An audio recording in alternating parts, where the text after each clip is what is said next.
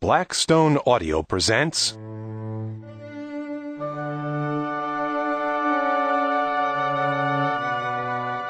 The Art of Being by Erich Fromm.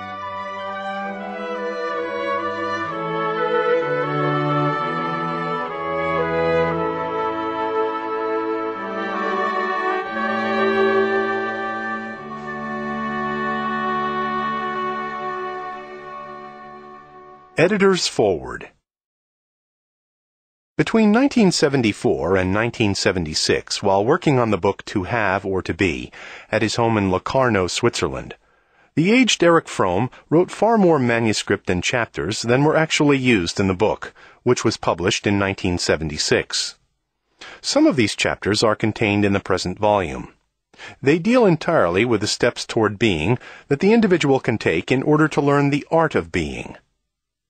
Fromm withdrew the chapters on steps toward being from the typescript shortly before the typesetting of To Have or To Be, because he believed that his book could be misunderstood to mean that each individual has only to search for spiritual well-being in the awareness, development, and analysis of himself without changing the economic realities that produce the having mode.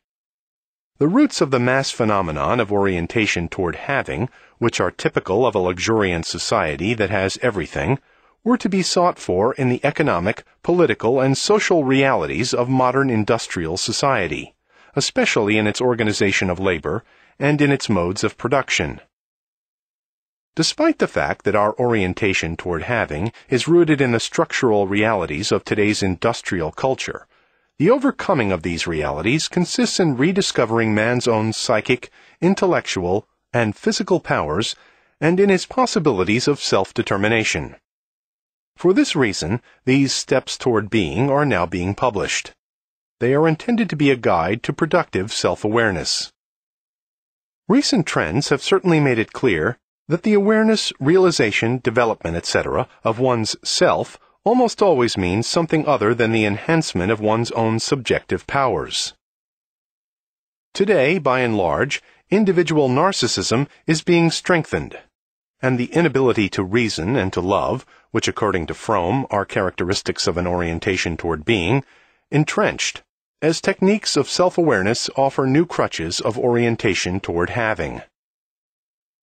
The following summary of some of the statements made earlier in To Have or To Be is meant not to be a substitute for having read that book, but rather to remind all who have read it of its most important thoughts. Erich Fromm understood the alternatives, having or being, to be two fundamental modes of existence, or two different kinds of orientation towards self and the world, two different types of character structure whose respective dominance determines the totality of how a person thinks, feels, and acts. To have or to be, page 24. If one investigates all the possible ways in which a person can orient his life, then one comes to this conclusion. In the end, a person orients his life either toward having or toward being. What does it mean when someone ultimately orients his or her life toward having? Whoever orients his or her life toward having determines oneself, one's existence, one's meaning of life and one's way of life according to what one has, what that person can have, and what one can have more of.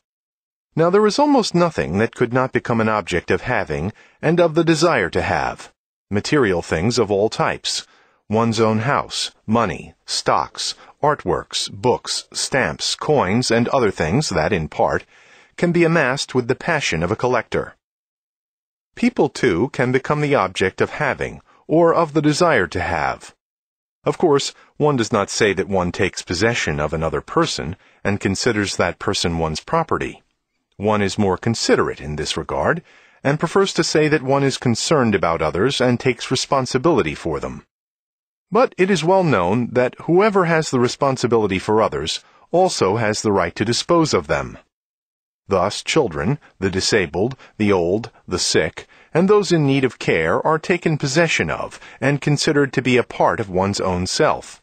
And woe, should the sick become healthy and the child wish to decide for itself.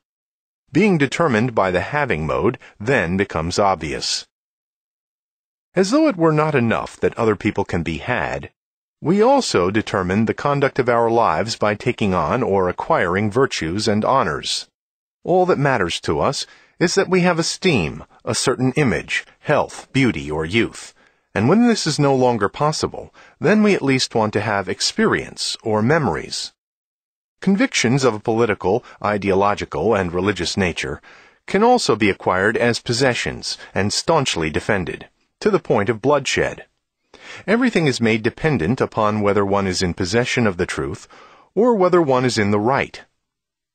Virtually anything can be possessed if a person orients his way of life toward having. The issue is not whether one does or does not have something, but rather whether a person's heart is set on what he or she does or does not have. Orientation toward not having is a having orientation too. Fromm is not advocating asceticism orientation toward being, is precisely what is not identical with orientation toward not having. The perpetual question concerns the position that having or not having holds in the determination of one's purpose in life and in the determination of one's own identity. It is often difficult to distinguish whether someone possesses something in the having mode of existence, or, to quote Fromm, whether someone possesses as if he were not possessing. Yet each person can quickly test himself or herself by asking what he or she finds particularly valuable, thereby getting an idea of what would happen if he or she were to lose what was important and valuable, whether he or she would lose the ground from under his or her feet, and whether life would then become meaningless. If one can then no longer feel any self-reliance or self-value intrinsic to oneself, if life and work are no longer worth anything, then one is determining life according to an orientation toward having.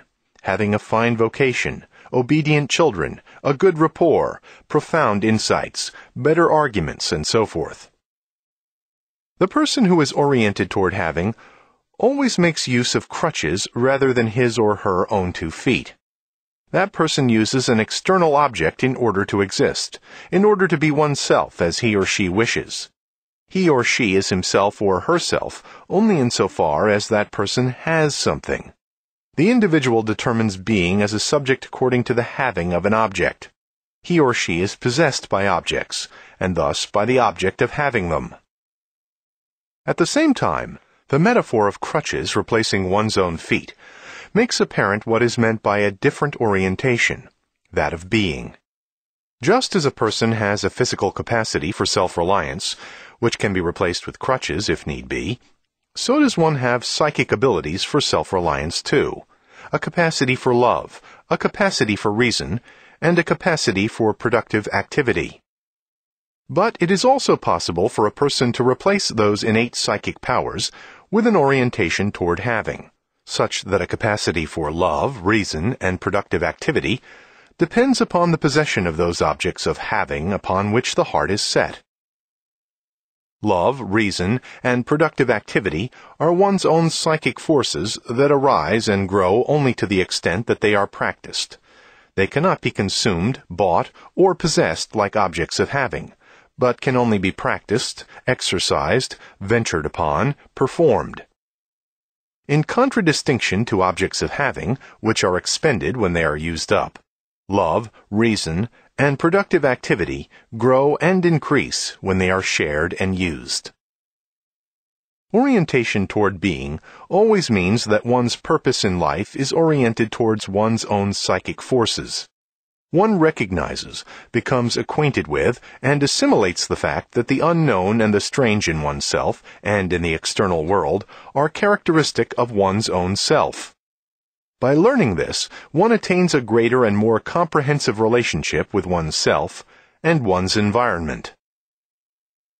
In To Have or To Be, Fromm proceeded from the observation that today's orientation toward having is a mass phenomenon founded in the economic and social actualities of a society that has too much and that can, therefore, succumb to the temptation of letting itself be determined or defined by having. The enormous loss of individuals' own psychic forces can be found in the structural realities of present-day economics, of present-day organization of labor, and of present-day social life. If the roots of the fateful development of the individual are to be sought for primarily in the socio-economically determined lot of today's person, then it is valid to proceed on the basis of these roots, and to understand the individual as having always been socialized. That is why Fromm replaced the chapter on the steps toward being with his suggestions for structural change. And that is why an individual's efforts to shift from an orientation toward having to an orientation toward being can make sense only if those efforts simultaneously change the structure of one's own setting. In vocational activity, in the organization of one's own work, and in political and societal self-awareness, the guiding values of one's own socio-economic way of life must be changed so that one can genuinely experience one's own psychic forces of reason, love, and productive activity, and so that those powers can grow by use. Our attempt to attain self-awareness and self-development, to attain a view of ourselves and of our world that truly corresponds to inner and external reality, is connected with the liberation of our socio-economic way of life. Indeed, only to the degree that the practice of life is freed from its contradictions and its irrationality can the map correspond to reality, the author said in To Have or To Be. In the present volume, Erich Fromm first shows the false paths of self-awareness, just as he clearly recognized and identified them as such years ago, with all the pathos of a didact. Yet he then suggests ways of gaining self-awareness and shares with us the steps toward being that he himself has practiced daily, giving very extensive attention to self-analysis as an application of psychoanalysis. Because the present work, available here for the first time, was not prepared for publication by Fromm himself, there was a need for occasional supplementation, both of the division and systematization of the text, as well as of the chapter headings. Rainer Funk, Tübingen, Germany, 1992. Translated by Lance W. Garmer. Part 1 1. On the Art of Being. In the first part of this book, I have tried to describe the nature of the having and of the being modes of existence, and the consequences that the dominance of either mode has for man's well-being. We had concluded that the full humanization of man requires the breakthrough from the possession-centered to the activity-centered orientation, from selfishness and egotism to solidarity and altruism. In the second part of the book, I want to make some practical suggestions concerning the steps that might be helpful as preparations for the effort to move toward this humanization. The discussion of steps in the practice of the art of living must begin with a question on the answer to which all practice depends. What is the goal of living? What is life's meaning for man? But is this really a meaningful question? Is there a reason for wanting to live? and would we rather not live if we had no such reason? The fact is that all living beings, animals, and men want to live. And this wish is paralyzed only under exceptional circumstances, such as unbearable pain, or, in man, by the presence of passions such as love, hate, pride, loyalty, that can be stronger than the wish to live. It seems that nature, or if you will, the process of evolution, has endowed every living being with the wish to live, and whatever he believes to be his reasons are only secondary thoughts by which he rationalizes this biologically given impulse. We do, of course, need to acknowledge theoretical ideas of evolution. Meister Eckhart has made the same point in a simpler, poetic way. If you ask a good man, Why do you love God? you will be answered, I don't know, because he is God. Why do you love truth? For truth's sake. Why do you love justice? For the sake of justice.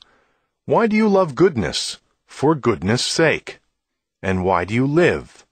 On my honor, I don't know. I like to live. That we want to live, that we like to live, are facts that require no explanation. But if we ask how we want to live, what we seek from life, what makes life meaningful for us, then indeed we deal with questions, and they are more or less identical, to which people will give many different answers. Some will say they want to love, others will choose power, others security, others sensuous pleasure and comfort, others fame. But most would probably agree in the statement that what they want is happiness. This is also what most philosophers and theologians have declared to be the aim of human striving. However, if happiness covers such different and mostly mutually exclusive contents as the ones just mentioned, it becomes an abstraction, and thus rather useless. What matters is to examine what the term happiness means, for the layman as well as for the philosopher. Even among the different concepts of happiness, there is still a view shared by most thinkers. We are happy if our wishes are fulfilled, or, to put it differently, if we have what we want. The differences between the various views consist in the answer to the question, what are those needs the fulfillment of which brings about happiness? We come thus to the point at which the question of the aim and meaning of life leads us to the problem of the nature of human needs. By and large, there are two opposing positions. The first, and today almost exclusively held position, is that a need is defined entirely subjectively. It is the striving for something I want badly enough so that we have a right to call it a need, the satisfaction of which gives pleasure. In this definition, the question is not raised what the source of the need is. It is not asked whether, as with hunger and thirst, it has a physiological root, or, like the need for refined food and drink, for art, for theoretical thought, it is a need rooted in the social and cultural development of man, or whether it is a socially induced need like that for cigarettes, automobiles, or innumerable gadgets, or finally, whether it is a pathological need like that for such behaviors as sadism or masochism. Nor in this first view is the question raised what effect the satisfaction of the need has on a person whether it enriches his life and contributes to his growth, or whether it weakens him, stifles him, prevents growth, and is self-destructive. Whether a person enjoys the satisfaction of his desire to listen to Bach, or that of his sadism by controlling or hurting helpless people, is supposed to be a matter of taste. As long as this is what a person has a need for, happiness consists in the satisfaction of this need. The only exceptions that usually are made are those cases in which the satisfaction of a need severely damages other people, or the social usefulness of the person himself. Thus, the need to destroy or the need to take drugs are usually not supposed to be needs that can claim their legitimacy from the fact that their satisfaction might produce pleasure. The opposite or second position is fundamentally different. It focuses on the question of whether a need is conducive to man's growth and well-being, or whether it hobbles and damages him. It speaks of such needs as are rooted in man's nature and are conducive to his growth and self-fulfillment. In this second concept, the purely subjective nature of happiness is replaced by an objective normative one. Only the fulfillment of desires that are in man's interests lead to happiness. In the first instance, I say, I am happy if I get all the pleasure I want. In the second, I am happy if I get what I ought to want, provided I want to attain an optimum of self-completion. It need not be emphasized that this last version is unacceptable from the standpoint of conventional scientific thinking, because it introduces a norm, i.e., a value judgment, into the picture, and hence seems to deprive the affirmation of its objective validity. The question arises, however, whether it is true that a norm has objective validity.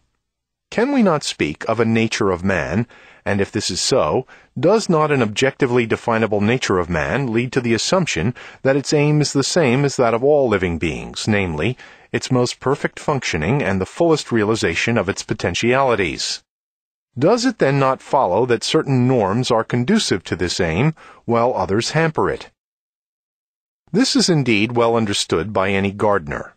The aim of the life of a rosebush is to be all that is inherent as potentiality in the rose bush, that its leaves are well developed, and that its flower is the most perfect rose that can grow out of this seed.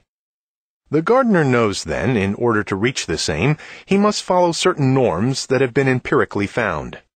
The rose bush needs a specific kind of soil, of moisture, of temperature, of sun and shade. It is up to the gardener to provide these things if he wants to have beautiful roses. But even without his help, the rosebush tries to provide itself with the optimum of needs. It can do nothing about moisture and soil, but it can do something about sun and temperature by growing crooked in the direction of the sun, provided there is such an opportunity. Why would not the same hold true for the human species? Even if we had no theoretical knowledge about the reasons for the norms that are conducive to man's optimal growth and functioning, experience tells us just as much as it tells the gardener. Therein lies the reason that all great teachers of man have arrived at essentially the same norms for living, the essence of these norms being that the overcoming of greed, illusions, and hate, and the attainment of love and compassion are the conditions for attaining optimal being. Drawing conclusions from empirical evidence, even if we cannot explain the evidence theoretically, is a perfectly sound and by no means unscientific method although the scientist's ideal will remain to discover the laws behind the empirical evidence. Now, those who insist that all so-called value judgments in reference to human happiness have no theoretical foundation do not raise the same objection with regard to a physiological problem, although logically the case is not different. Assuming a person has a craving for sweets and cakes, becomes fat, and endangers his health, they do not say, if eating constitutes his greatest happiness, he should go on with it and not persuade himself, or let himself be persuaded by others to renounce this pleasure. They recognize this craving as something different from normal desires, precisely because it damages the organism. This qualification is not called subjective, or a value judgment or unscientific, simply because everyone knows the connection between overeating and health. But then everyone also knows today a great deal about the pathological and damaging character of irrational passions, such as the craving for fame, power, possessions, revenge, control, and can indeed qualify these needs as damaging on an equally theoretical and clinical basis. One has only to think of the manager's sickness, peptic ulcers, which is the result of wrong living, the stress produced by overambitiousness, dependence on success, lack of a truly personal center. There is much data that goes beyond the connection between such wrong attitudes and somatic sickness. In recent decades, a number of neurologists, such as C. von Monakow, R. B. Livingston, and Heinz von Foerster, have suggested that man is equipped with a neurologically built-in biological conscience, in which norms such as cooperation and solidarity, a search for truth, and for freedom are rooted. These conceptions are based on considerations of the theory of evolution. I myself have attempted to demonstrate that the principal human norms are conditions for the full growth of the human being, while many of the purely subjective desires are objectively harmful. The goal of living, as it is understood in the following pages, can be postulated on different levels. Most generally speaking, it can be defined as developing oneself in such a way as to come closest to the model of human nature, Spinoza, or, in other words, to grow optimally according to the conditions of human existence and thus to become fully what one potentially is to let reason or experience guide us to the understanding of what norms are conducive to well-being, given the nature of man that reason enables us to understand. Thomas Aquinas Perhaps the most fundamental form of expressing the goal and the meaning of living is common to the tradition of both the Far East and Near East and Europe, the Great Liberation, liberation from the dominance of greed in all its forms, and from the shackles of illusions. This double aspect of liberation is to be found in systems such as Indian Vedic religion, Buddhism, and Chinese and Japanese Zen Buddhism, as well as in a more mythical form of God as Supreme King in Judaism and Christianity. It finds its crowning development in the Near East and West, in Christian and Muslim mystics, in Spinoza, and in Marx.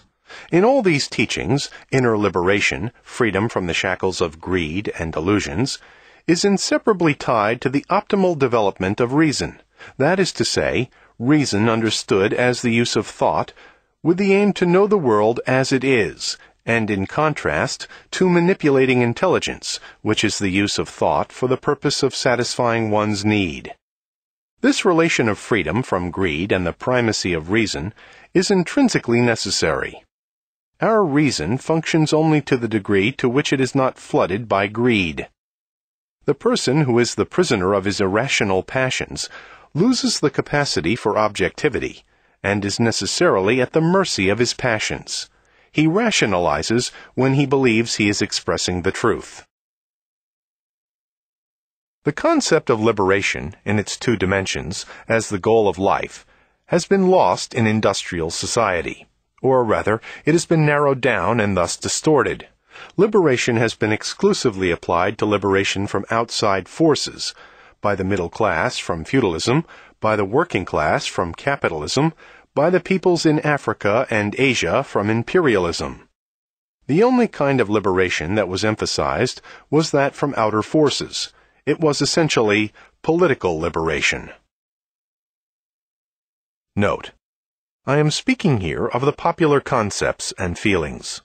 If we consider the Enlightenment philosophy with its motto, Sapere Aude, dare to know, and of the philosophers' concern with inner freedom, the concept of freedom was, of course, not mainly a political one. End of note. Indeed, liberation from outer domination is necessary, because such domination cripples the inner man, with the exception of rare individuals. But the one-sidedness of the emphasis on outer liberation also did great damage. In the first place, the liberators often transformed themselves into new rulers, only mouthing the ideologies of freedom. Second, political liberation could hide the fact that new unfreedom developed, but in hidden and anonymous forms. This is the case in Western democracy, where political liberation hides the fact of dependency in many disguises. In the Soviet countries, the domination has been more overt. Most importantly, one forgot entirely that man can be a slave even without being put in chains, the reverse of an oft repeated religious statement that man can be free even when he is in chains. This may sometimes, in exceedingly rare cases, be true. However, it is not a statement that is significant for our times. But that man can be a slave without chains is of crucial importance in our situation today. The outer chains have simply been put inside of man. The desires and thoughts that the suggestion apparatus of society fills him with chain him more thoroughly than outer chains. This is so because man can at least be aware of outer chains, but be unaware of inner chains, carrying them with the illusion that he is free. He can try to overthrow the outer chains, but how can he rid himself of chains of whose existence he is unaware? Any attempt to overcome the possibly fatal crisis of the industrialized part of the world, and perhaps of the human race, must begin with the understanding of the nature of both outer and inner chains. It must be based on the liberation of man in the classic humanist sense as well as in the modern political and social sense. The Church still by and large speaks only of inner liberation, and political parties, from liberals to communists, speak only about outer liberation. History has clearly shown that one ideology without the other leaves man dependent and crippled. The only realistic aim is total liberation, a goal that may well be called radical or revolutionary humanism.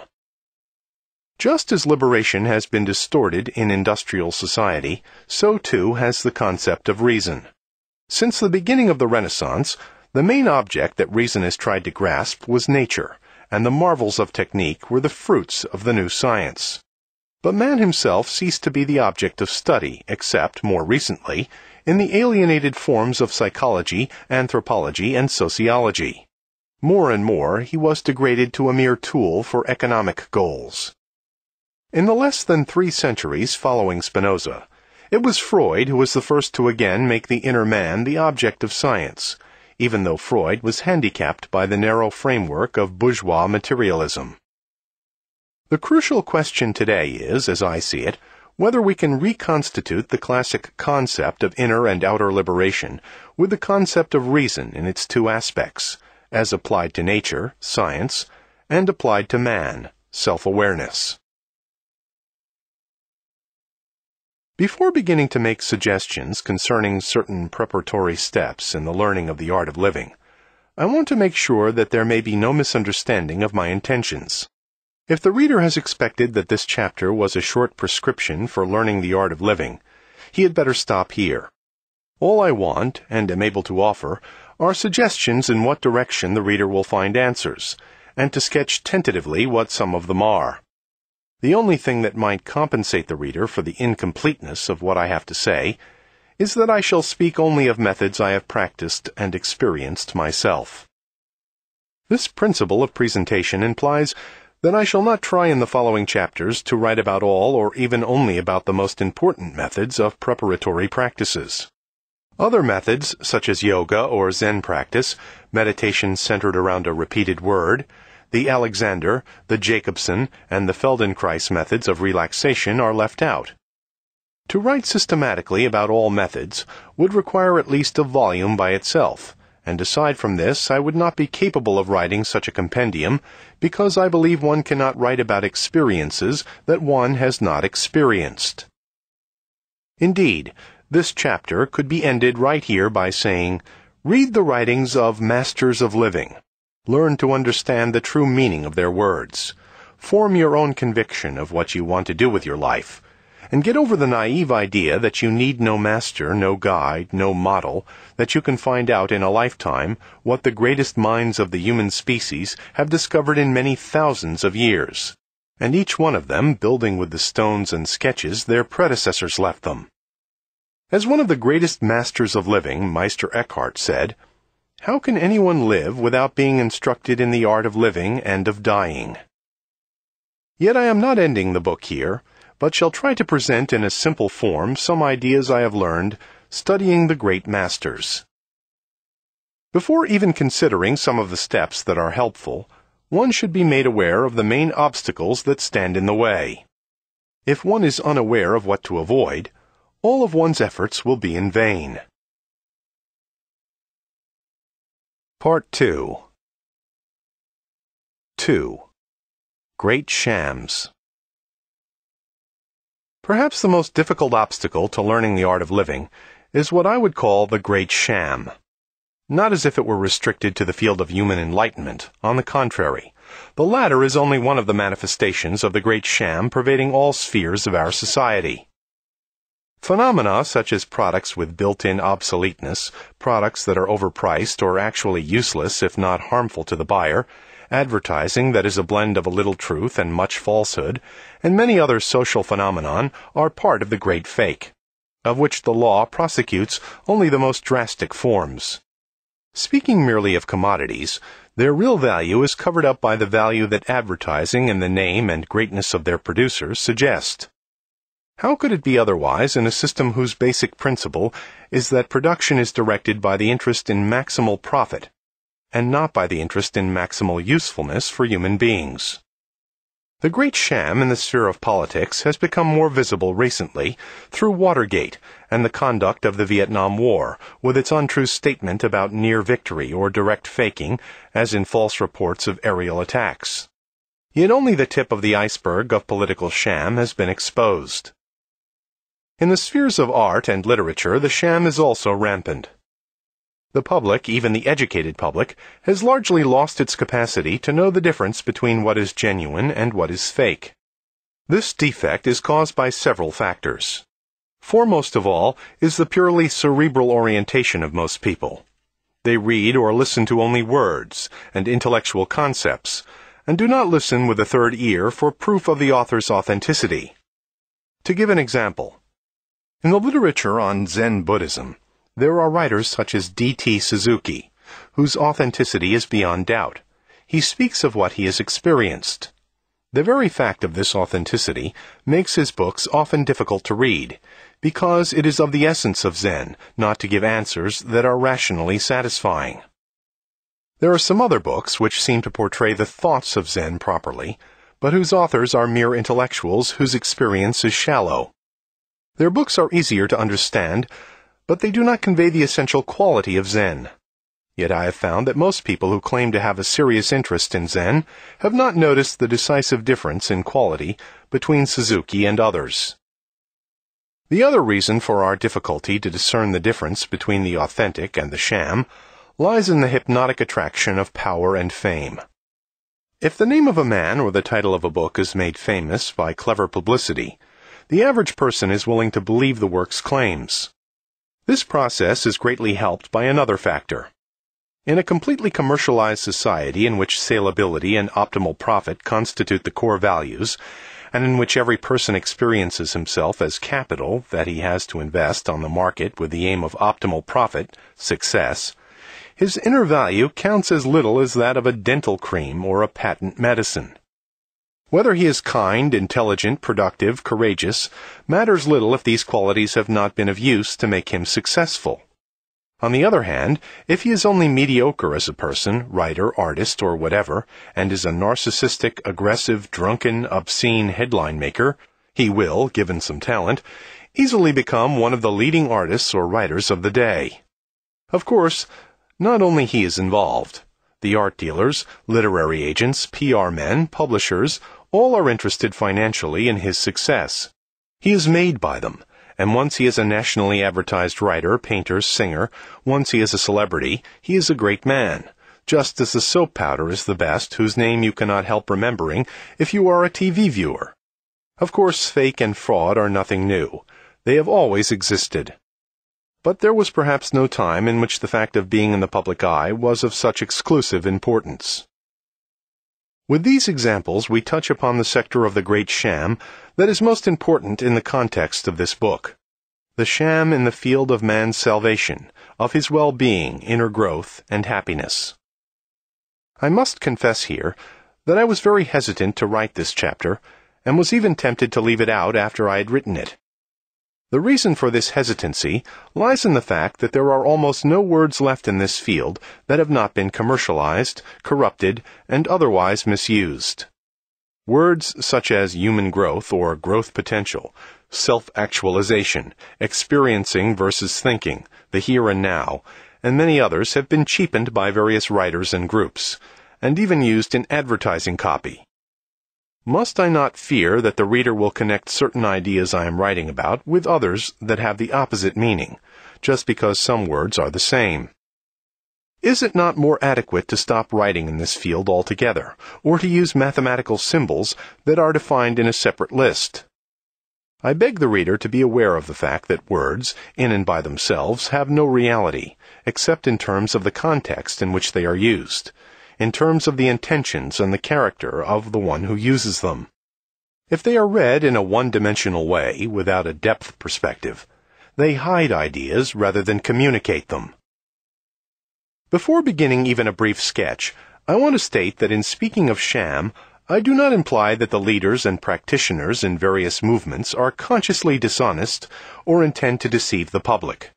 Although there are some for whom this holds true, I believe that many intend to do good and believe in the usefulness of their spiritual commodities. Yet there is not merely conscious and intended sham. The socially more dangerous is the swindle in which the performers honestly believe, whether it is to plan a war or to offer the way to happiness. Indeed, certain things have to be said, even at the risk of my being taken as personally attacking well-meaning people. There is in fact little reason for personal attacks, since these merchants of salvation only satisfy a widespread demand. How could it be different? People are confused and unsure. They seek answers to guide them to joy, tranquility, self-knowledge, salvation. But they also demand that it be easy to learn, that it require little or no effort, that results be quickly obtained. In the 20s and 30s, a new movement emerged built upon the genuine interest of a small number of people in new and hitherto unpopular ideas. These ideas were organized around two central issues the liberation of the body and the liberation of the mind from the shackles into which conventional life had bound and distorted them. The first trend had two sources. One was psychoanalytic. George Groddeck, was the first to use massage to loosen up the body and thus help a patient to get rid of tensions and repressions. Wilhelm Reich went the same way more systematically and with greater theoretical awareness of what he was doing. The breaking of the resistance that defends the repressed by breaking down the cramped and distorted bodily posture that functions as a protective defense against de-repression. Reich's work was based on various methods of body awareness, starting with the work of Elsa Gindler in the 1920s. The second trend, the liberation of the mind, was centered mostly on Eastern ideas, particularly certain forms of yoga, Zen Buddhism, and Buddhist meditation. All the ideas and methods in which only a few people were interested are genuine and important, and have been of great help to a number of persons who did not expect to find an easy shortcut to salvation. In the 50s and 60s, a much larger number of people were looking for new ways to happiness, and a mass market began to form.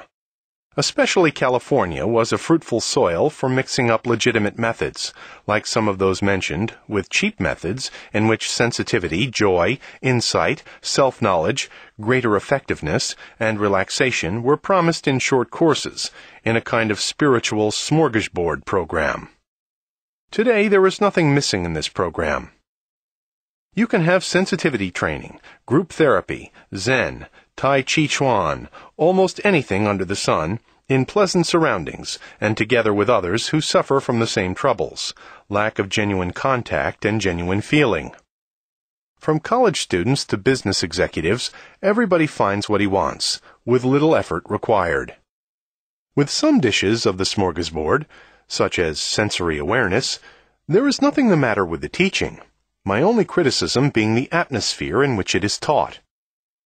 In other endeavors, the sham lies in the superficiality of the teaching, especially when it pretends to be based on the insight of the great masters. But perhaps the greatest sham is that what is promised, explicitly or implicitly, is a deep change in personality, while what is given is momentary improvement of symptoms, or at best, stimulation of energy and some relaxation. In essence, these methods are means of feeling better and of becoming better adjusted to society without a basic change in character. This Californian movement, however, is insignificant by comparison with the mass production of spiritual goods organized by and around Indian gurus. The most stunning success has been that of the movement called Transcendental Meditation, TM, whose leader is the Indian Maharishi Mahesh Yogi. This guru seized upon a very old Indian traditional idea, that of meditation over a mantra, a mantra usually being a word from Hindu scripture that is supposed to have special significance, like Om in the Upanishads, if one concentrates on it. This concentration results in relaxation and in lessening of tension, and in a feeling of well-being that accompanies the relaxation. TM can be practiced without mystifications by using English words such as be still, love, one, peace, or any others that recommend themselves. If practiced regularly every day in a relaxed position, with closed eyes for about 20 minutes, it has apparently a marked effect of quietness, relaxation, and increase in energy. Since I have not practiced it myself so far, I only rely on credible reports by those who have. Maharishi did not invent this method but he has invented how it can be packaged and marketed. In the first place, he sells the mantras, alleging that for each individual that mantra is chosen which fits the individuality of the customer. Even if there were such correlations between specific mantras and specific individuals, any one of the thousands of teachers who introduce the novices to the secret could hardly know enough about the individuality of the new customer to make the right choice. The idea of the custom-made mantra is the basis for selling it for a not inconsiderable sum to the newcomer. The personal wishes of the individual are taken into account, and the possibility of this fulfillment is confirmed by the teacher. What a promise! Any wish can be fulfilled, if only one practices TM. After having heard two introductory lectures, the novice has an interview with the teacher. Then, with a little ceremony, he receives his personal mantra and is instructed never to say it aloud to himself or to anyone else. He has to sign a statement that he will never teach the method to others, obviously to keep the monopoly intact. The new adherent has a right to be checked every year about his progress by the teacher who introduced him, although, as I understand it, this is usually a brief, routine procedure. The movement has now many hundreds of thousands of practicing adherents, mainly in the United States, but increasingly also in a number of European countries. The promise that TM holds out is, aside from the fulfillment of any personal wish, that the practice does not require any effort. yet it is the basis for successful, meaningful behavior. Success and inner growth go together. Caesar and God are reconciled. The more you grow spiritually, the more successful you will also be in business. Indeed, the movement itself, its advertising, its vague and often meaningless language, its references to some respectable ideas, the cult of a smiling leader, has adopted all the features of big business. The existence and popularity of the movement are as little surprising as that of certain patent medicines. What is surprising is that among its adherents and practitioners are, as I know from personal experience, people of unquestionable integrity, high intelligence, and superior psychological insight. I must admit that I am puzzled by the fact. To be sure, their positive reaction is due to the relaxing and energizing effect of the meditation exercises. But what is so puzzling is that they are not repelled by the unclear language, the crude PR spirit, the exaggerated promises, the commercialization of the salvation business, and why they retain their connection with TM rather than choose another, non-mystifying technique, such as one of those mentioned above. Has the spirit of big business and its selling methods already made such inroads that one must also accept them in the field of individual spiritual development? In spite of the favorable effect of mantra meditation, it does, in my opinion, damage to the supporter. In order to appreciate this damage, one must go beyond the isolated act of mantra meditation and see the entire fabric of which it is a part. One supports an idolatrous cult and thus decreases one's independence. One supports the dehumanizing feature of our culture the commercialization of all values, as well as the spirit of PR falsehoods, the no effort doctrine, and the perversion of traditional values such as self knowledge, joy, well being, by clever packaging. As a result, one's mind becomes confused and filled with new illusions in addition to those that exist already and should be gotten rid of. There is another danger in movements like TM. It is used by many people who are genuinely eager to achieve an inner change and to find a new meaning to life, and by its phraseology, TM supports such wishes. But it is in fact, at best, only a method for relaxation, to be compared to Hatha Yoga or the honest autogenic training by the late Professor I. H. Schultz, which achieves states of refreshing and energizing relaxation in many people. Such relaxation, while desirable, has nothing to do with a fundamental human change from egocentricity to inner freedom.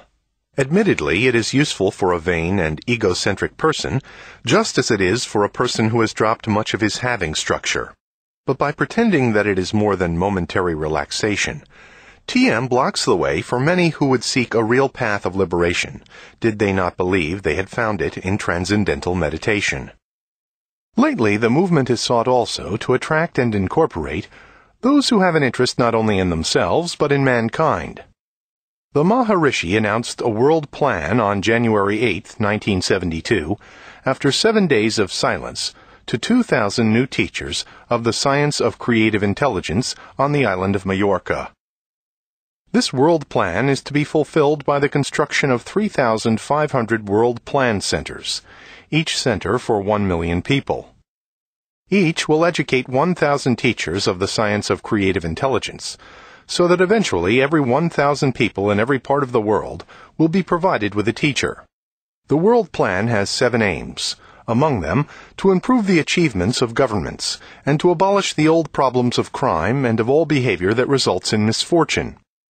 For the realization of the seven goals, there exist seven courses. Summarizing his aim, the Maharishi stated, We shall consider ourselves as successful only then when the problems of today's world are essentially diminished and eventually abolished, and when the educational authorities of every country will be able to bring up fully developed citizens. Do these plans for the salvation of the world need any comment to prove their lack of any thought, which goes beyond vulgar selling methods? The success of TM has given rise to similar ventures. One such enterprise was described in Newsweek, February 17, 1975. Its inventor, born Jack Rosenberg, now Werner, from Wernher von Braun, Erhard, from the former German Chancellor Ludwig Erhard, has founded Erhard Seminar Training, EST. In EST, he packaged his experience with yoga, Zen, sensitivity training, and encounter therapy into a new unit that is sold for $250 in two weekend sessions. According to the 1975 report, already 6,000 salvation seekers had been processed, with a large profit for EST. This is very little compared with TM, yet it shows that by now, not only an Indian, but a former personal motivation expert from a Philadelphia suburb can break into the business. I have devoted so much space to these movements because I think there is an important lesson to be learned. The basis for any approach to self-transformation is an ever-increasing awareness of reality and the shedding of illusions. Illusions contaminate even the most wonderful-sounding teaching to make it poisonous.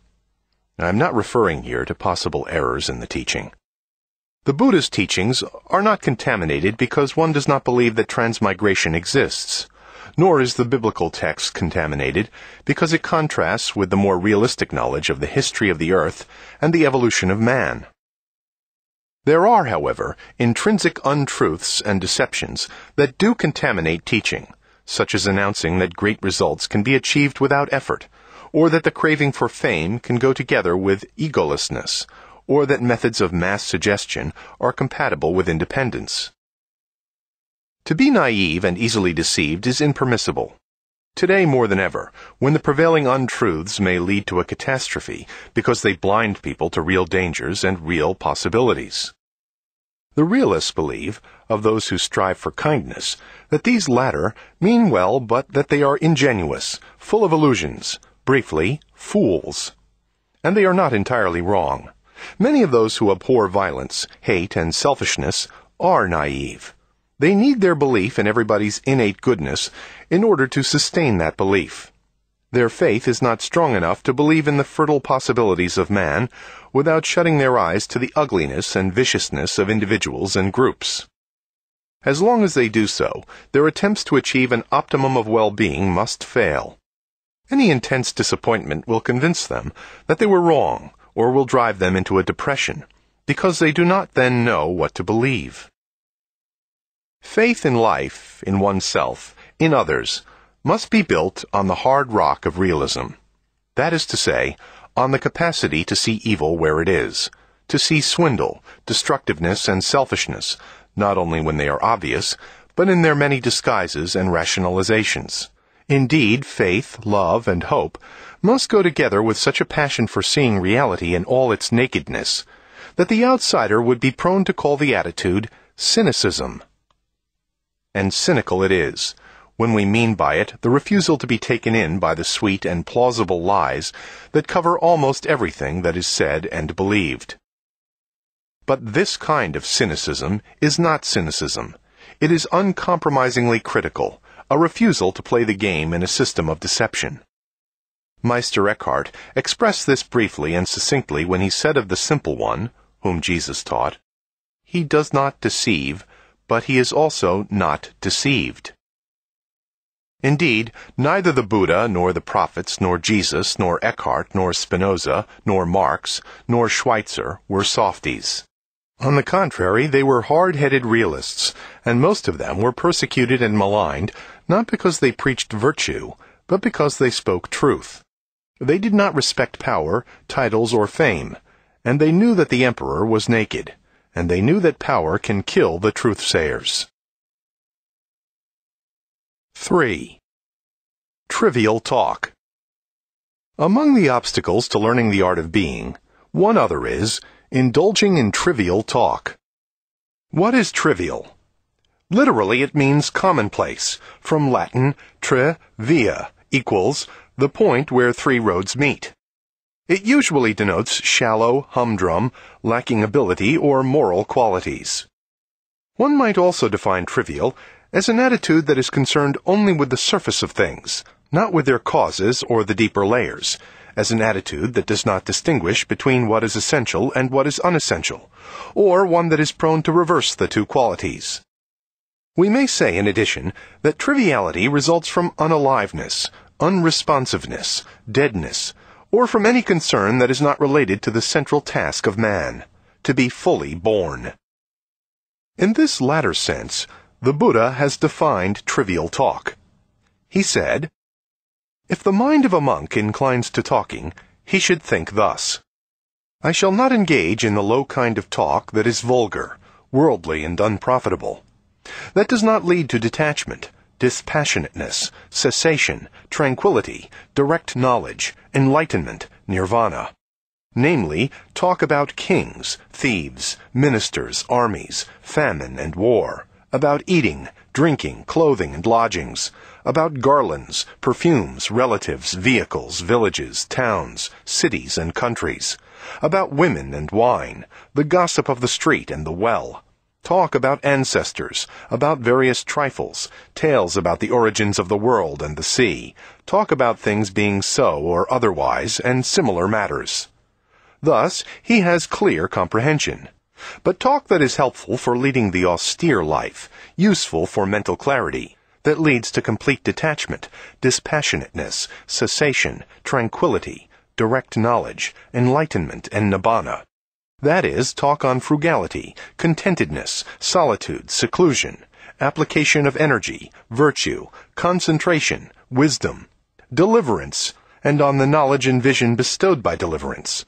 In such talk shall I engage. Thus he has clear comprehension. Some of the examples cited for trivial conversation may not appear trivial to a non-Buddhist. Such as the question of the origin of the world, or perhaps even a Buddhist might say that talk about famine, if serious and with the intention to help, was never meant to be trivial by the Buddha. However this may be, the whole list in its bold summation of topics, some of which are sacred to some and dear to many, is very impressive because it conveys the flavor of banality. How many billions of conversations have taken place in these last years about inflation, Vietnam, the Near East, Watergate, elections, etc.?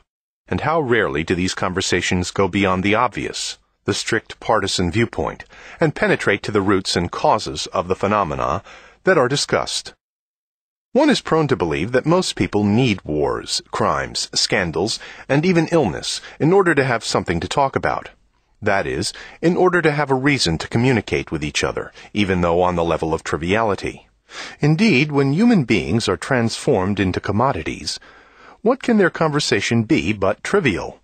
Would commodities on the market, if they could speak, not talk about the customers, the behavior of the sales personnel, their own hopes of fetching a high price, and their disappointment when it became clear that they would not be sold? Perhaps most trivial talk is a need to talk about oneself. Hence, the never-ending subject of health and sickness, children, travel, successes, what one did, and the innumerable daily things that seem to be important. Since one cannot talk about oneself all the time without being thought a bore, one must exchange the privilege by a readiness to listen to others talking about themselves. Private social meetings between individuals, and often also meetings of all kinds of associations and groups, are little markets where one exchanges one's need to talk about oneself and one's desire to be listened to for the need of others who seek the same opportunity. Most people respect this arrangement of exchange. Those who don't, and want to talk more about themselves than they are willing to listen, are cheaters, and they are resented and have to choose inferior company in order to be tolerated. One can hardly overestimate people's need to talk about themselves and to be listened to. If this need were present only in highly narcissistic people who are filled only with themselves, it would be easy to understand. But it exists in the average person for reasons that are inherent in our culture. Modern man is a mass man. He is highly socialized, but he is very lonely. David Riesman has expressed this phenomenon strikingly in the title of his 1961 book, The Lonely Crowd, New York Free Press. Modern man is alienated from others and confronted with a dilemma. He is afraid of close contact with another, and equally afraid to be alone and have no contact. It is the function of trivial conversation to answer the question, How do I remain alone without being lonely? Talking becomes an addiction. As long as I talk, I know I exist, that I am not nobody, that I have a past, that I have a job, I have a family. And by talking about all this, I affirm myself. However, I need someone to listen. If I were only talking to myself, I would go crazy. The listener produces the illusion of a dialogue, when in reality there is only a monologue. Bad company, on the other hand, is not only the company of merely trivial people, but of evil, sadistic, destructive, life-hostile people. But why, one might ask, is there a danger in the company of bad people, unless they try to harm one in one form or another? In order to answer this question, it is necessary to recognize a law in human relations. There is no contact between human beings that does not affect both of them. No meeting between two people, no conversation between them, except perhaps the most casual one, leaves either one of them unchanged, even though the change may be so minimal as to be unrecognizable except by its cumulative effect when such meetings are frequent. Even a casual meeting can have a considerable impact. Who has not been touched in his life by the kindness in a face of a person whom he saw only for a minute and never talked to? Who has not experienced the horror that a truly evil face produced in him, even being exposed to it for only a moment? Many will remember such faces and the effects they had on them for many years, or for all their lives. Who, after being with a certain person, has not felt cheered up, more alive, in a better mood, or in some cases even possessing new courage and new insights, even though the content of the conversation would not account for this change? On the other hand, Many people have had the experience, after being with certain others, of being depressed, tired, hopeless, yet unable to find the content of the conversation responsible for the reaction. I am not speaking here of the influence of persons with whom somebody is in love, admires, is afraid of, etc. Obviously, they can have a strong influence by what they say or how they behave toward a person who is under their spell. What I am talking about is the influence of persons on those who are not bound to them in special ways. All these considerations lead to the conclusion that it is desirable to avoid trivial and evil company altogether, unless one can assert oneself fully, and thus make the other doubt his own position. Inasmuch as one cannot avoid bad company, one should not be deceived. One should see the insincerity behind the mask of friendliness, the destructiveness behind the mask of eternal complaints about unhappiness, the narcissism behind the charm. One should also not act as if he or she were taken in by the other's deceptive appearance, in order to avoid being forced into a certain dishonesty oneself. One need not speak to them about what one sees, but one should not attempt to convince them that one is blind. The great 12th century Jewish philosopher Moses Maimonides, recognizing the effect of bad company, made the drastic proposal If you live in a country whose inhabitants are evil, avoid their company. If they try to force you to associate with them, leave the country, even if it means going to the desert. If other people do not understand our behavior, so what? Their request that we must only do what they understand is an attempt to dictate to us. If this is being asocial or irrational in their eyes, so be it. Mostly they resent our freedom and our courage to be ourselves. We owe nobody an explanation or an accounting, as long as our acts do not hurt or infringe on them. How many lives have been ruined by this need to explain, which usually implies that the explanation be understood, i.e., approved. Let your deeds be judged, and from your deeds your real intentions, but know that a free person owes an explanation only to himself to his reason and his conscience, and to the few who may have a justified claim for explanation. 4. No effort, no pain. Another barrier to learning the art of being is the no effort, no pain doctrine. People are convinced that everything, even the most difficult tasks, should be mastered without or with only little effort. This doctrine is so popular that it scarcely requires a lengthy explanation. Take our entire method of education. We persuade our young people. We actually beg them to get an education. In the name of self-expression, anti-achievement, freedom, we make every course as easy and pleasant as possible. The only exceptions are the natural sciences, where real achievement is intended and where one cannot master the subject in easy lessons. But in the social sciences, art and literature courses, and in elementary and high schools, the same tendency is present. Make it easy and take it easy. The professor who insists on hard work is called authoritarian or old fashioned. The causes for this trend today are not difficult to discover. The increasing need for technicians, for half educated people who work in service industries, from clerks to minor executives, requires people with a smattering of knowledge as our colleges provide. Second, our whole social system rests upon the fictitious belief that nobody is forced to do what he does, but that he likes to do it. This replacement of overt by anonymous authority finds its expression in all areas of life. Force is camouflaged by consent. The consent is brought about by methods of mass suggestion. As a consequence, study too should be felt as pleasant, not enforced, and all the more so in fields in which the need for serious knowledge is minimal. The idea of effortless learning has still another root. Technical progress has indeed diminished the amount of physical energy necessary for the production of goods. In the first industrial revolution, animal and human physical energy were replaced by the mechanical energy of the machine. In the second industrial revolution, thinking and memorizing are replaced by machines up to the large computers. This liberation from hard work is experienced as the greatest gift of modern progress.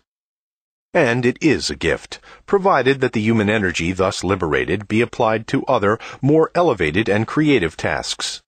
However, this has not been the case. The liberation from the machine has resulted in the ideal of absolute laziness, of the horror of making any real effort. The good life is the effortless life. The necessity to make strong efforts is, as it were, considered to be a medieval remnant, and one makes strong efforts only if one is really forced to do so, not voluntarily. You take your car to the grocery store two blocks away in order to avoid the effort of walking. The clerk in the store punches three figures on the adding machine to save the mental effort of adding. Related to the no effort doctrine is the no pain doctrine. This, too, has a phobic quality to avoid under all circumstances pain and suffering, physically and particularly mentally. The era of modern progress claims to lead man into the promised land of painless existence. In fact, people develop a kind of chronic phobia of pain. Pain is referred to here in the broadest sense of the word, not merely physical and mental pain.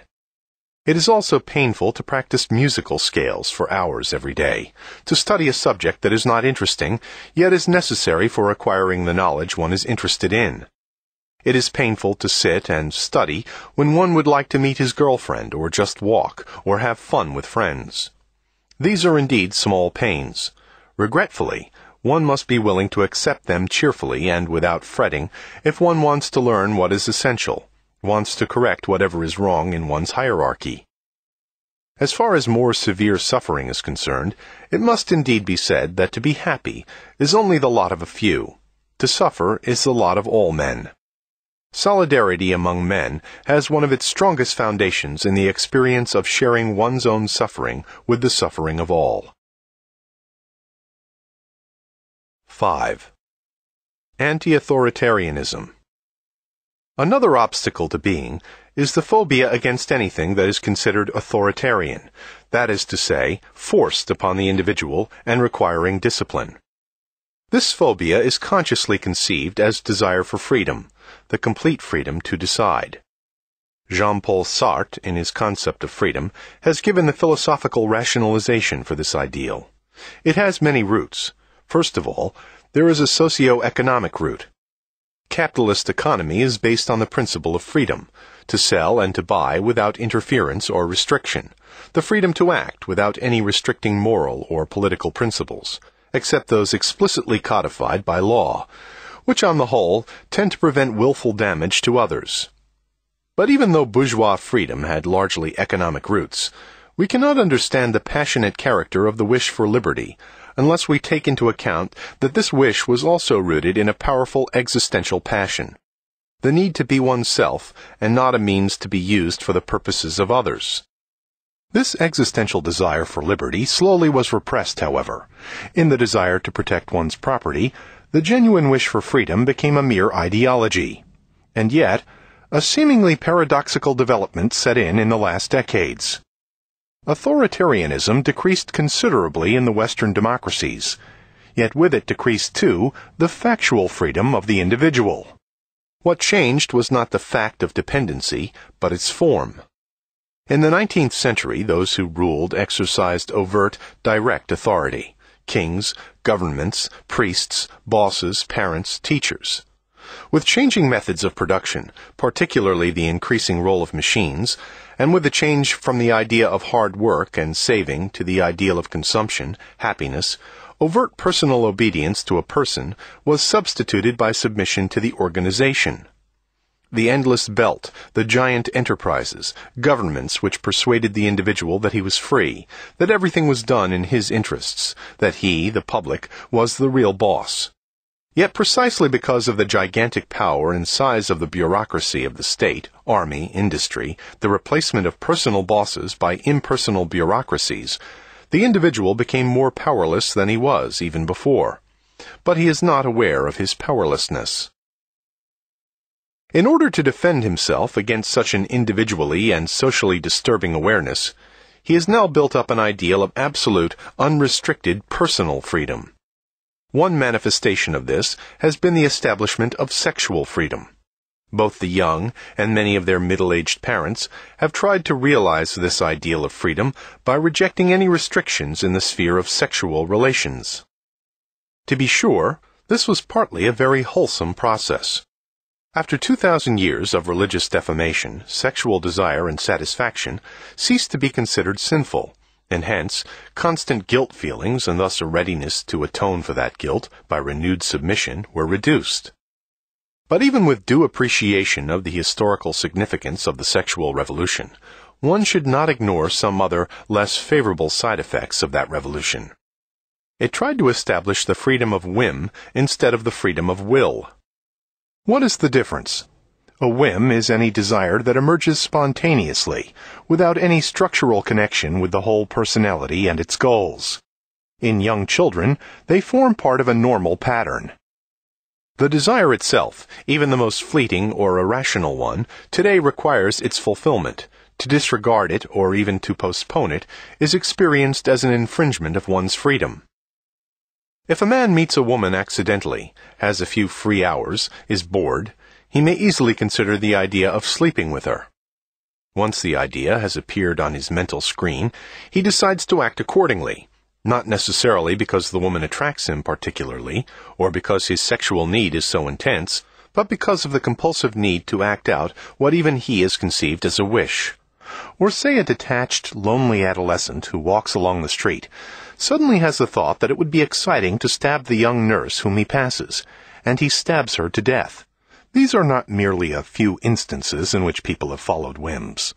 That the first act is lovemaking and the second is killing is of course a significant difference. But what they have in common is the character of a whim. Examples between these extremes abound, and anyone can find them for himself. The general criterion of a whim is that it responds to the question, why not, and not to the question, why. I am sure that anyone who observes behavior minutely has discovered with what extraordinary frequency people, when asked whether they would like to do this or that, begin their answer with, why not? This why not implies that one does something simply because there is no reason against doing it, not because there is a reason for it. It implies that it is a whim, but not a manifestation of the will. Following a whim is, in fact, the result of deep inner passivity blended with a wish to avoid boredom. Will is based on activity, whim on passivity. The most significant place in which the fiction of personal freedom is acted out is the area of consumption. The customer is the king of the supermarket and the automobile market. Many brands of each commodity vie for his favor. They have tried to entice him for months on the television screen. And when he buys, he seems to be like a powerful man who, in full freedom, makes his choices between soap powder A, B, and C, all of which beg for his vote as political candidates do before election day. The customer king is not aware that he has no influence on what is offered him, and that the alleged choice is no choice, since the different brands are essentially the same, sometimes even manufactured by the same corporation. It is possible to formulate a general psychological law. The greater the sense of powerlessness, and the greater the lack of authentic will, the more grows either submission or an obsessional desire for satisfaction of one's whims and the insistence on arbitrariness. To sum up, the chief rationalization for the obsession of arbitrariness is the concept of anti-authoritarianism. To be sure, the fight against authoritarianism was and still is of great positive significance. But anti-authoritarianism can, and has, become a rationalization for narcissistic self-indulgence, for a childlike sybaritic life of unimpaired pleasure, in which, according to Herbert Marcuse, even the primacy of genital sexuality is authoritarian, because it restricts the freedom of pregenital, i.e., anal, perversions. Finally, the fear of authoritarianism serves to rationalize a kind of madness, a desire to escape from reality. Reality imposes its law on man, laws that he can only escape in dreams or in states of trance or in insanity.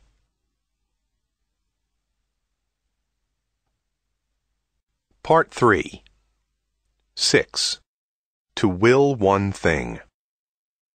The first condition for more than mediocre achievement in any field, including that of the art of living, is to will one thing. To will one thing presupposes having made a decision, having committed oneself to one goal. It means that the whole person is geared and devoted to the one thing he has decided on, that all his energies flow in the direction of this chosen goal. Where energies are split in different directions, an aim is not only striven for with diminished energy, but the split of energies has the effect of weakening them in both directions by the constant conflicts that are engendered. An obsessional neurosis is a case in point. The will of a person who is doubting whether he should do one thing or its opposite, whose attitude toward the most important people in his life is one of extreme ambivalence, may become completely paralyzed in making any decisions, and or eventually in acting altogether. In the normal case, where the aims are not so rigidly opposed, a smaller amount of energy is wasted. Nevertheless, the capacity to reach any goal is greatly reduced. It actually does not matter what the goal is, material or spiritual, moral or immoral. A bank robber needs to will one thing just as much as a scientist or a violinist provided that they want to do what they're doing excellently or even competently. Half-heartedness leads one to prison, the others to becoming an unproductive and bored college professor or a member of a second-class orchestra, respectively. Of course, if only amateur status is aspired to, matters are different. The thief will probably get into trouble. The scientist will likely feel frustrated, while the amateur violinist will thoroughly enjoy his activity for its intrinsic value, provided he does not expect to achieve excellence. It is easy to observe the frequency of unresolved contradictions of goals within people. In part, they are derived from a split in our culture, which provides its members with opposite sets of norms those of Christian charity and altruism, and those of bourgeois indifference and selfishness. While in practice the norm of selfishness is generally adopted, quite a few people are nevertheless still influenced by the old norms, yet not strongly enough to lead them to a different conduct of life. In contemporary industrial society, the opportunities for doing things wholeheartedly are greatly reduced. Indeed, if the worker on the endless belt, the bureaucrat filing papers, the street cleaner, or the man selling stamps behind the post office window tried to do this with a whole heart and a unified will, he would be in danger of becoming crazy. Thus, he tries to detach himself as much as he can from that work and occupy his mind with all sorts of thoughts, daydreams, or with nothing. But there are still a number of occupations that permit the development of excellence to name a few, those of a scientist, a physician, an artist, even of a secretary who has interesting work to do, or the work of a nurse, a bus driver, an editor, a pilot, a carpenter. The increasing mechanization and routinization of work, however, will reduce these possibilities more and more. To begin with, even manual and clerical work need not be automatized and routinized as it is now. As a number of recent experiments show, one can reduce the monotony of work and create the possibility of a certain degree of interest and skill by reversing the process of over-specialization and changing the methods of production in such a way that the worker decides on his method of operating and thus ceases to be narrowed down to the repetition of one or two mechanical movements. However, in any kind of industrial mass production, there are limitations to the extent to which work will permit the development of interest and the striving for excellence. The matter is quite different where we do not speak of the technical aspect of work, but of its social aspect. This is more obvious today, when nearly all work is teamwork, from the work in an automobile plant to that in a research institute. Everyone finds himself in a net of interpersonal relations and is part of it in various ways and to varying degrees. The social situation in which I live is part of my own life. It affects me as I affect it. If the blue and white collar workers in an industrial enterprise or the nurses and employees in the hospital once they cease to be employed participated in managing the institutions by themselves, if they could build a community together with all who work in the same institution, they would have a task set before them that can achieve excellence by the rationality of organization and the quality of human relations. In such productive work, each would also work productively on his own life. Aside from the place of work as a social organization, the optimal organization of society as a whole gives everyone the possibility to contribute with his whole heart. However, to achieve this would require that society and its political representative, the state, cease to be powers that stood over and against the citizen, but that they are the product of his work. At the present stage of alienation, this is quite impossible. In a humanized society, aside from his own life, society itself becomes man's most important work fact, and the ends of both coincide. 7. To be awake. Today there is much talk among seekers of new paths about altering and widening the state of consciousness. One usually means by this something like seeing the world in a new light especially in a physical sense, with colors and forms appearing with greater intensity, and in entirely original forms. Various means are recommended to reach this state of altered consciousness, primarily the psychodrugs of various intensities and self-induced states of trance. No one can deny that such states of altered consciousness can occur. But few people who are so enthusiastic about them seem to raise the question why anyone would want to alter his consciousness when, in his normal state of being, he has not even reached the state of normally developed consciousness. The fact is, most of those who are so eager to reach states of altered consciousness do not have more developed states of consciousness than their fellow men who only drink coffee, liquor, and smoke cigarettes. Binges of widened consciousness are escapes from a narrow consciousness, and after the trip, they are no different from what they were before, and from how their fellow men have been all the time. Half awake people. This term half awake needs some explanation, especially since I introduce it to denote the customary state of mind in most people. We believe we are on solid ground if we distinguish between sleeping and being awake and up to a certain extent we are. There are definite physiological, i.e., chemical and electrical differences between the two states. From a psychobiological standpoint, the differences can be thus described. In the state of awakeness, the total person fulfills the function of providing food and shelter and other necessities of life, and of protecting himself against dangers, mainly by fighting or running away or in man by negotiating a compromise that avoids both equally dangerous alternatives. In the state of sleep, man is freed from the function of having to make efforts for survival. He does not need to work, and only emergency signals such as unusual noises wake him up for self-defense. He is turned inward and is capable of formulating messages to himself, creating, directing, and acting out plays in which he expresses his wishes, his fears, and his deepest insights into himself and others. Insights made possible by the fact that he is not drugged by the voices of common sense and illusions that intrude on him while he is awake. In fact, paradoxically, we are more awake when we are asleep than when we are not. Our dreams often testify to our creative activity, our daydreams to our mental laziness. However, both the sleeping state and the waking state are not two undifferentiated entities. Within each state are many substates, from light to deep sleep, states in which we dream, recognizable by an observer because our eyes move and technically called REM sleep, and states in which we do not dream. It is also known that definite distinctions exist within the waking state. They have been studied by means of analyzing differing kinds of electric waves emitted by the brain.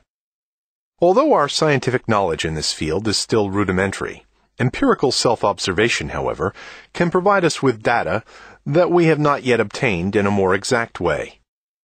Everybody recognizes differences in the state of alertness, openness, vigor of mind, as against states of a certain sluggishness or inattentiveness.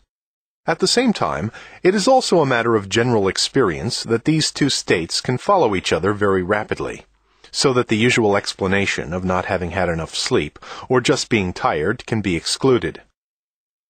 It is interesting to analyze what factor changes the state of tiredness to that of intense alertness.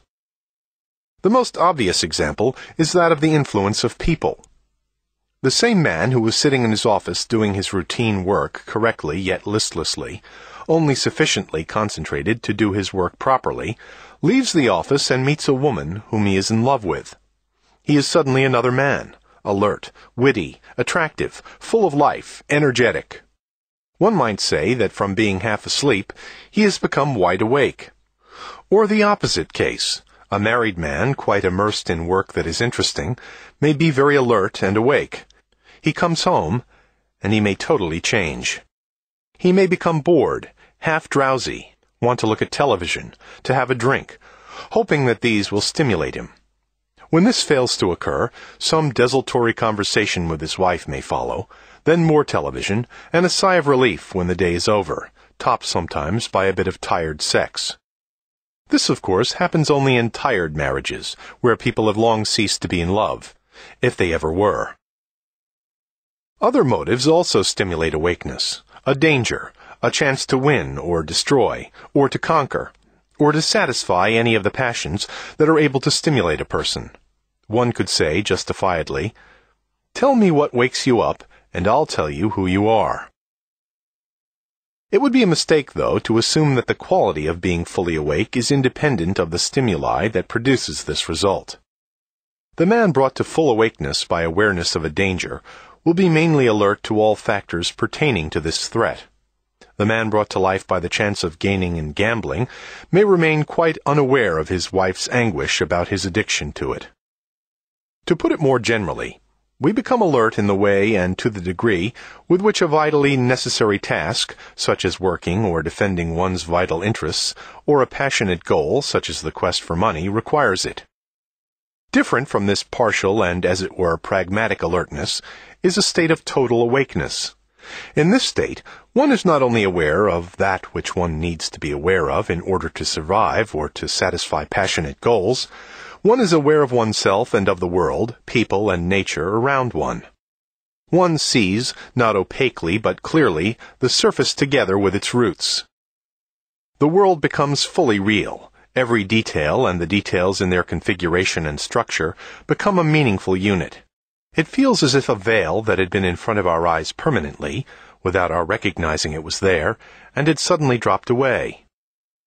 This is an example of awakeness, known to everybody. We have seen the face of a person many times. He may be a relative, a friend, an acquaintance, a companion at work. One day, for reasons that we often do not understand, we suddenly see his face in a completely new manner. It is as if it had assumed a new dimension. It has come fully to life for us, even in its unaliveness, if this be the case. We see with an extraordinary clarity, distinctness, reality. We see in it the man, not his problems, his past, nothing that leads us to theoretical considerations, just him in his suchness. He may be evil or kind, strong or weak, brutal or delicate, or any blend of these factors. He has become He for us, and His face remains in our mind. We can never think of him in the bland, blurred, distant way he had appeared to us before.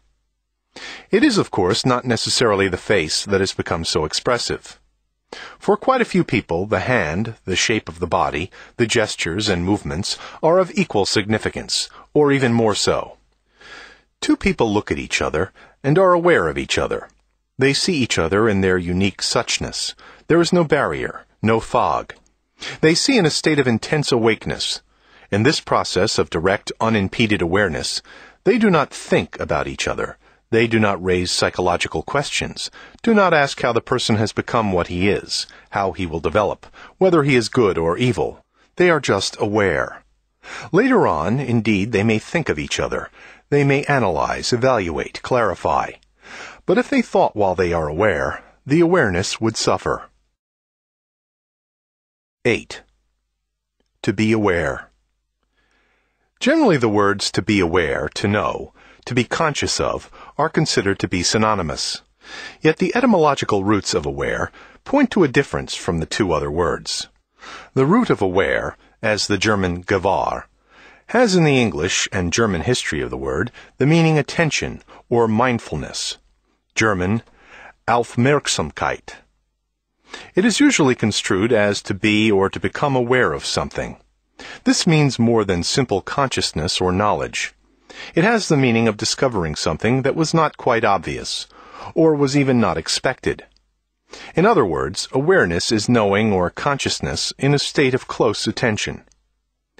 Let us consider the different meanings of awareness. Awareness can refer to one's body or to one's psychic state, i.e., one's feelings and one's mood. A simple example of bodily awareness is to become aware of one's breathing. Of course, we know that we are breathing, but this is an intellectual knowledge that can be proven by our observing the fact of breathing, of inhaling and exhaling, or the movement of our abdomen. But this knowledge that we breathe is something quite different from the awareness of the act of breathing. Anybody can notice the difference by making a simple experiment. One sits down in a relaxed, that is, neither slouching nor rigid posture, closes one's eyes, tries to think of nothing, and just feel one's breathing. This is by no means as easy as it sounds, because many thoughts will intrude, and one will notice, especially in the beginning, that after a few seconds one stopped being aware of one's breathing and began to think of many often irrelevant things. To the degree to which one succeeds in concentrating on one's breathing, one is aware of the process of breathing. Without trying to force it or to control it, without any purpose or goal at all, one gives oneself to the act of breathing. One will discover that this awareness of breathing is something quite different from thinking about one's breathing. In fact, the two modes exclude each other. As soon as I think about my breathing, I cannot be aware of the act of breathing. Another example also simple for anyone to try, is the following. Again, one assumes the relaxed position and closes one's eyes. The hands are resting on one's upper legs, the posture one can see in the statues of the famous Abu Simbel sitting pharaohs. One decides to raise one arm up to a 45 degree angle. When we do this normally, with open eyes, our nervous system gives a signal to the corresponding muscles and we raise the arm. We do it immediately. We see the effect. The order is fulfilled, and we can give the order to drop it to its original position. Have we experienced the movement of the arm? Hardly. The arm is an instrument, and there is little difference from our pushing a button that would elevate an artificial arm. What matters is the effect, not the process. If, in contrast to the usual method, we want to concentrate on the experience of the movement, we must try to forget the end and move the arm with such slowness that we begin to feel how it moves, from the subtle raising of the palm from the rest, to the moment when it is airborne, then further and further, when it eventually has arrived at more or less the planned height, and then as we move it down again until it comes to a full rest. Anybody who does this little exercise will notice that he experiences the moving arm, and not that he is a witness to movement. He will also recognize that he is so concentrating on being aware of the movement that he does not think or reflect about it. He may think or reflect about it before or afterward, but in the process of becoming aware, thinking is excluded. The same principle exists in the art of moving, taught by Katya Delakova, and in an old Chinese traditional sequence of movements, the Tai Chi Chuan. The latter is a particularly recommendable exercise because it combines elements of sensory awareness with a state of concentrated meditation. Note, I am indebted to Charlotte Selver for her teaching of sensory awareness in the 1940s, and to Katya Delakova for her teaching of the art of moving, and especially of the Tai Chi Chuan in the last 10 years. End of note. The same difference between awareness and thinking exists also with regard to the awareness of our feelings and moods. If I am aware of feeling joy, love, sadness, fear, or hate, this means that I feel and that the feeling is not repressed. It does not mean I think or reflect about my feeling. It would also be correct to say, I am conscious of what I feel. Conscious comes from the Latin root con equals with plus scire equals to know, i.e., participating in knowledge or with mental faculties awake. To be conscious contains an active element similar to to be aware of. The German equivalent Bewusstsein is even more expressive. It is Bewusstsein equals conscious being. Until the 18th century, it is used in philosophical language in two words, Bewusstsein. Thus far, I have discussed awareness of what is not hidden. A different kind of awareness is that of becoming aware of what is hidden. This becoming aware of what is hidden is the same as becoming conscious of what is unconscious, repressed, or to make conscious what is repressed, since in general it requires an active effort if something unconscious is to become conscious. We could also call the same process revealing or uncovering awareness. The two most far reaching, eye opening critical theories at the beginning of the latest phase of industrial society were those of Marx and of Freud. Note, Buddhism, too, was a critical theory, which, like Marxism, mobilized the activity of millions, just as Marx's theories did in the 19th century. I am indebted to Z. Fiser for pointing out to me this parallel. End of note.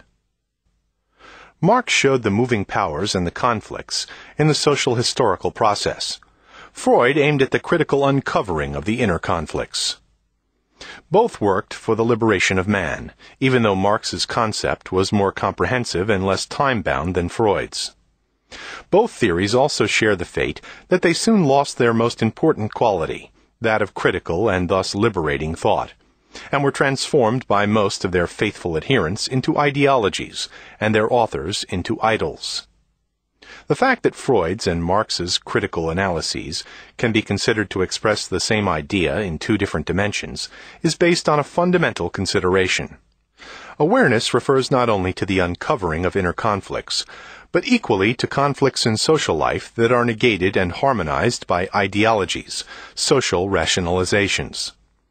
Since the individual is a part of society and cannot be conceived of outside the social fabric, the illusions about social reality affect the clarity of his mind, and thus also prevent him from liberating himself from the illusions about himself. The capacity to see, and equally so, blindness, are not divisible. The critical faculty of the human mind is one. To believe one can be seeing internally but blind as far as the outside world is concerned is like saying that the light of a candle gives light only in one direction and not in all.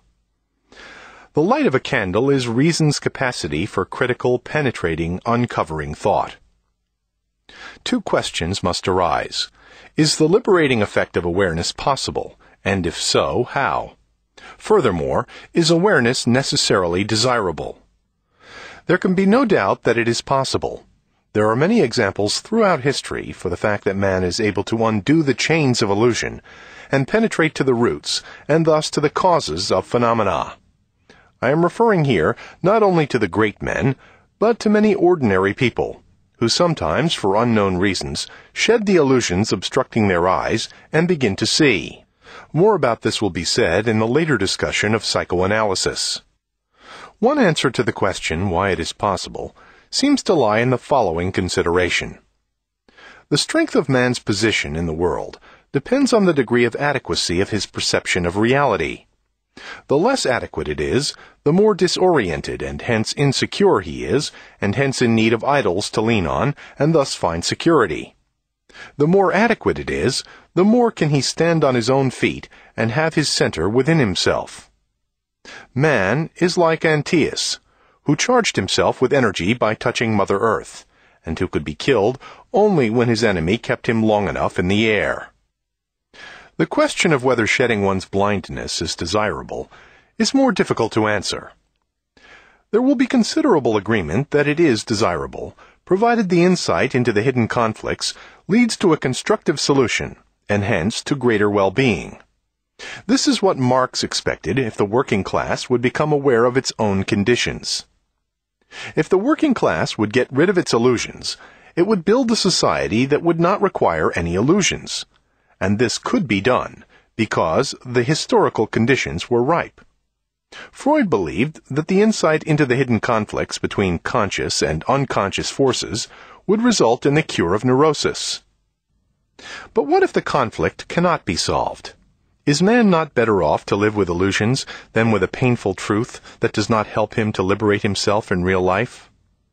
If, as Marx and Freud believed, the teachings of religion were an illusion, was it a necessary one in order to make it possible for man to survive at all?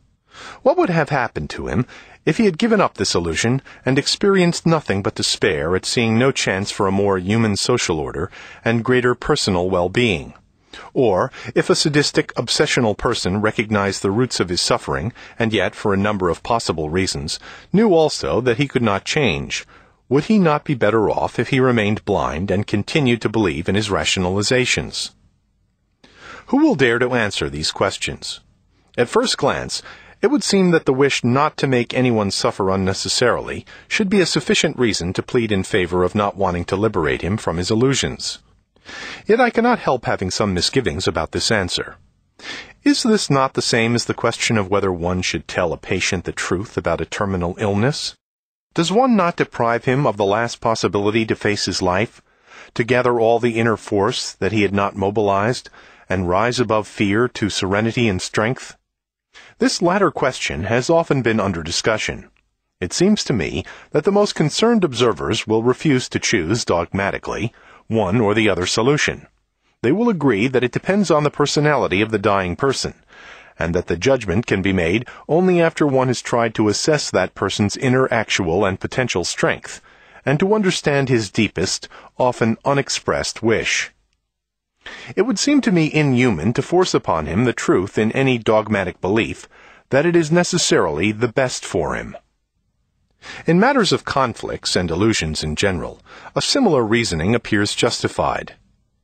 In the first place, the question is in part purely abstract, and hence a wrong question.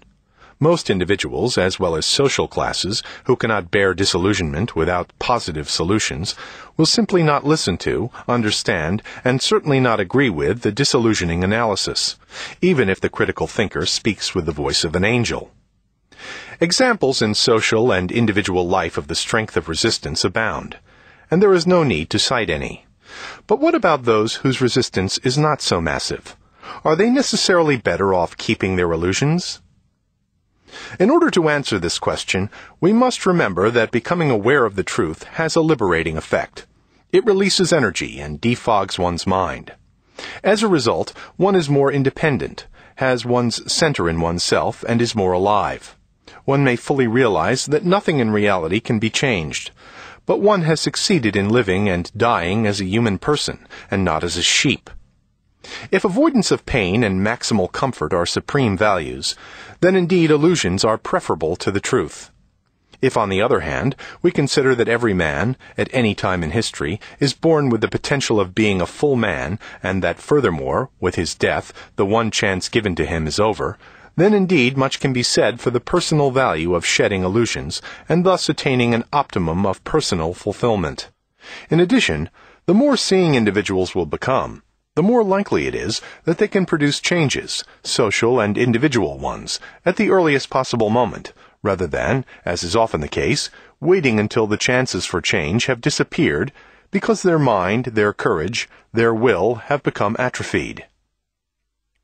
The conclusion from all these considerations is that the most important step in the art of being is everything that leads to and enhances our capacity for heightened awareness, and, as far as the mind is concerned, for critical, questioning thinking. This is not primarily a question of intelligence, education, or age. It is essentially a matter of character. More specifically, of the degree of personal independence from irrational authorities and idols of all kinds that one has achieved. How is this greater independence to be achieved? What can be said here is only this. Once one is aware of the crucial importance of non-submission, I mean here of inner non-submission and not necessarily of purely defiant dogmatic disobedience, one will become very sensitive to the small signs of submission. One will look through the rationalization that justifies it. One will practice courage. And one will discover that once the problem and its central significance are recognized, one discovers by oneself many answers to the question. It is the same as it is with everything else. One discovers answers to problems only when one feels that they are burning and that it is a matter of life and death to solve them. If nothing is of burning interest, one's reason and one's critical faculty operate on a low level of activity. It appears then that one lacks the faculty to observe. Another helpful attitude is one of deep distrust. Since most of what we hear is either plainly untrue or half true and half distorted, and since most of what we read in the newspapers is distorted interpretations served as facts, it is by far the best plan to start out with radical skepticism and the assumption that most of what one hears is likely to be a lie or a distortion. If this sounds too grim and cynical, I might add that I do not mean this quite literally but that I want to emphasize that it is much more healthful than the opposite premise, namely, to believe that people say the truth until the opposite is proven. My recommendation may sound perhaps less misanthropic if I stress that I spoke of the truth of statements, not about people who are liars. It would perhaps be simpler, although less bearable, if most people could be thus qualified. But the fact is, a majority of people whose statements are untrue or half true believe sincerely that they are speaking the truth, or at least persuade themselves of this while they are making their statements. As for the practical steps to self-awareness, I shall discuss them later in the chapter on psychoanalysis and self-analysis. First, however, I want to discuss some other steps in the learning of the art of living. 9. To concentrate. The capacity to concentrate has become a rarity in the life of cybernetic man. On the contrary, it seems as if he does everything to avoid concentration. He likes to do several things at the same time, such as listen to music, read, eat, talk with friends. A cartoon has expressed this trend quite succinctly. A man has installed a television on the wall above his bed, so that he could look at the screen while he was making love. Indeed, television is a good teacher of non-concentration. By interruptions of a program for advertising, the audience becomes conditioned not to concentrate. Reading habits exhibit the same tendency. The fashion of editing and publishing anthologies accentuates this trend. Worse, one is offered fragments of thought by an author as a substitute for reading his book. Thereby, one does not need to concentrate in order to grasp a complex system of thoughts, but gets the meat in easy chunks that require far less concentration. Many students have the habit of never reading a whole book, even if there is no anthology or abridgment. The introduction, the conclusion, some pages that the professor has indicated, and one knows the author's thought, at least superficially, and without need to concentrate. How little concentration on a subject and on the other person occurs in conversations is surely known to anyone who observes average oral exchanges. When people are by themselves, they also avoid concentrating on anything. They immediately pick up a newspaper or a magazine, which permits easy reading and demands no real concentration. Concentration is such a rare phenomenon because one's will is not directed to one thing. Nothing is worth the effort to concentrate on it, because no goal is pursued passionately. But there is more to it. People are afraid to concentrate because they are afraid of losing themselves if they are too absorbed in another person, in an idea, in an event. The less strong their self, the greater the fear of losing themselves in the act of concentration on the non-self. For the person with a dominant having orientation, this fear of losing oneself is one of the main factors that operates against concentration. Finally, to concentrate requires inner activity, not busyness, and this activity is rare today, when busyness is the key to success. There is still another reason why people are afraid of concentrating. They think that concentrating is too strenuous an activity, and that they would get tired quickly. In fact, the opposite is true, as anyone can observe in oneself. Lack of concentration makes one tired, while concentration wakes one up. There is no mystery in this. In unconcentrated activity, no energy is mobilized, since a low level of energy is sufficient to do the task. Mobilization of energy, which has a psychic as well as a physiological aspect, has the effect of making one feel alive. The difficulty with concentrating is, in the last analysis, the outcome of the whole structure of the contemporary system of production and consumption. The more man's work is to service a machine, or to act as that part of a machine that has not yet been devised in iron or steel, the less has he a chance to concentrate. The process of work is too monotonous to permit genuine concentration. The same holds true for consumption. The market offers as many different bits of amusement as possible, such a variety that it is neither necessary nor possible to concentrate on any one thing. Where would industry be if people began to concentrate on a few things rather than getting tired quickly of something and rushing out to buy new things that are exciting because they are new? How does one learn to concentrate? The answer to this question must either be very brief or very long. For reasons of space, it must be brief. As a first step, I suggest to practice how to be still.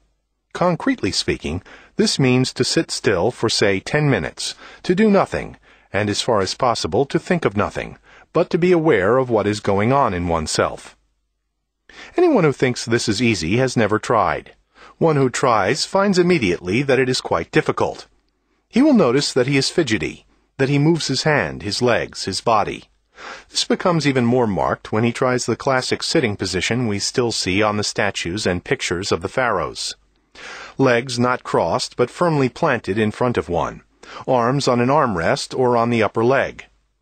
But the position should be neither stiff, as we learn it in old-fashioned military-style gymnastics, nor slouching and lazy. It is something else. The body is in a harmonious position. It feels alive and comfortable in an active way. If one has learned this kind of sitting, one feels uncomfortable in an overstuffed chair, and comfortable sitting in a straight chair. This practice of sitting is one step to learning concentration. It should be extended from 10 to 15 or 20 minutes, and done regularly every day in the morning, and it is very recommendable to practice it at least for 5 to 10 minutes in the evening, and if possible, once more during the day. After having achieved a certain amount of stillness, the effort may last from 1 to 3 months. It is to be recommended to add direct concentration exercises during or after the stillness. Practically speaking, this can be done in many ways. One may focus on a coin and concentrate completely on all its details, to the point where one sees it fully with closed eyes. Or one may use any other object, a vase, a clock, a telephone, a flower, a leaf, a stone, or whatever one wishes to concentrate on. Or instead, one may concentrate on a word. For many months, many other thoughts will pass through one's mind and disrupt the concentration. Here, as with everything living, force does not do any good. It does not help to try to force out tangential thoughts, to treat them as if they were enemies, and hence to feel defeated if one has not won the battle. They need to be treated gently, and that means one must be patient with oneself. Impatience is usually the outcome of the intention to force. Slowly, very slowly indeed, will intruding thoughts diminish in frequency, and one will be better able to concentrate. Another, even more formidable obstacle is that of getting sleepy, and frequently one will find oneself on the verge of dozing off. This, too, one must take in one stride. One may try again immediately, or take a few deep breaths, and if the sleepiness persists, one may stop and try again at a better time. To cope with these difficulties makes the learning of concentration so difficult because many, if not most people, become discouraged after a while. They may criticize themselves for their inability, or rationalize their failure by deciding that the whole method is no good anyway. Here, as in any act of learning, the capacity to tolerate failure is of crucial importance. Machine production, where the object is spewed out by the machine, knows no failures, but it knows no excellence either. Production by machine has led to a peculiar illusion that the road to excellence is straight and pleasant that the violin does not make scratching noises, that the study of a philosophical system does not leave one often puzzled and lost, that the perfect meal is produced after having once read the recipe in the cookbook. Only if one knows that the road to concentration, as to any other achievement, necessarily brings with it failures and disappointments, can one avoid the discouragement that is unavoidable in the process of learning to concentrate. The simple exercises described above should be accompanied or followed by practicing concentration on thoughts and on feelings. For instance, one reads a book on a significant topic by an author who can be supposed to have something significant to say, and one can observe in what way one reads the book. Whether one becomes restless after an hour, whether one tries to skip pages, whether one rereads a page if it has not become quite clear at the first reading, whether one thinks about the author's argument, formulates responses or new ideas of one's own, whether one tries to understand what the author really means, rather than sticking to critiques of this or that point in order to refute the author, whether one wants to learn something new, or have one's own views confirmed directly or indirectly by the faults of an opposing view. These are some of the symptoms that help us to find out whether we read in a concentrated fashion. If we discover that we are not concentrated, we should practice concentration in reading by going to the essence of the author's thought, often at the expense of reading fewer books. To concentrate on another person is essentially not different from concentrating on thoughts. I must leave it to the experience of each reader to gather material for the thesis that most of our personal relationships suffer from the complete absence of concentration. We tend to be very poor judges of character because we do not go much beyond grasping the surface of another's personality, i.e., what he says, how he behaves, what position he has, how he is dressed. In short, we observe the persona, the mask that he shows us, and we do not penetrate through this surface to lift the mask and see who the person is behind it. This we can only do if we concentrate on him. But it seems we are afraid to know anybody fully including ourselves. Individuality interferes with the smooth running of the process. Concentrated observation of one person forces us to respond with compassion, care, or on the other hand, horror, all of which are unfavorable to the smooth functioning of a cybernetic society. We want distance. We want to know of each other just as much as is necessary to live together, to cooperate, to feel secure.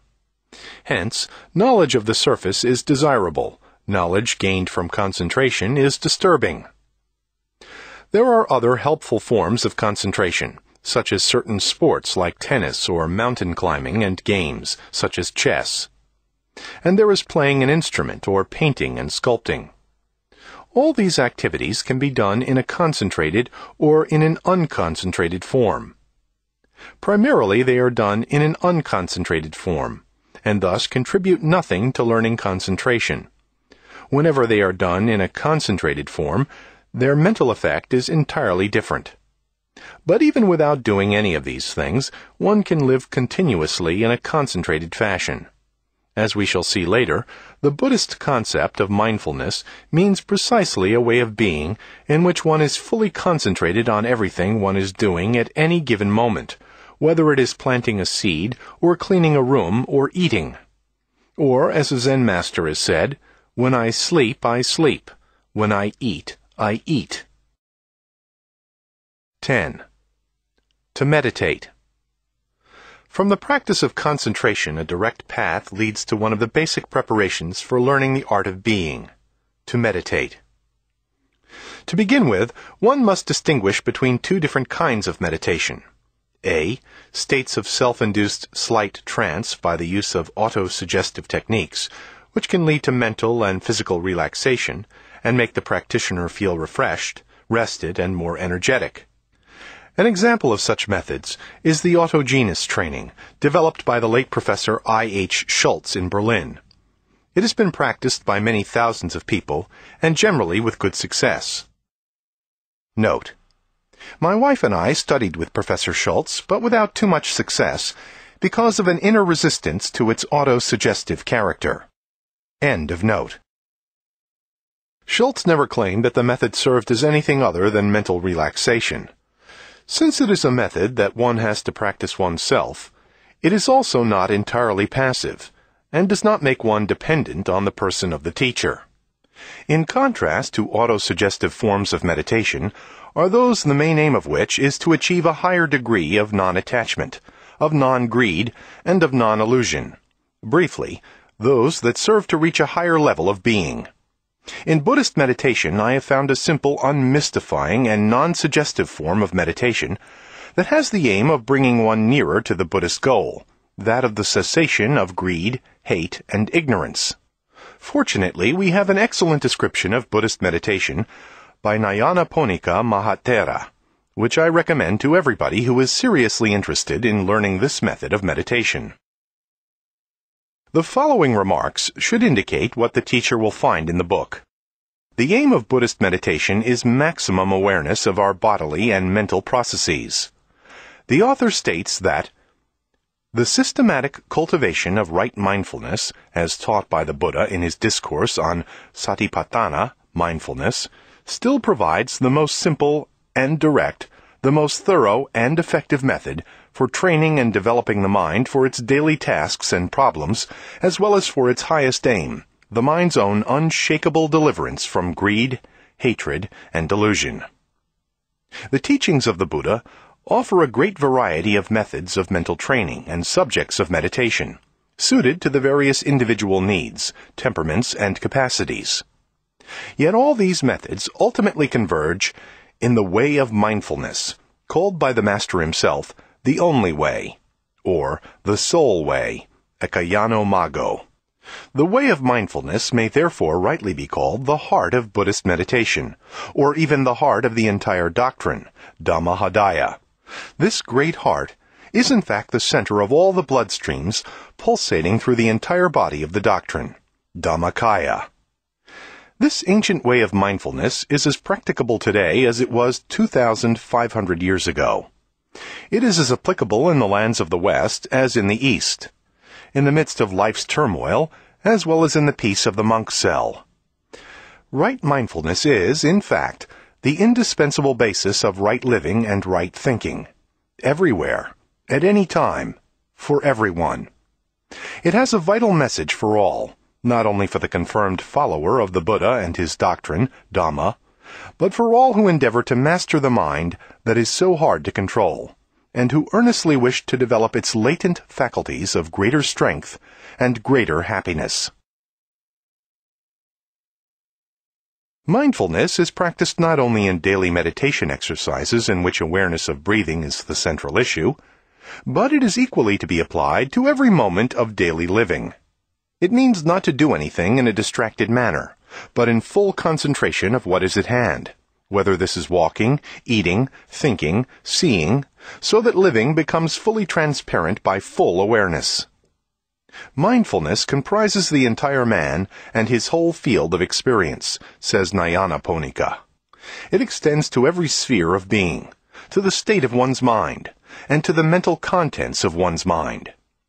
Every experience, if it is done with mindfulness, is clear, distinct, real, and hence not automatic, mechanical, diffuse. The person who has reached a state of full-mindedness is wide awake, aware of reality in its depth and concreteness. He is concentrated and not distracted. The first of the exercises that lead to an increase in mindfulness is breathing. It is, as the author emphasizes, an exercise in mindfulness and not a breathing exercise. And in the case of the Buddhist practice, there is no retention of breath or any other interference with it. There is just a quiet, bare observation of its natural flow, with a firm and steady, but easy and buoyant attention, i.e., without strain or rigidity. The length or shortness of breathing is noticed, but not deliberately regulated. By regular practice, however, a calming, equalizing, and deepening of the breath will result quite naturally, and the tranquilization and deepening of the breath rhythm will lead to a tranquilization and deepening of the entire life rhythm. In this way, mindfulness of breathing is an important factor of physical and mental health, though that is only incidental to the practice. In classic Buddhist meditation as described by Nyanaponika, mindfulness of breathing is followed by that of bodily postures, by clear comprehension of all functions of the body, then by clear awareness of feeling, of one's state of mind, self-knowledge, and of mental contents. It is impossible in this short survey to report with sufficient clarity and detail Buddhist meditation as practiced by the Theravada school, to which Nyanaponika Mahathera belongs. Hence, to anyone who is seriously interested in awareness widening meditation, I can only recommend studying The Heart of Buddhist Meditation. There is one qualification, however, that I want to add to this suggestion, although the author himself has mentioned that this method is not only for the confirmed followers of the Buddha. The author is a most learned Buddhist monk, and he presents Buddhist doctrine in its traditional form. For many, like myself, who do not agree with a number of Buddhist doctrines, such as reincarnation and a certain life-negating tendency in Hinayana Buddhism, or with methods suggested to convince oneself of the futility of craving by imagining the foulness of the dead body, it is difficult to practice meditation in exactly the way which the author describes. Nevertheless, it seems to me that even without the doctrines just mentioned, there are two core doctrines acceptable to many who, like myself, are not Buddhists, yet are deeply impressed by the core of Buddhist teaching. I refer first of all to the doctrine that the goal of life is to overcome greed, hate, and ignorance. In this respect, Buddhism does not basically differ from Jewish and Christian ethical norms. More important and different from the Jewish and Christian tradition is another element of Buddhist thinking the demand for optimal awareness of the processes inside and outside oneself.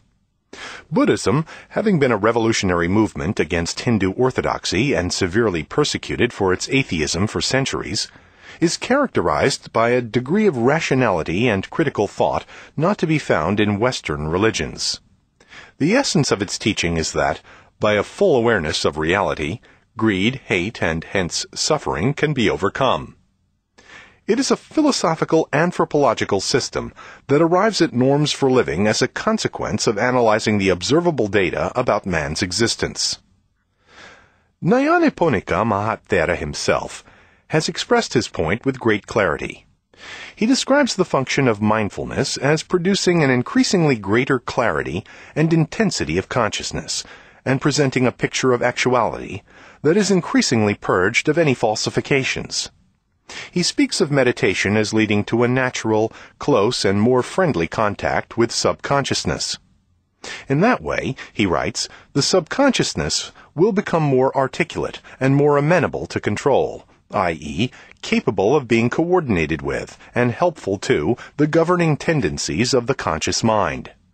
By reducing the element of the unpredictable and of the unmanageable emerging from the subconscious, self-reliance will receive a safer basis. He ends the description of the practice of mindfulness by emphasizing one of the most significant elements in Buddhist thinking its insistence on independence and freedom. He writes, In its spirit of self reliance, satipatthana, mindfulness, does not require any elaborate technique or external devices. The daily life is its working material. It has nothing to do with any exotic cults or rites nor does it confer initiations or esoteric knowledge in any way other than by self-enlightenment. We have seen that the essence of Buddhist meditation is to achieve optimal awareness of reality, more particularly of one's body and of one's mind. Even for one who follows the method of Buddhist meditation in its traditional form, the question arises whether this form cannot be enlarged by adding new dimensions of awareness that in the traditional method are only hinted at. It seems to me that there are indeed two such extensions of Buddhist meditation, although they can be practiced fruitfully without any connection with Buddhist meditation, or in connection with other kinds of meditation, or simply with the practice of stillness. As far as methods conducive to greater awareness of the body are concerned, they have already been mentioned above. I refer to sensory awareness, the art of moving, and the Tai Chi Chuan.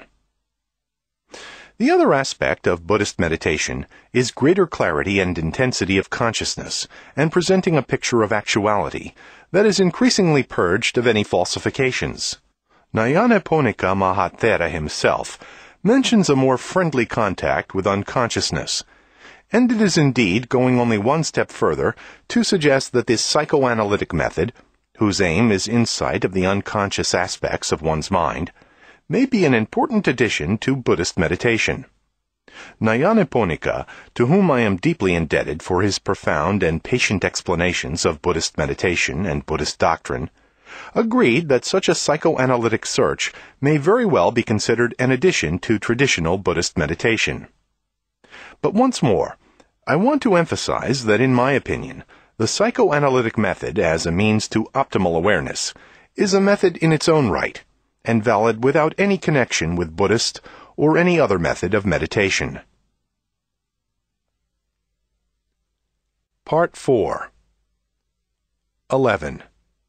Psychoanalysis and Self-Awareness At this point, we make connection again with the previous discussion on self-awareness, provided that it is true that psychoanalysis can also have a trans-therapeutic function – and that it is one of the most adequate methods for increasing self-awareness and hence inner liberation.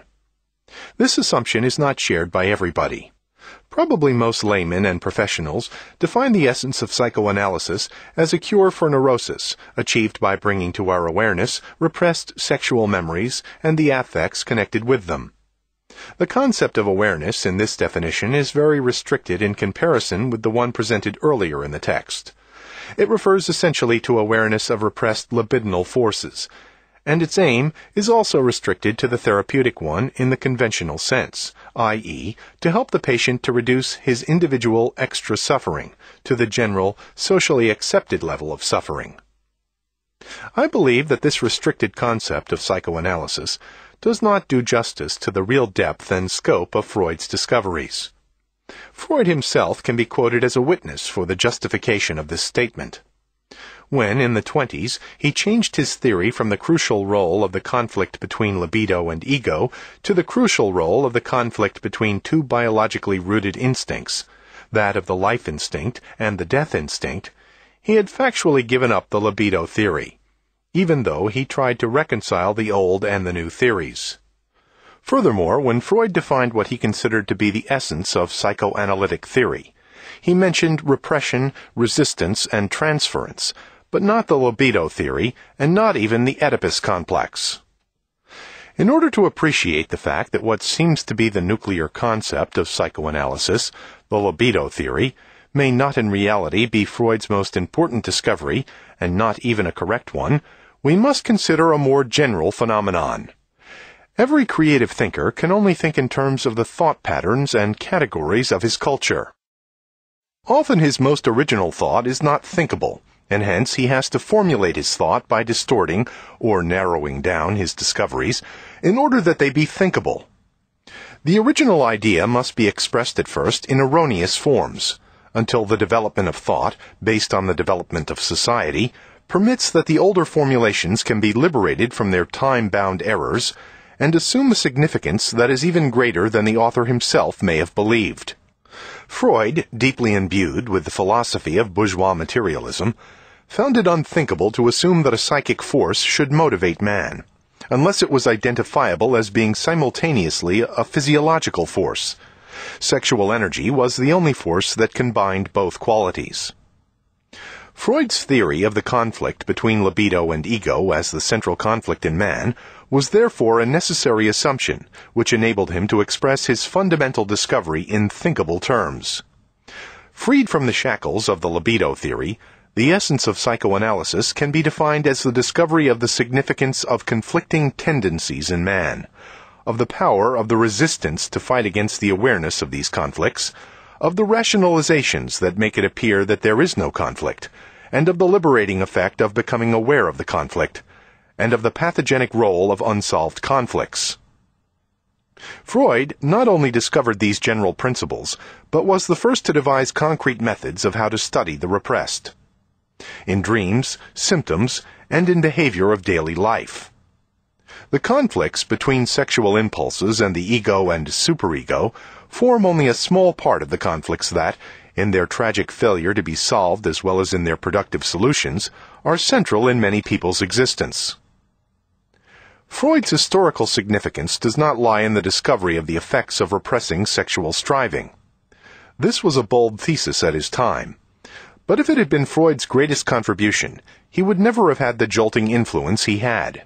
This influence was due to the fact that he smashed the conventional view that man's thinking and his being are identical, that he unmasked hypocrisy, that his theory was a critical one, inasmuch as he questioned all conscious thought, intentions, and virtues, and demonstrated how often they are nothing but forms of resistance to hide the inner reality. If one interprets Freud's theories in the sense that I just outlined, then it is not difficult to proceed and to assume that the function of psychoanalysis transcends the narrower therapeutic one, and that it can be a method for achieving inner liberation by awareness of repressed conflicts. Before entering into a discussion of the trans-therapeutic function of psychoanalysis, I deem it necessary to express some warnings and to point to some dangers of psychoanalysis.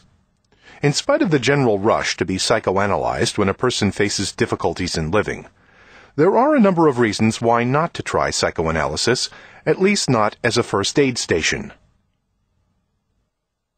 The first reason is that it is an easy way out from the need to try to solve one's difficulty oneself.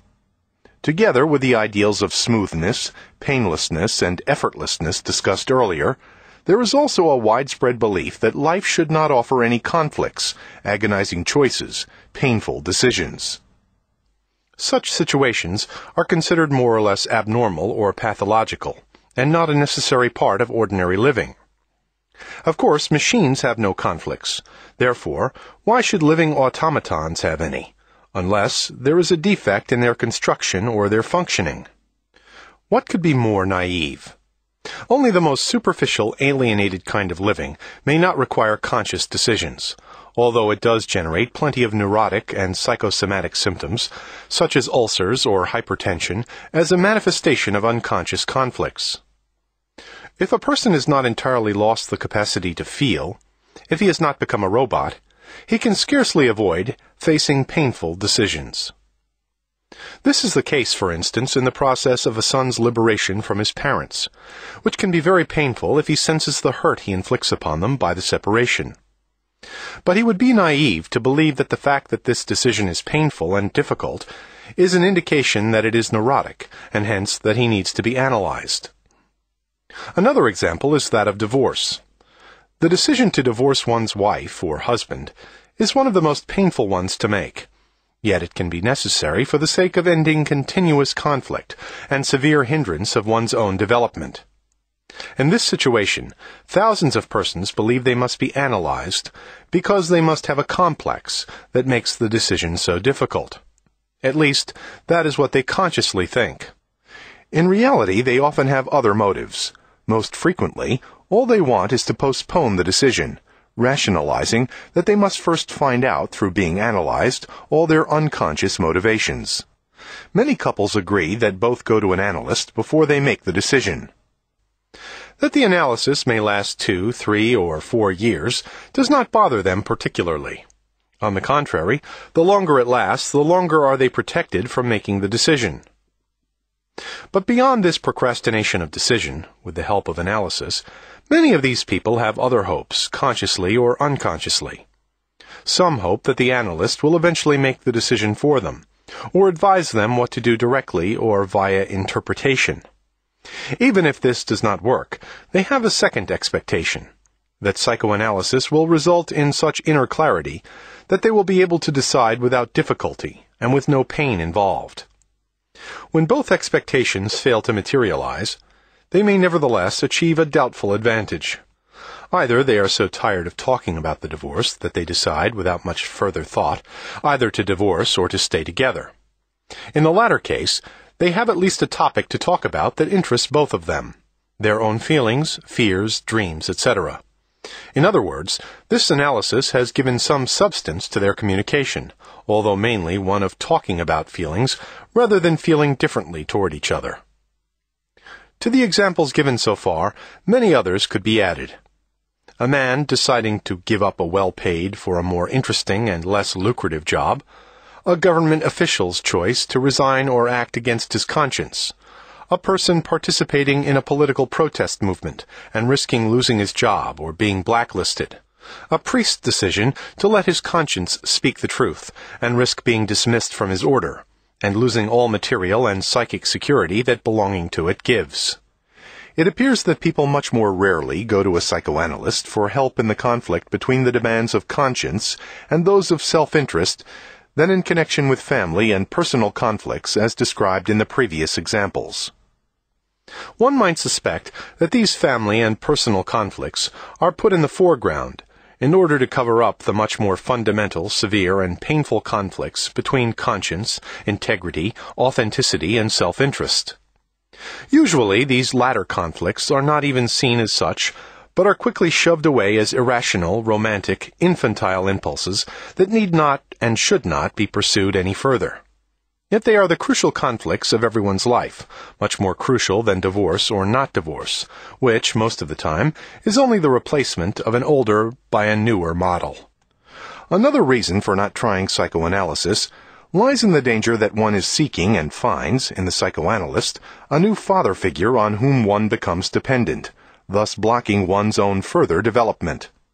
The classic psychoanalyst will say that the opposite is true, that the patient discovers the unconscious dependency on a father in the transference to the analyst, and by analyzing the transference, dissolves the transference as well as the original attachment to a father. Theoretically, this is true, and practically it sometimes happens, but many times something quite different occurs. The analysand may have indeed cut the tie with father, but under the disguise of this independence builds up a new tie, that to the analyst. He becomes the authority, the adviser, the wise teacher, the kind friend, the central figure in one's life. That this happens so often has, among others, one reason in a shortcoming of classic Freudian theory. Freud's basic assumption was that all irrational phenomena, such as the need for a strong authority, inordinate ambition, avarice, sadism, masochism, were rooted in the conditions of early childhood. These conditions were the key to the understanding of later development, even though theoretically he recognized constitutional factors as having some influence. Thus, the need for a strong authority was explained as being rooted in the factual helplessness of the child and when the same attachment appeared in relationship to the analyst, it was explained as transference, i.e., as being transferred from one object, the father, to another, the analyst.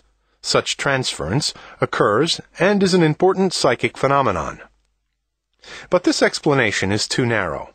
Not only is the child powerless, the adult is powerless too. This powerlessness is rooted in the very conditions of man's existence in the human situation. Aware of the many dangers that threaten him, of death, of the insecurity of the future, of the limitations of his knowledge, man cannot help feeling powerless.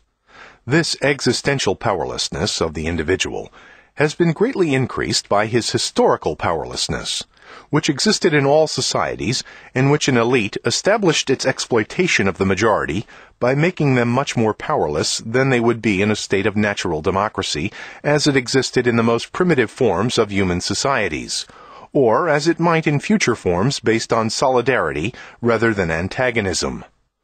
Thus, for both existential and historical reasons, man seeks to attach himself to magic helpers in many forms shamans, priests, kings, political leaders, fathers, teachers, psychoanalysts, as well as to many institutions such as church and state.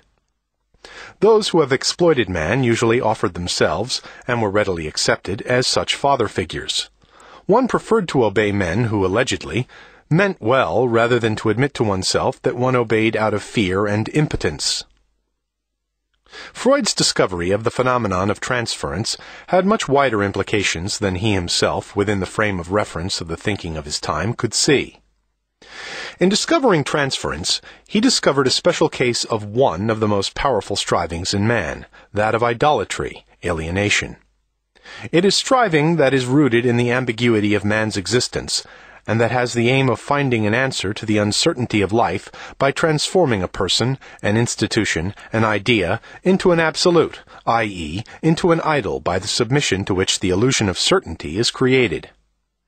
It is hardly possible to overestimate the psychological and social significance of idolatry in the course of history, that great illusion which hobbles activity and independence.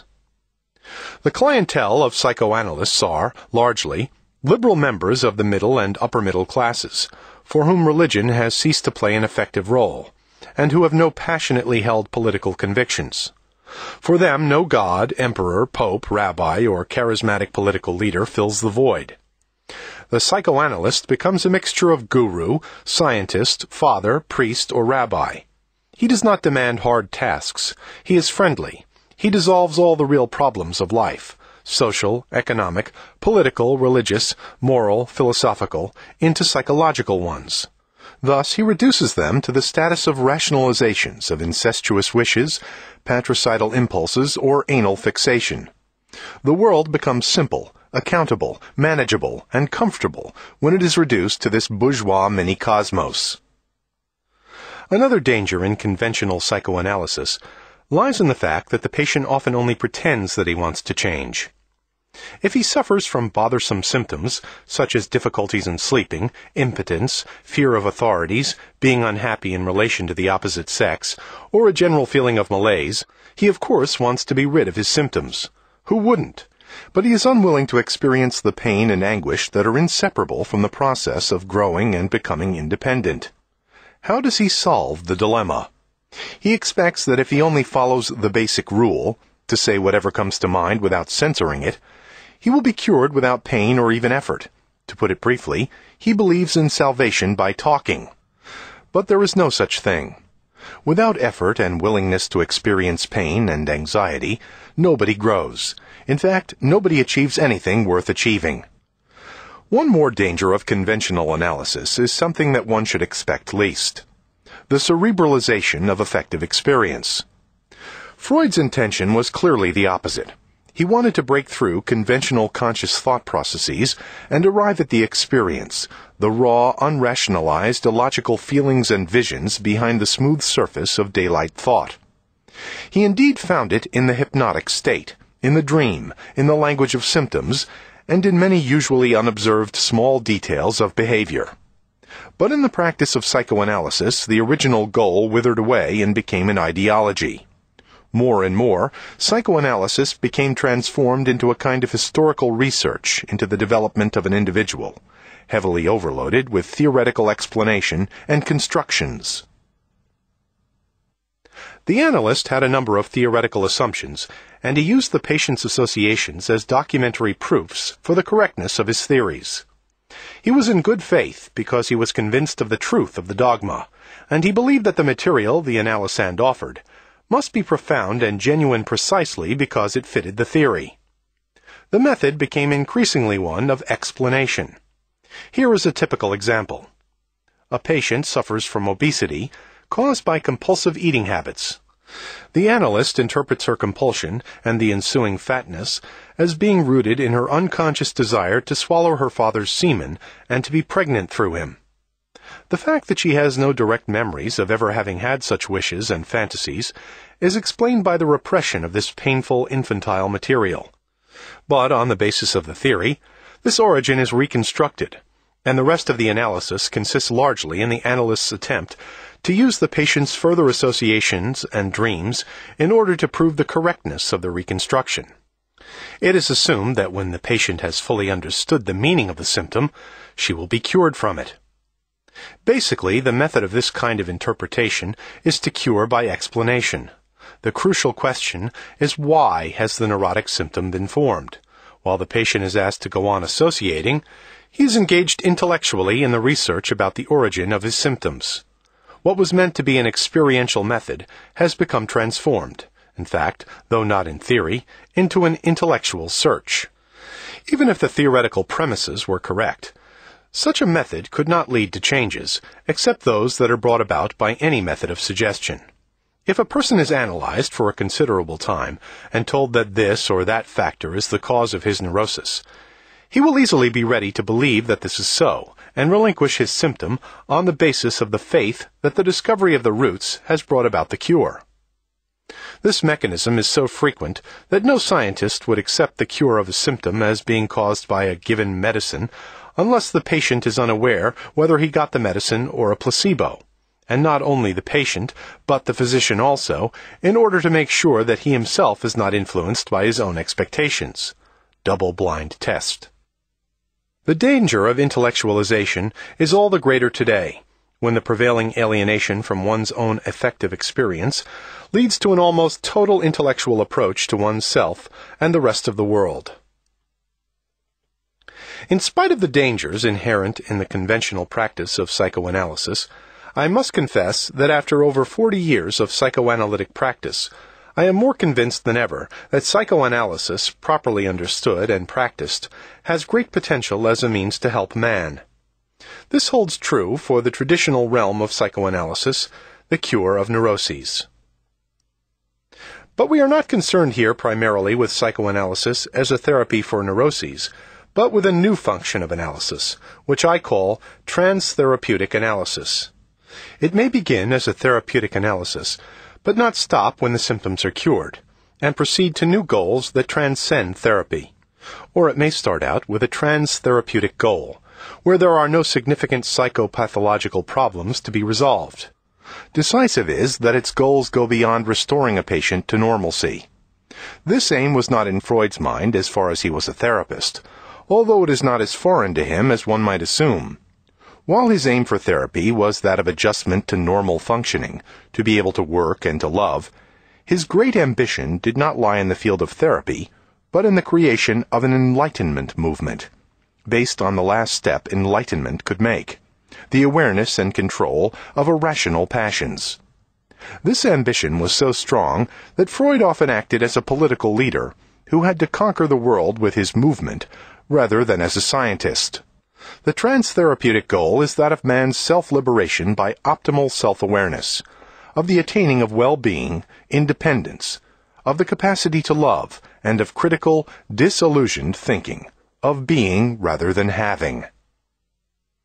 Transtherapeutic humanistic psychoanalysis revises some of Freud's theories, particularly the libido theory, as being too small a basis for the understanding of man. Instead of centering on sexuality and the family, it claims that the specific conditions of human existence and the structure of society are of more fundamental importance than the family, and that the passions motivating man are essentially not instinctive, but a second nature of man, formed by the interaction of existential and social conditions. In the past, I sometimes used the term humanistic psychoanalysis and then dropped it partly because it was taken over by a group of psychologists whose views I did not share, partly because I wanted to avoid the impression that I was establishing a new school of psychoanalysis. As far as schools of psychoanalysis are concerned, experience has shown that they are detrimental to the theoretical development of psychoanalysis and to the competence of their practitioners. This is obvious in the case of Freud's school. Freud, I believe, was hindered in changing his theories because he had to hold together his adherents by a common ideology. If he had changed basic theoretical positions, he would have deprived his adherents of unifying dogmas. Furthermore, the school and its approbation had devastating effects on its members. Being properly ordained gave to many the necessary moral support to feel competent for their task without having to make further great efforts in learning. What holds true for the Orthodox school holds true, from my observation, for all the rest. These observations have led me to the conviction that the formation of psychoanalytic schools is undesirable and only leads to dogmatism and incompetence. Note: These theoretical views are dealt with in many of my writings. The most concise formulation is to be found in E. Fromm, The Anatomy of Human Destructiveness. End of note. Also, the technical procedure is different, more active, direct, and challenging. The basic aim, nevertheless, is that of classic psychoanalysis, the uncovering of unconscious strivings, the recognition of resistance, transference, rationalization, and the interpretation of dreams as the royal road to the understanding of the unconscious. One qualification should be added to this description. A person who seeks optimal growth may also have neurotic symptoms, and thus need analysis as a therapy. A person who has not been completely alienated, who has remained sensitive and able to feel, who has not lost the sense of dignity, who is not yet for sale, who can still suffer over the suffering of others, who has not acquired fully the having mode of existence, briefly, a person who has remained a person and not become a thing, cannot help feeling lonely, powerless, isolated in present-day society. He cannot help doubting himself and his own convictions, if not his sanity.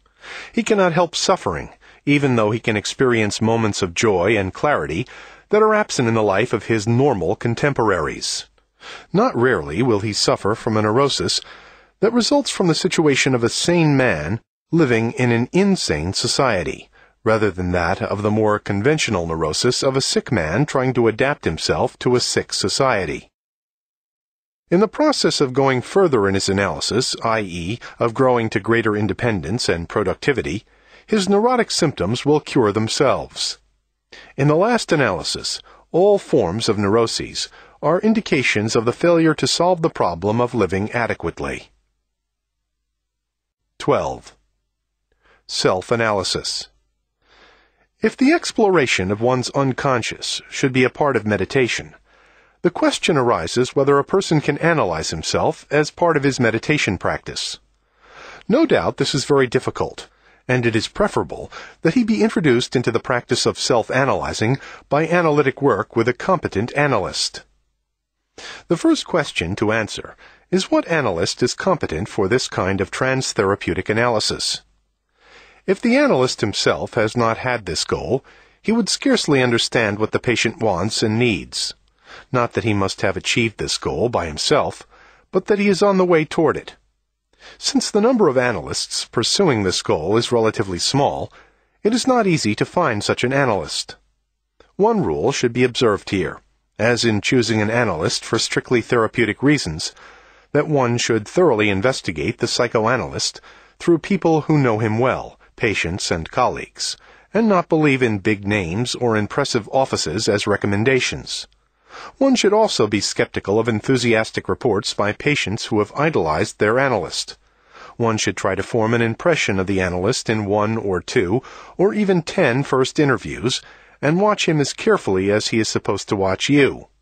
To work for years with a wrong analyst can be as harmful as being married for years to the wrong person. As for the school an analyst comes from, that in itself says little. The existentialist psychoanalysts are supposed to be more concerned with problems of human goals, and some are. Others understand little and simply use a philosophical jargon taken from Husserl, Heidegger, or Sartre as a gimmick, without really penetrating the depth of the patient's personality. Jungians have the reputation of being those most concerned with the spiritual and religious needs of the patient. Some of them are, but many in their enthusiasm for myths and analogies fail to penetrate into the depths of the patient's individual life and into his personal unconscious. The neo-Freudians are not necessarily more reliable than the others. Not to be a Freudian is not enough. Some indeed approach analysis from a standpoint that is related to the one outlined here. Many others have a rather superficial approach, which lacks depth and critical thought. Perhaps the school furthest away from the one I suggest are the orthodox Freudians, because the libido theory and the one-sided emphasis on childhood experience stand in their way. Yet, in spite of that doctrine, there are probably a few whose personal qualities and philosophy make them acceptable guides to the full awareness of one's inner reality. In sum, I believe the competence of an analyst is less a matter of the school to which he belongs than of his personality, his character, his capacity for critical thinking, and his personal philosophy. Closely related to the person of the analyst is the method he uses. First of all, I do not believe that an analysis aimed at teaching self-analysis need last very long. In general, two hours a week for six months should suffice. This requires a special technique. The analyst should not be passive. After listening to the patient for five to ten hours, he should have an idea of the patient's unconscious structure and of the intensity of his resistance.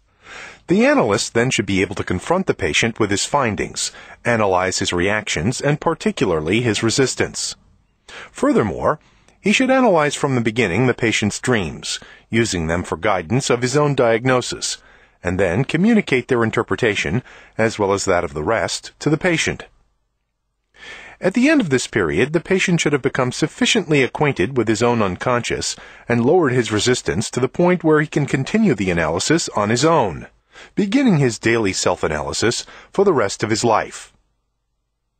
I say this because there is no limit to the knowledge of oneself, and I can say from my own experience with daily self-analysis over the last 40 years that at no time until now has it happened that I did not discover something new or deepen already known material. However, it may be useful, especially in the beginning of self-analysis, to return to work with the analyst if one finds oneself stymied. But this should be done only as a last resort, otherwise it is too tempting to renew the attachment. An introductory analysis as preparation for self-analysis is the most desirable procedure. This procedure is very difficult not only because there are not many psychoanalysts whose own personality capacitates for this work, but also because the routine of their practice is not geared to seeing patients for six months, and then to seeing them again only occasionally, if at all. This type of work requires not only a special kind of interest, but also a rather flexible schedule. I believe that if transtherapeutic self-analysis became more widespread, a number of psychoanalysts would specialize in this kind of work, or at least devote half of their working time to it. But what if one does not find the proper analyst, or for any number of reasons cannot go to the place where he practices, or cannot afford it financially? Is self-analysis in such a case possible? The answer to this question depends on a number of factors. First of all, it depends on the intensity of the will to achieve the goal of liberation. And even this will, as such, cannot become effective except for the fact that the human brain has a built-in tendency for health and well-being i.e., for the attainment of all those conditions that further the growth and development of the individual and the human species. That this health-preserving tendency exists in the somatic sector of living is well known, and all that medicine can do is remove the obstacles to the efficacy of these tendencies and support them. Indeed, most illnesses cure themselves without any kind of intervention. That the same holds true for mental well-being is beginning to be seen again, recently, although it was well known to an older, less technical interventionist age. Unfavorable factors for self-analysis are states of serious pathology, which are even difficult enough to deal with in a prolonged regular analysis. In addition, an extremely important factor lies in certain circumstances of a person's life. If, for example, a person does not have to earn a living because he lives from inherited money, or from the money of his parents, or of his wife or husband, he has a worse chance than one who is forced to work, and hence can less well afford to insulate himself. Someone who lives in a group in which everybody suffers the same defect will be prone to accept his group's values as normal. Another negative condition is a case in which a person makes a living in such a manner that his neurotic qualities are an asset, and where an inner change might endanger his livelihood. We think here of an entertainer or actor whose narcissism is a necessary condition for his success, or of a bureaucrat who might lose his job if he lost his submissiveness. Finally, the cultural and spiritual condition of a person is of great significance. whether some contact with philosophical, religious, or critical political thought exists, or whether he has never looked beyond the culturally patterned views of his environment and social class, makes a great deal of difference, often a decisive one. And finally, mere intelligence as such does not appear to be a decisive factor. Sometimes intellectual brilliance only serves the purposes of resistance. 13. Methods of Self-Analysis It would require a book in itself to write in full about how to learn to analyze oneself. Hence, I must restrain myself here to a few simple suggestions. Before one can even begin, one must have learned to be still, to sit relaxed, and to concentrate. When these first conditions are achieved, at least to some degree, one can proceed in different ways that by no means exclude each other. 1. One may try to remember the thoughts that were intruding while one tried to be still, and then feel one's way into them with the aim of seeing whether they have any connection and what it might be. Or one may proceed by observing certain symptoms, such as feeling tired in spite of sufficient sleep, or depressed or angry, and then feel around what it was a reaction to, and what was the unconscious experience behind the manifest feeling. I intentionally do not say to think, because one does not arrive at any answer by theoretical thought. At best, one arrives at a theoretical speculation. What I mean by feeling around is an imaginative tasting of various possible feelings until, if one has succeeded, a certain realization appears with clarity as being the root of the conscious experience of, say, tiredness. An example. One tries to imagine previous instances of such tiredness, and whether, later on, one became aware of the cause. One imagines several possibilities that could be at the bottom of the tiredness, such as a difficult task one tried to postpone instead of facing the difficulty, an ambivalent feeling toward a friend or a loved person, a criticism that might have hurt one's narcissism to the extent of causing a slight depression, a meeting with a person in which one pretended a friendliness that was not genuine. A more complex example is the following. A man has fallen in love with a girl. Suddenly, after some months, he feels tired, depressed, listless. He might try to find all sorts of rationalizing explanations, such as that his work is not going well, which may indeed be caused by the same factor that causes the tiredness, or that he is disappointed and saddened by political developments. Or he may acquire a severe cold, and thus find a satisfactory answer. But if he is sensitive toward his own feelings, he may observe that recently he has tended to find fault in little things with the girlfriend, that he had a dream in which she had an ugly face and cheated on him. Or he may notice that while he was always very eager to see her, he has now found reasons that make it necessary to postpone planned visits. These and many other little signs may indicate to him that something is wrong in his relationship with her. If he concentrates on this feeling, it suddenly may dawn on him that his picture of her has changed, that in the first blossoming of his erotic and sexual attraction to her, he had not noticed certain negative traits, and that her sweet smile seems now to be calculated and actually cold. He may trace back this change in his judgment to a certain evening when he had entered a room and watched her talking to other people before she had seen him. At that moment he felt almost sick, but put away this feeling as neurotic or irrational. But then the next morning he had awakened with the depressed feeling from which he has suffered, by now for several weeks. He had tried to repress the new awareness and his doubts because on the stage of conscious life the script of love and admiration was still being acted out.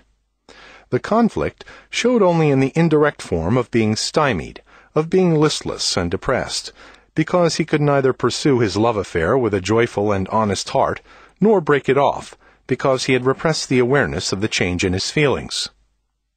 Once his eyes are open, he may regain his sense of reality, see clearly what he feels, and with real pain, but without depression, and the relationship. Here is another example of the analysis of a symptom. A bachelor in his forties suffers from the obsessional fear whenever he has left his house that he may not have turned off the electric stove, and that a fire will start and destroy the whole house, especially his valuable library. Consequently, he feels compelled to return to his house whenever he has left it, a compulsion that obviously disrupts his normal activities. The symptom has a simple explanation. Almost five years ago, he had been operated on for cancer. His physician had dropped the remark that everything was fine, except for the possibility in the next five years of the spread of the malignant cells, which can spread like a fire. The man was so frightened of this possibility that he repressed the thought totally from his awareness and substituted for it the fear that fire might spread in his house. While uncomfortable, this fear was much less tormenting than that of the return of cancer. When the repressed content of the fear became conscious, the fire obsession disappeared without reviving the fear of cancer, helped largely by the circumstance that by then almost five years had passed since the operation, and the danger of further complications was largely reduced. This process of conscientization usually carries with it a feeling of relief and even joy, even though the content itself may be nothing to be pleased about. In addition, whatever the newly discovered element is, following it up by feeling around further will quite likely lead to some new discoveries or ramifications the same day or later on. What is essential is not to fall into the trap of stating complex theoretical speculations. 2. Another approach is one that corresponds to the method of free association one lets go of one's thought control, permits one's thoughts to come in, and tries to scrutinize them with the aim of discovering hidden connections between them, points of resistance where one feels like stopping the train of thought, until certain elements come to the fore that heretofore had not been in one's awareness. 3. Still another approach is an autobiographical one. By this I mean speculations about one's history, beginning with one's early childhood and ending with one's projected future development. Try to get a picture of significant events, of your early fears, hopes, disappointments, events that decreased your trust and faith in people and in yourself. Ask, on whom am I dependent? What are my main fears? Who was I meant to be at birth? What were my goals and how did they change? What were the forks of the road where I took the wrong direction and went the wrong way? What efforts did I make to correct the error and return to the right way? Who am I now, and who would I be if I had always made the right decisions and avoided crucial errors? Whom did I want to be long ago, now, and in the future? What is my image of myself? What is the image I wish others to have of me? Where are the discrepancies between the two images, both between themselves and with what I sense is my real self? Who will I be if I continue to live as I am living now? What are the conditions responsible for the development as it happened? What are the alternatives for further development open to me now? What must I do to realize the possibility I choose?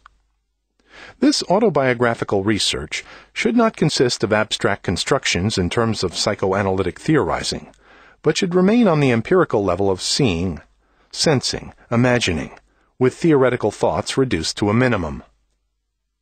4.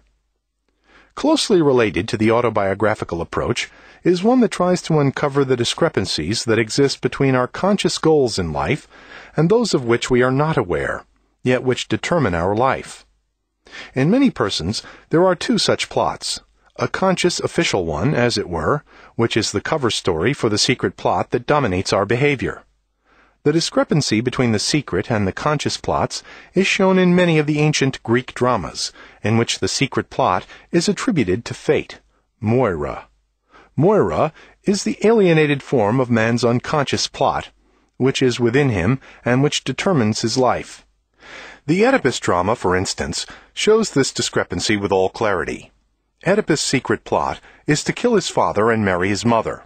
His conscious and intended life plot is to avoid this crime under all circumstances. Yet the secret plot is stronger. Against his intention and without awareness of what he is doing, he lives according to the secret plot. The degree of discrepancy between the conscious and unconscious plots varies enormously in many people. On the one end of the continuum are those persons for whom there is no secret plot because the person has grown so far that he has become entirely one with himself and need not repress anything.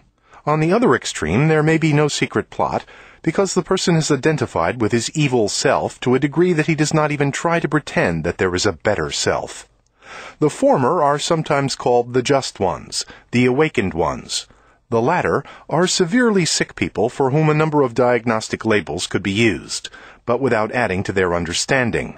The vast majority of men can be plotted on a continuum between the two extremes. Yet even in this middle group an important distinction can be made. There are those whose conscious plot is an idealization of what they are actually striving for, so that the two plots are essentially similar. With others, the cover story is exactly the opposite of the secret plot. It serves only to hide it in order to follow it all the better. It is in the cases of significant contradictions between the two plots that severe conflicts, insecurity, doubts, and waste of energy occur, and, as a result, a number of manifest symptoms develop. How could it be otherwise when a person has constantly to use a great deal of energy in order to avoid being aware of the inner contradiction? To cease being plagued by deep doubts about his identity, and to repress his own dim sense of lack of genuineness and integrity. His only alternative is either to continue his state of malaise or to penetrate to the deeply repressed layers of experience, and the latter process is necessarily conducive to a good deal of anxiety. Here are a few examples of secret plots. I remember a man, whom I knew well but did not analyze, who once told me the following dream. I sat at a coffin which served as a table. A meal was served on it, which I ate. Next, I was shown a book in which many great men had signed their names. I saw the names of Moses, Aristotle, Plato, Kant, Spinoza, Marx, and Freud. I was asked to sign my name as the last one. The book then was presumably to be closed forever. The dreamer was a man with extraordinary ambition. Despite great knowledge and brilliance, he had the greatest difficulty to write a book by himself and with ideas he had not taken from somebody else. He had a sadistic character, which was covered up by altruistic, radical ideas and occasional gestures of helpfulness to others. In the first part of his dream, we see a thinly veiled necrophagous desire. The lunch served on the coffin expresses, if translated into a non-censored, clear text, the desire to eat the body in the coffin. This is one of the frequent manifestations of what Freud called the dream work, which translates the unacceptable latent dream thought into a harmless sounding manifest dream text. The second part of the dream is hardly censored at all. The dreamer's ambition is to have the fame of one of the greatest thinkers of the world. His selfishness is expressed in the fact that he wishes that with him the history of philosophy should be ended no more great men should arise from which future generations could benefit. This secret plot of eating the corpses of great men, i.e., feeding himself on the masters of the past, and becoming by this introjection a master himself, was unknown to this person and hidden from those around him, most of whom admired him for his brilliance, kindness, and benevolent ideas. The outline of another secret plot. To save his mother from his cruel father, and through her admiration, to become the greatest man in the world. Or another, to destroy every living soul in order to be left alone, thus being rid of his feeling of weakness and of fear of others. And another, to attach oneself to someone rich and powerful, to find his favor, and to wait for his death in order to inherit everything he owns, material goods, ideas, and prestige.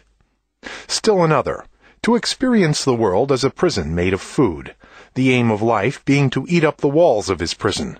Eating becomes the goal of life. Eating means liberation.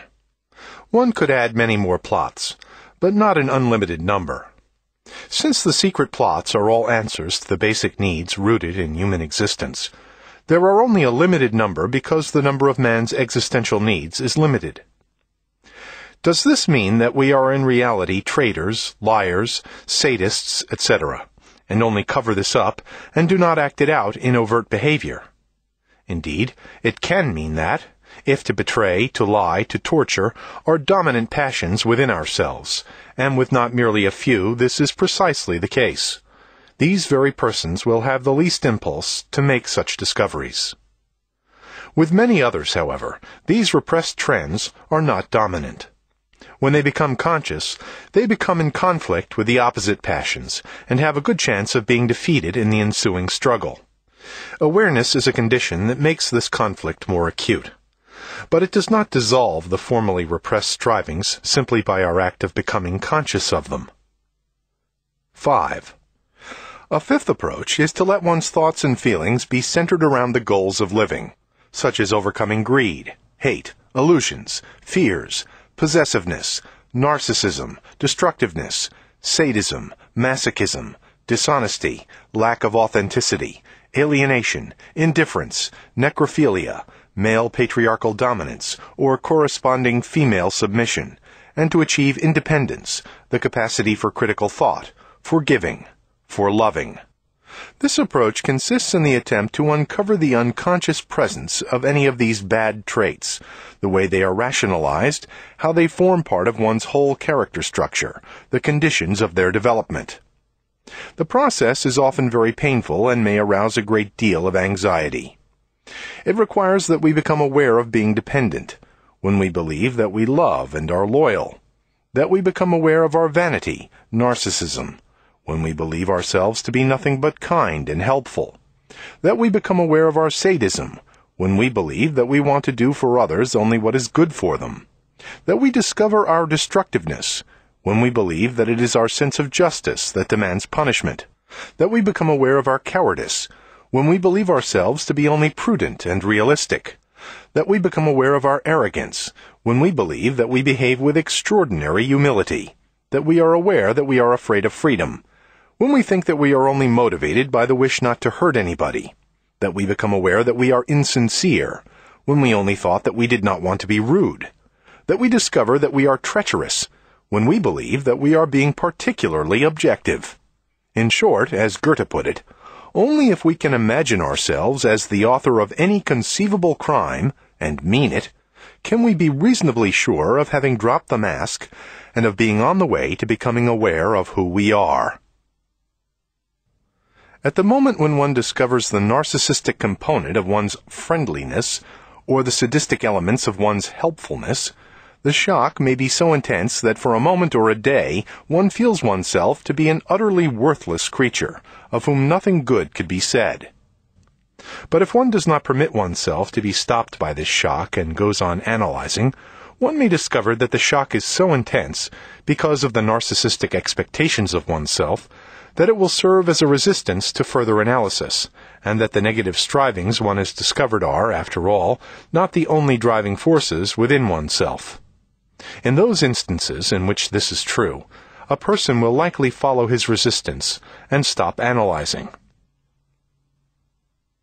Since, as I pointed out in the earlier discussion of awareness, the capacity to see is not divisible, self-analysis must also be concerned with becoming aware of the reality in other persons, as well as in social and political life. In fact, knowledge of others often precedes self-knowledge. The child, at an early age, observes adults, already dimly sensing the reality behind the facade, and he becomes aware of the person behind the persona. As adults, we often observe unconscious strivings in others before we learn to observe them in ourselves. We must be aware of these hidden sectors in others, because what goes on in ourselves is not only intrapsychic, and thus to be understood by studying only what goes on within the four walls of our person, but it is interpersonal. That is to say, it is a net of relations between myself and others. I can see ourselves fully only inasmuch as I see myself in my relation to others, and in theirs to me. To see himself without illusions would not be so difficult for the individual, were he not constantly exposed to being brainwashed and deprived of the faculty of critical thinking. He is made to think and feel things that he would not feel or think, were it not for uninterrupted suggestions and elaborate methods of conditioning. Unless he can see the real meaning behind the double talk, the reality behind the illusions, he is unable to be aware of himself as he is, and is aware only of himself as he is supposed to be. What can I know of myself as long as I do not know that the self I do know is largely a synthetic product? That most people, including myself, lie without knowing it. That defense means war and duty submission that virtue means obedience and sin disobedience, that the idea that parents instinctively love their children is a myth, that fame is only rarely based on admirable human qualities, and even not too often on real achievements, that history is a distorted record because it is written by the victors, that over-modesty is not necessarily the proof of a lack of vanity, that loving is the opposite of craving and greed, that everyone tries to rationalize evil intentions and actions and to make them appear noble and beneficial ones, that the pursuit of power means the persecution of truth, justice, and love, that present-day industrial society is centered around the principle of selfishness, having and consuming, and not on principles of love and respect for life, as it preaches. Unless I am able to analyze the unconscious aspects of the society in which I live, I cannot know who I am, because I don't know which part of me is not me. In the following paragraphs, I want to make some general remarks about the method of self-analysis. It is crucially important that it be done, like meditation and concentration, regularly and not if one is in the mood. If somebody says he has no time for it, he is simply saying that he does not consider it important. If he has no time, he can make time, and this is so obviously a matter of the importance he gives to self-analysis that it is useless to explain how he can make the time. I should like to add that I do not mean to imply that self-analysis become a ritual that does not permit any exception. There are, of course, occasions when it is practically impossible to do it, and that should be taken in one stride. Altogether, the process of self-analysis should not have the character of forced labor, done in a grim mood of duty, yet necessary in order to reach a certain goal. Quite aside from the result, the process in itself should be liberating and hence joyful, even though suffering, pain, anxiety, and disappointment are mixed in with it. For anyone who cannot empathize with the passion to climb a mountain, it must appear that the ascent is mere drudgery and discomfort. And some think, I have heard this also in psychoanalytic interpretation of mountain climbing, that only a masochist could voluntarily choose to undergo such unpleasantness. The mountain climber will not deny the effort and the strain, yet this is part of his joy, and by no means would he want to miss it. Effort does not equal effort. Pain does not equal pain. The pains of labor are different from the pains of an illness. What matters is the entire context in which the effort is made or the pain is suffered, and which gives it its specific quality. This is a point somewhat difficult to grasp, because in our Western tradition duty and virtue are considered harsh taskmasters. In fact, the best proof that one acts rightly is that it is unpleasant, the proof of the opposite that one likes to do it. The Eastern tradition is entirely different, and far superior in this respect. It bypasses the polarity between rigid, stiff discipline and lazy, slouching comfort. It aims at a state of harmony, which is at the same time structuralized, disciplined, in the autonomous sense, alive, flexible, and joyful. In self-analysis, as well as in analysis à deux, there is one difficulty of which we must be aware from the very beginning, that of the effects of verbalization. Assuming I wake up in the morning and see a blue sky and a shining sun, I am fully aware of the scenery. It makes me happy and more alive but the experience is an awareness of the sky, of my response to it, and no words come to mind such as, This is a beautiful sunny day. Once those words form, and I begin to think about the scenery in these words, the experience has somewhat lost in intensity. When instead a melody comes to my mind that expresses joy, or a painting that expresses the same mood, nothing of the experience is lost. The boundary between awareness of feeling and expression of feeling in words is very fluid. There is the completely non-verbalized experience, and close to it the experience in which a word appears like a vessel that contains the feeling and yet does not contain it, for the feeling is constantly flowing and it overflows the vessel. The word vessel is more like a note in a musical score, which is a symbol for a tone, but not the tone itself the feeling may be still more closely related to the word. But as long as the word is still a living word, it has done little harm to the feeling.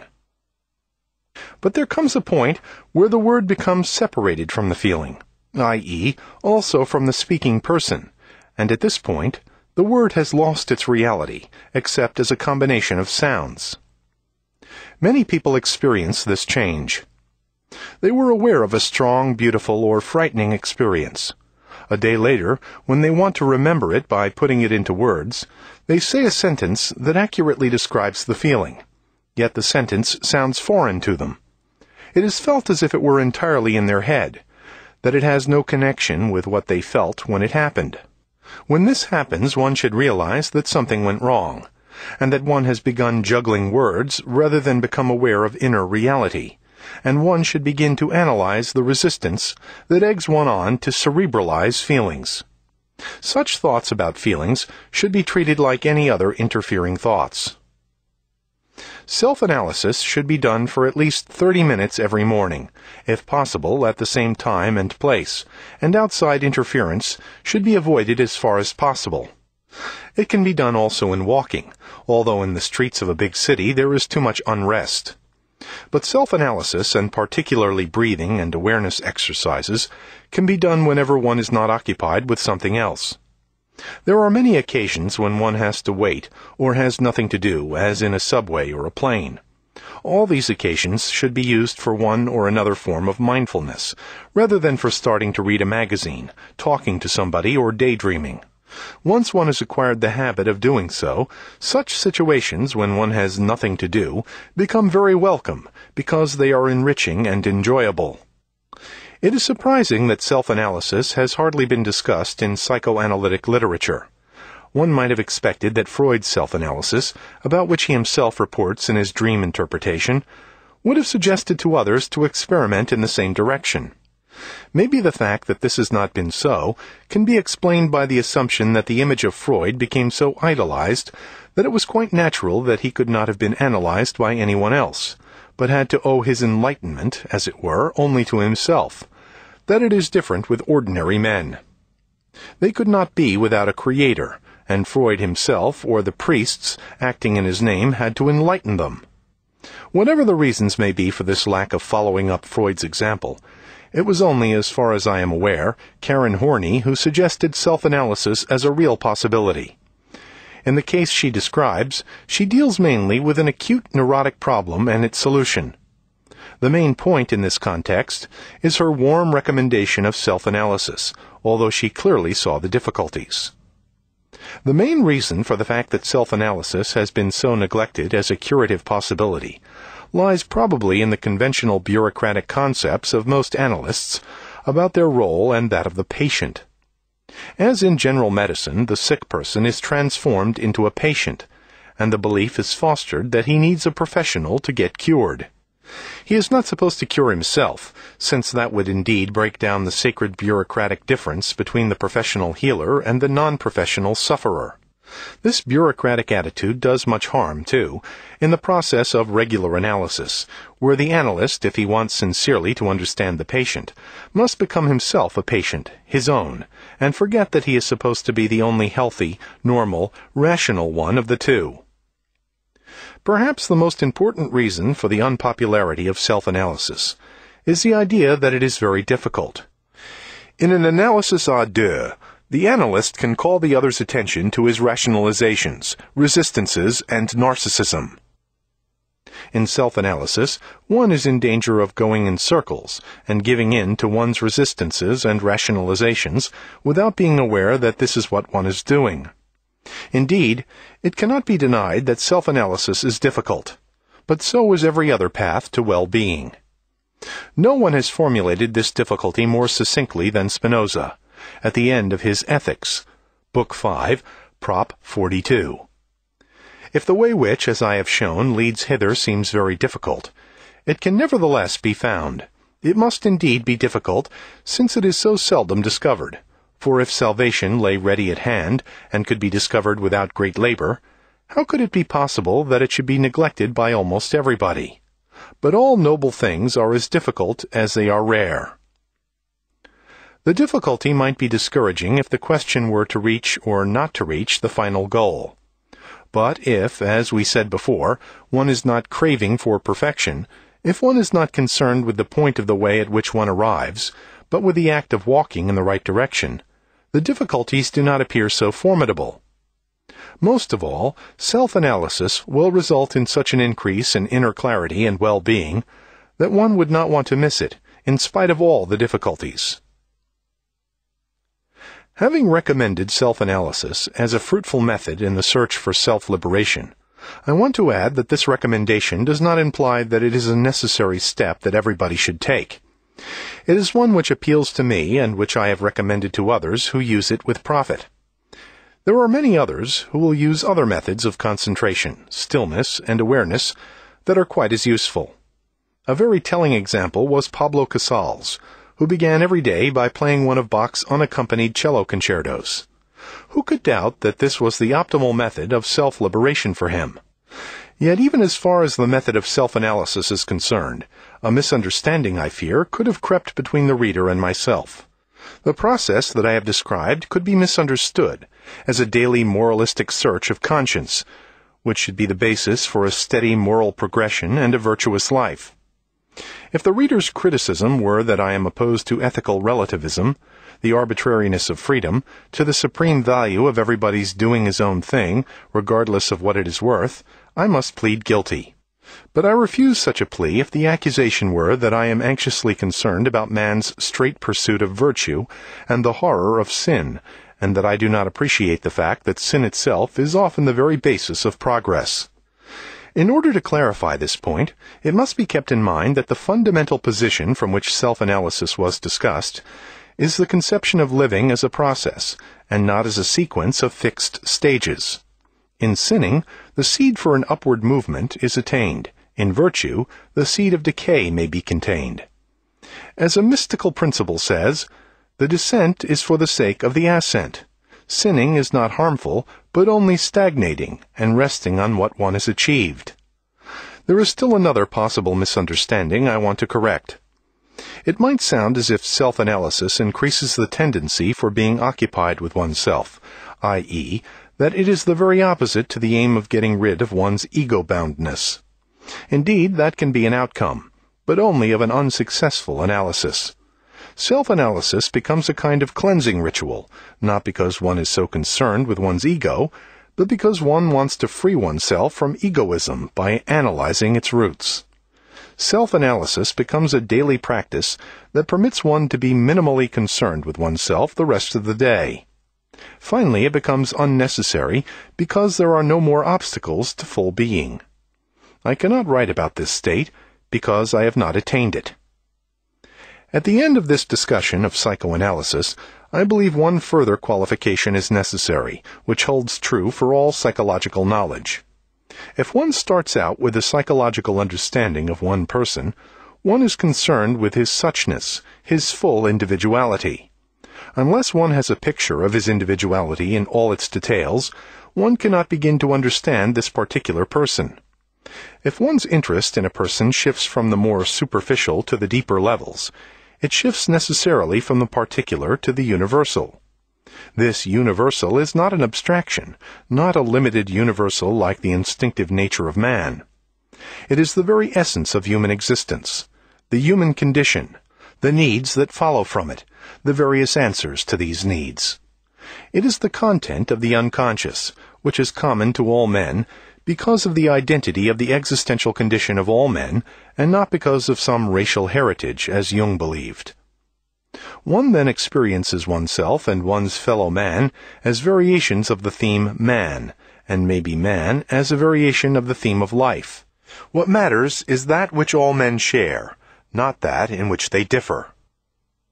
In the process of the full penetration of one's unconscious, one discovers that we differ considerably in the quantitative aspects, but are the same in the quality of our strivings. The exploration of the unconscious in depth is a way of discovering humanity in oneself and in every other human being. This discovery is not one of theoretical thought, but of effective experience. However, stressing the one in man must not in an undialectical fashion lead to the denial of the fact that man is also an individual. That in fact each person is a unique individual, not identical with anyone ever to be born, perhaps with the exception of identical twins. Only paradoxical thinking, so much a part of Eastern logic, permits expression of the full reality. Man is a unique individual. Man's individuality is sham and unreal. Man is this and that, and man is neither this nor that. The paradoxical fact is that the deeper I experience my own or another's unique individuality, the clearer I see through myself and him the reality of universal man, freed from all individual qualities, the Zen Buddhist man, without rank and without title. These considerations lead to the problem of the value and the dangers of individualism, and, related to it, the psychological study of the individual. It is very apparent that at present individuality and individualism are highly esteemed and widely praised as values and as personal and cultural goals. But the value of individuality is very ambiguous. On the one hand, it contains the element of liberation from authoritarian structures that prevent the autonomous development of a person. If self-knowledge serves to become aware of one's true self, and to develop it rather than to introject a foreign self imposed by the authorities, it is of great human value. In fact, the positive aspect of self-knowledge and psychology are so widely emphasized that it is scarcely necessary to add more words to this praise. But it is extremely necessary to say something about the negative side of the cult of individuality and its relation to psychology. One reason for this cult is obvious. The more individuality disappears in fact, the more it is exalted in words. Industry, television, habits of consumption pay homage to the individuality of the persons they manipulate. There is the name of the bank teller in his window and the initials on the handbag. In addition, the individuality of commodities is stressed. The alleged difference between cars, cigarettes, toothpaste, which are essentially the same, in the same price class, serve the purpose of creating the illusion of the individual man or woman freely choosing individual things. There is little awareness that the individuality is, at best, one of insignificant differences, for in all their essential features, commodities and human beings have lost all individuality. The apparent individuality is cherished as a precious possession. Even if people don't own capital, they own their individuality. Although they are not individuals, they have much individuality, and they are eager and proud to cultivate it. Since this individuality is one of small differences, they give the small, trivial differences the aspect of important, meaningful features. Contemporary psychology has promoted and satisfied this interest in individuality. People think about their problems, talk about all the little details of their childhood history, but often what they say is glorified gossip about themselves and others, using psychological terms and concepts instead of the less sophisticated old-fashioned gossip. Supporting this illusion of individuality through trivial differences, contemporary psychology has a still more important function. By teaching how people ought to react under the influence of different stimuli, psychologists become an important instrument for the manipulation of others and of oneself. Behaviorism has created a whole science that teaches the art of manipulation. Many business firms make it a condition for employment that their prospective employees submit to personality tests. Many books teach the individual how to behave in order to impress people of the value of their own personality package or of the value of the commodity they sell. By being useful in all these respects, one branch of contemporary psychology has become an important part of modern society. While this type of psychology is useful economically and as an illusion producing ideology, it is harmful to human beings because it tends to increase their alienation. It is fraudulent when it pretends to be based on the ideas of self knowledge, as the humanistic tradition, up to Freud, had conceived it. The opposite to adjustment psychology is radical, because it goes to the roots. It is critical, because it knows that conscious thought is mostly a fabric of illusions and falsehood. It is salvific, because it hopes that the true knowledge of oneself and others liberates man and is conducive to his well-being. For anyone interested in psychological exploration, it is necessary to be intensely aware of the fact that these two kinds of psychology have little more in common than the name, and that they follow contrary goals. Part 5 14. On the Culture of Having. Living has two dimensions. Man acts, does, produces, creates. In brief, he is active. But man is not acting in a void, not without body, and not in an immaterial world. He has to deal with things.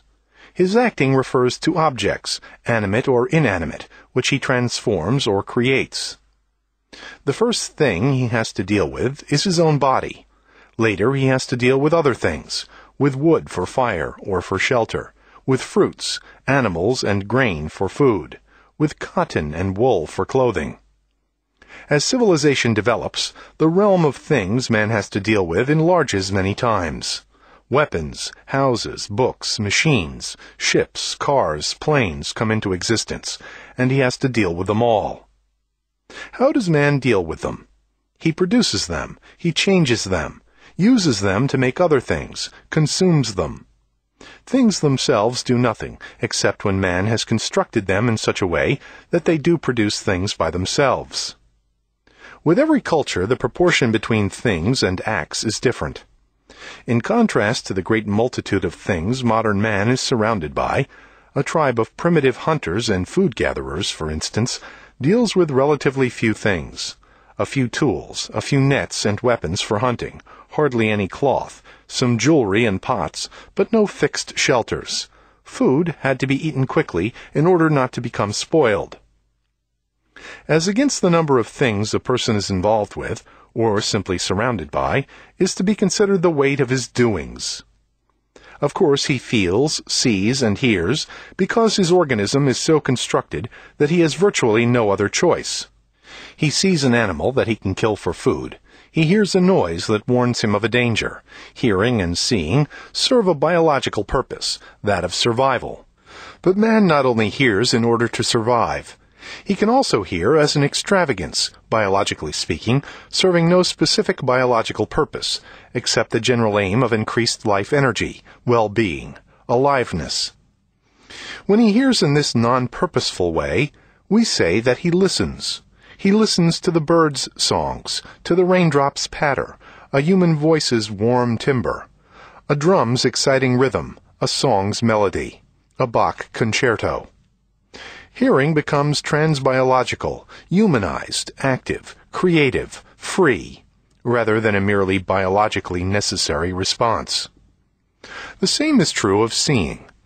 When we see the beautiful ornaments of even the oldest clay vessel, the movement of animals and men in a cave painting from 30,000 years ago, the radiance of a loving face, as well as the horror of the destructiveness done by a human hand, we also have shifted our inner gears from the biologically necessary act to the realm of freedom, from animal to human existence.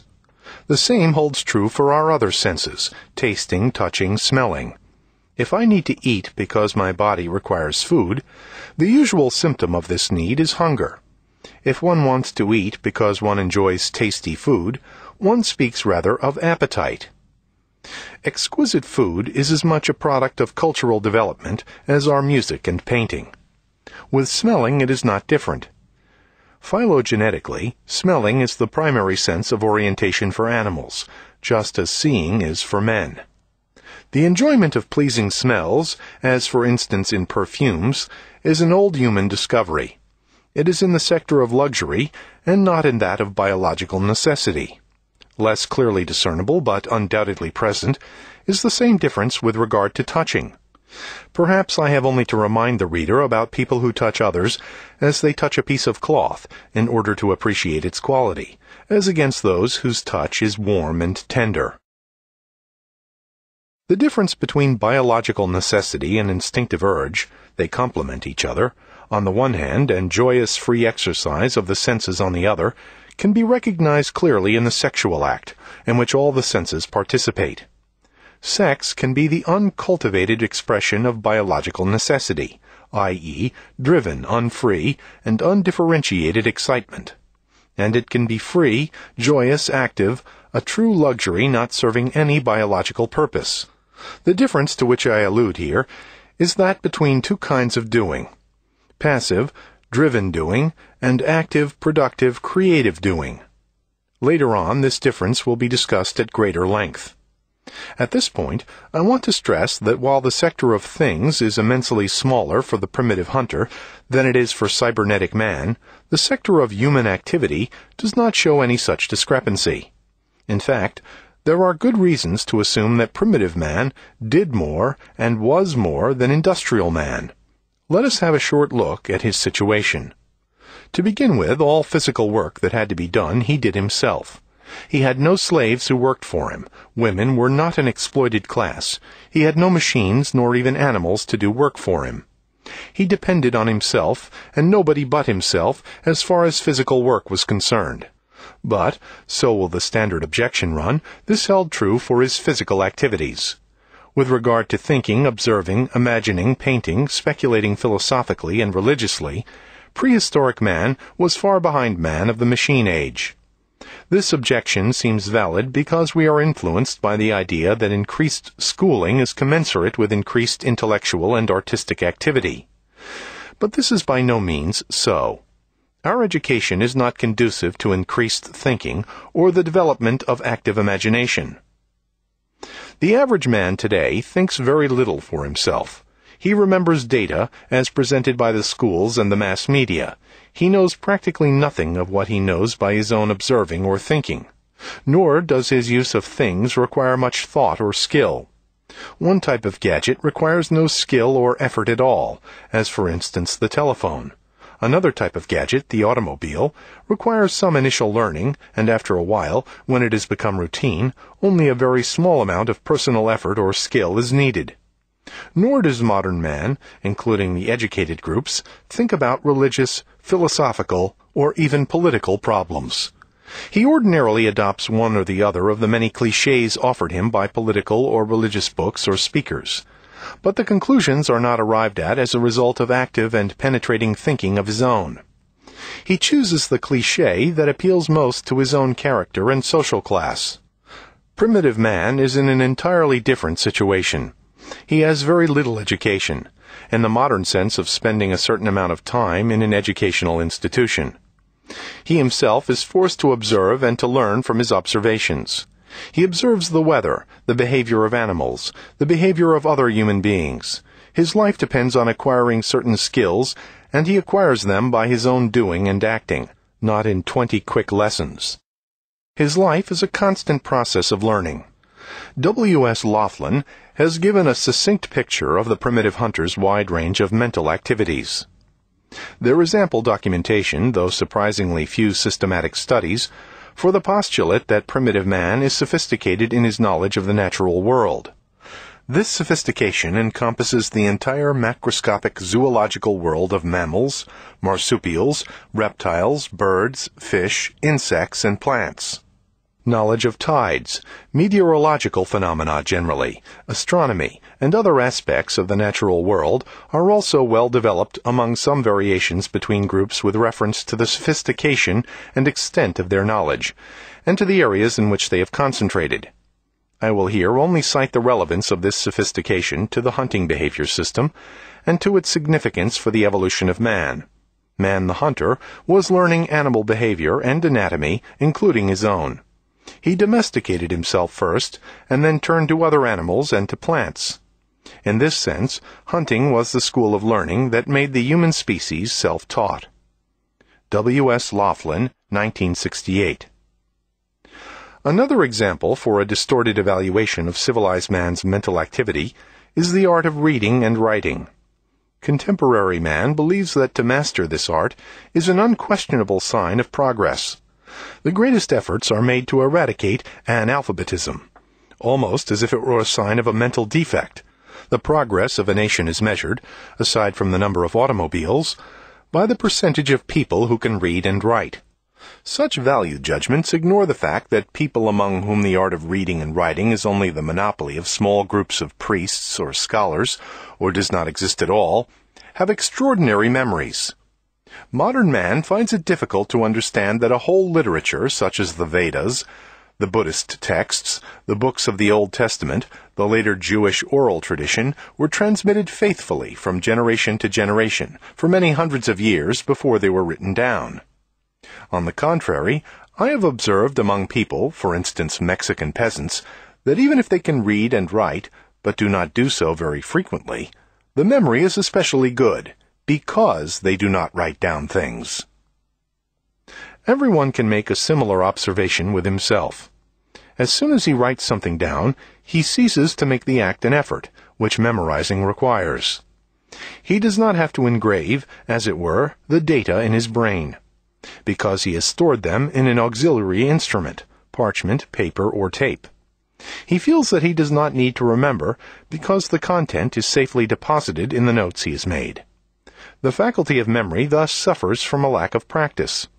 Today, one can observe how people want to avoid active thinking even in small doses.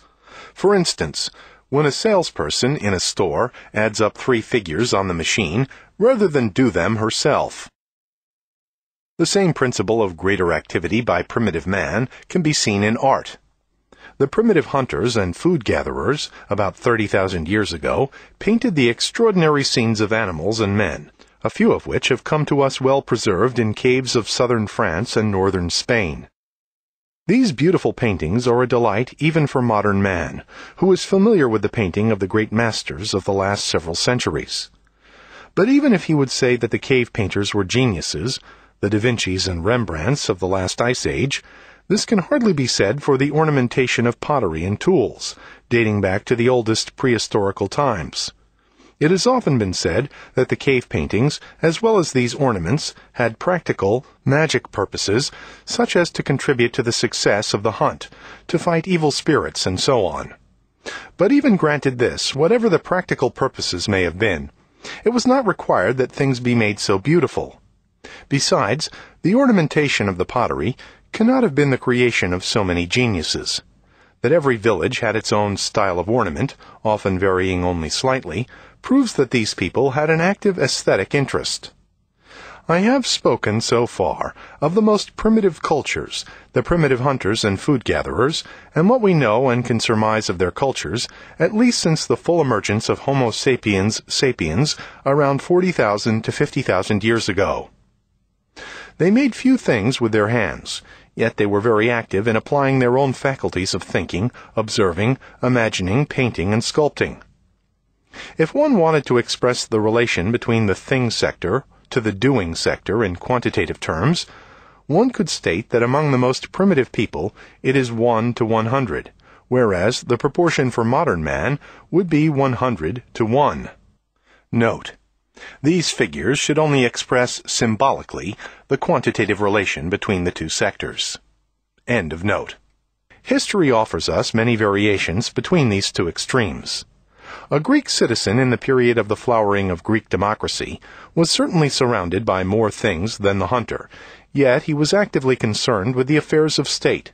He developed and used his reason to an extraordinary degree. He was engaged, both artistically and philosophically. What more do we have to know of a population than that the dramas of Sophocles and Aeschylus formed the artistic nurture of an Athenian citizen? And what does it say about the aesthetic and emotional passivity of a contemporary New Yorker, if we think of the plays and movies that excite him? Different, and yet in many ways similar, is the picture we get from the life of a medieval artisan. His work was done with interest, with care. It was not boring.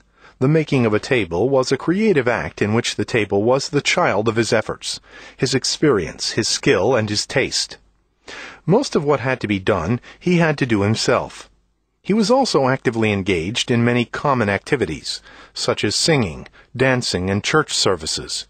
The peasant was much worse off materially. He was not a free man, yet he was not quite a slave either. The work in the fields may not have given much satisfaction.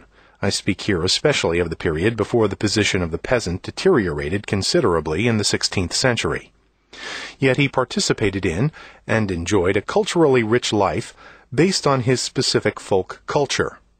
Neither he nor the artisan were spoon fed by seeing others making efforts, or enjoying themselves, or suffering. Whatever filled their lives, it was largely a result of their own doing, and their own experience. Even the artisan, economically and socially far superior to the peasant, did not have much, except his house and his tools, and he earned just enough to live according to the traditional standard of living of his social class. He did not want to have or to consume more, because not the acquisition of riches, but the productive use of his faculties and the enjoyment of being were his goal. Contemporary man in cybernetic society is surrounded by as many things as there are stars in the sky. To be sure, he has produced most of them. But has he? The worker in a giant factory produces no thing. Surely he participates in the production of an automobile, or an electric refrigerator, or a toothpaste, but depending on the kind of industrial process, he makes a few stereotyped movements, puts in some screws, or the motor, or a door. Only the final worker in the chain sees the finished product. The others see it on the streets. They acquire and own a cheaper car. They see only the expensive car driven by people who are better off. But that the single worker has produced a car can be said only in an abstract sense. In the first place, machines have produced the car and other machines have produced the car producing machines. The worker, not as a full man, but as an alive tool, has a part in the production and the performance of tasks that cannot yet be done by machines, or only too expensively. The engineer and stylist may claim that they have produced the car, but surely that is not true. They may have contributed their share, but they have not produced the car. Eventually, the executive or manager will claim that he has produced the car. He thinks that because he directed the whole process, he has produced the car. But this claim is even more dubious than that of the engineer. We do not know whether the manager was, as a physical entity, really necessary for the production of the car his claim may be as questionable as that of a general who insists that he conquered a fortress or won a battle when quite obviously his soldiers conquered the fortress and fought the battle. They moved, attacked, were wounded or killed, while he had made the plans and saw to their proper execution. Sometimes the battle is won because the opposing general is simply more incapable than the winning one, and thus the victory is won by the faults of the opponent. The problem here is that of the productive role of the directing and managing function, which I shall not further pursue except to say that for the manager, the car has been transformed from the physical appearance of the car as it leaves the assembly line into a commodity. This means the car to him is not primarily interesting because of its real use value, but because of its fictitious use value suggested by advertising that bamboozles the mind of the prospective buyer with all sorts of irrelevant data from sexy girls to virile looking cars. The car, as a commodity, is in a sense the product of the manager, who orders the real car to be made with profit pregnant features that can give it special sales appeal. Modern man can produce effects in the material world that are greater than earlier man ever was able to achieve. But these effects are completely incommensurate with the physical and intellectual efforts invested in them. To drive a powerful automobile requires neither physical strength nor particular skill or intelligence. To fly an airplane requires a great deal of skill. To drop a hydrogen bomb, relatively little. To be sure, there are some activities that still require considerable skill and effort. Those of artisans, physicians, scientists, artists, highly skilled workers, pilots, fishermen, horticulturists, and some other such occupations or professions. Yet these skill requiring activities are increasingly fewer. The vast majority of men make a living by work that requires little intelligence, imagination, or concentration of any kind. Physical effects, results, are no longer proportionate to human effort, and this separation between effort and skill and result is one of the most significant and pathogenic features of modern society, because it tends to degrade effort and to minimize its significance. We must arrive, then, at a first conclusion. In contrast to the generally accepted view, modern man is basically very helpless in relation to his world. He only appears powerful because he dominates nature to an extraordinary degree. But this domination is almost completely alienated. It is not the result of his real human powers, but of the mega machine, which enables him to achieve much without doing much or being much. Thus, modern man can be said to live in a symbiotic relationship with the world of machines. Inasmuch as he is a part of them, he is, or appears to be, powerful. Without them, standing by himself, using his own resources, he is as powerless as a little child. That is why he worships his machines. They lend him their strength. They create the illusion that he is a giant, when without them he is a cripple. When man in other ages believed that his idols gave him his strength, it was pure illusion, except that he projected his strength into the idol and received some of it back in the worship of it. In the worship of the machines, it is basically the same. To be sure, Baal and Astarte were only what man thought they were. The idols were, as prophetic critique put it, nothing but pieces of wood or stone, and their power was exclusively that of man's, having transferred his own power to them, and getting part of that power back from them. Machines, however, are not mere ineffective pieces of metal. They do create a world of useful things. Man is really dependent on them. But just as with the idols, it is he who has invented, planned, and built them. They, like the idols, are the product of his imagination, of his technical imagination, which, coupled with science, has been able to create things which are realistically very effective, yet which have become his ruler. According to legend, Prometheus brought man fire in order to liberate him from the control by nature. Man at this point of his history has enslaved himself to the very fire that was to liberate him.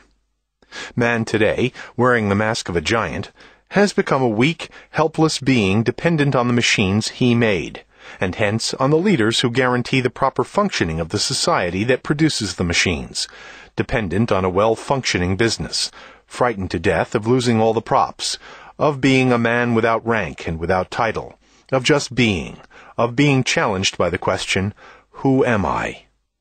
In summary, modern man has many things and uses many things, but he is very little.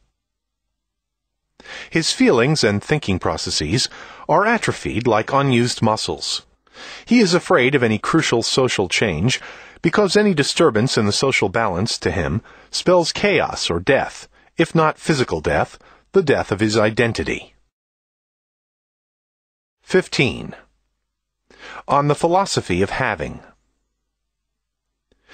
That which one has is one's property, and inasmuch as everybody has his body, it could be argued that property is rooted in the very physical existence of man.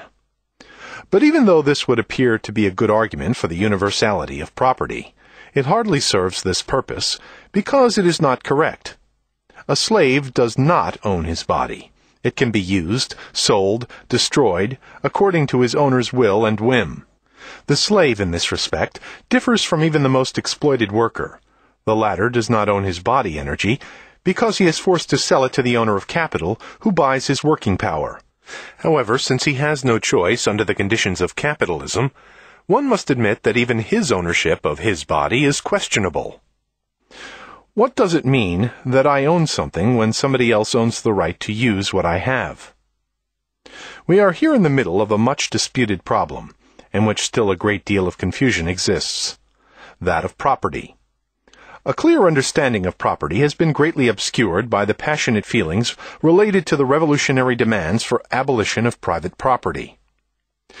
Many people have thought that their personal property, their clothes, books, furniture, and so on, even their spouses, would be taken away and nationalized. Note.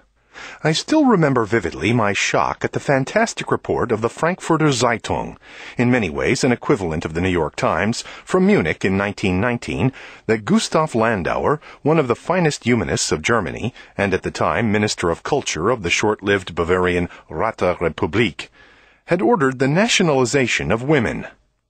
End of note. Of course, the swingers today have in fact begun to socialize their wives among each other, although otherwise sharing politically conservative views. Marx and other socialists had never proposed anything as silly as that the personal property or things one uses should be socialized. They were referring to the ownership of capital, i.e., the means of production that enable an owner to produce commodities that were socially undesirable and to impose on the worker his conditions because he, the owner, gave him work. As a reaction against socialist demands, the professors in political economy asserted that property was a natural right, inherent in human nature, and that it had existed as long as human society. Attending several courses on economic history in 1918 and 1919, I heard too, at the time, outstanding professors lecture, in all seriousness, that capital was not characteristic of capitalism alone, but that even the primitive tribes who used cowrie shells as a means of exchange thus proved that they had capital, ergo, that capitalism was as old as mankind. Their example from primitive peoples was actually badly chosen. We know now, even better, that the most primitive peoples had no private property, except in the things that served their immediate personal needs, such as cloth, jewelry, tools, nets, arms, and weapons. In fact, most of the classical accounts of the origin and function of private property have taken for granted that in nature all things were held in common. The views of anthropologists I have presented in the Anatomy of Human Destructiveness. Even the Church Fathers indirectly accepted this view. According to them, property was both the consequence and the social remedy for the sin of covetousness that came with the fall of man. In other words, private property was a result of the fall, just as was male domination over women and the conflict between man and nature. It is useful to distinguish between various concepts of property that are sometimes confused. First, there is the view of property as an absolute right over an object, living or non-living, regardless of whether the owner has done anything to produce it, or whether he inherited it, received it as a gift or inheritance, or acquired it by theft. Aside from the latter point, which requires certain qualifications both in the relations between nations and the laws in civil society, the great law systems of Rome and of the modern state speak of property in this sense.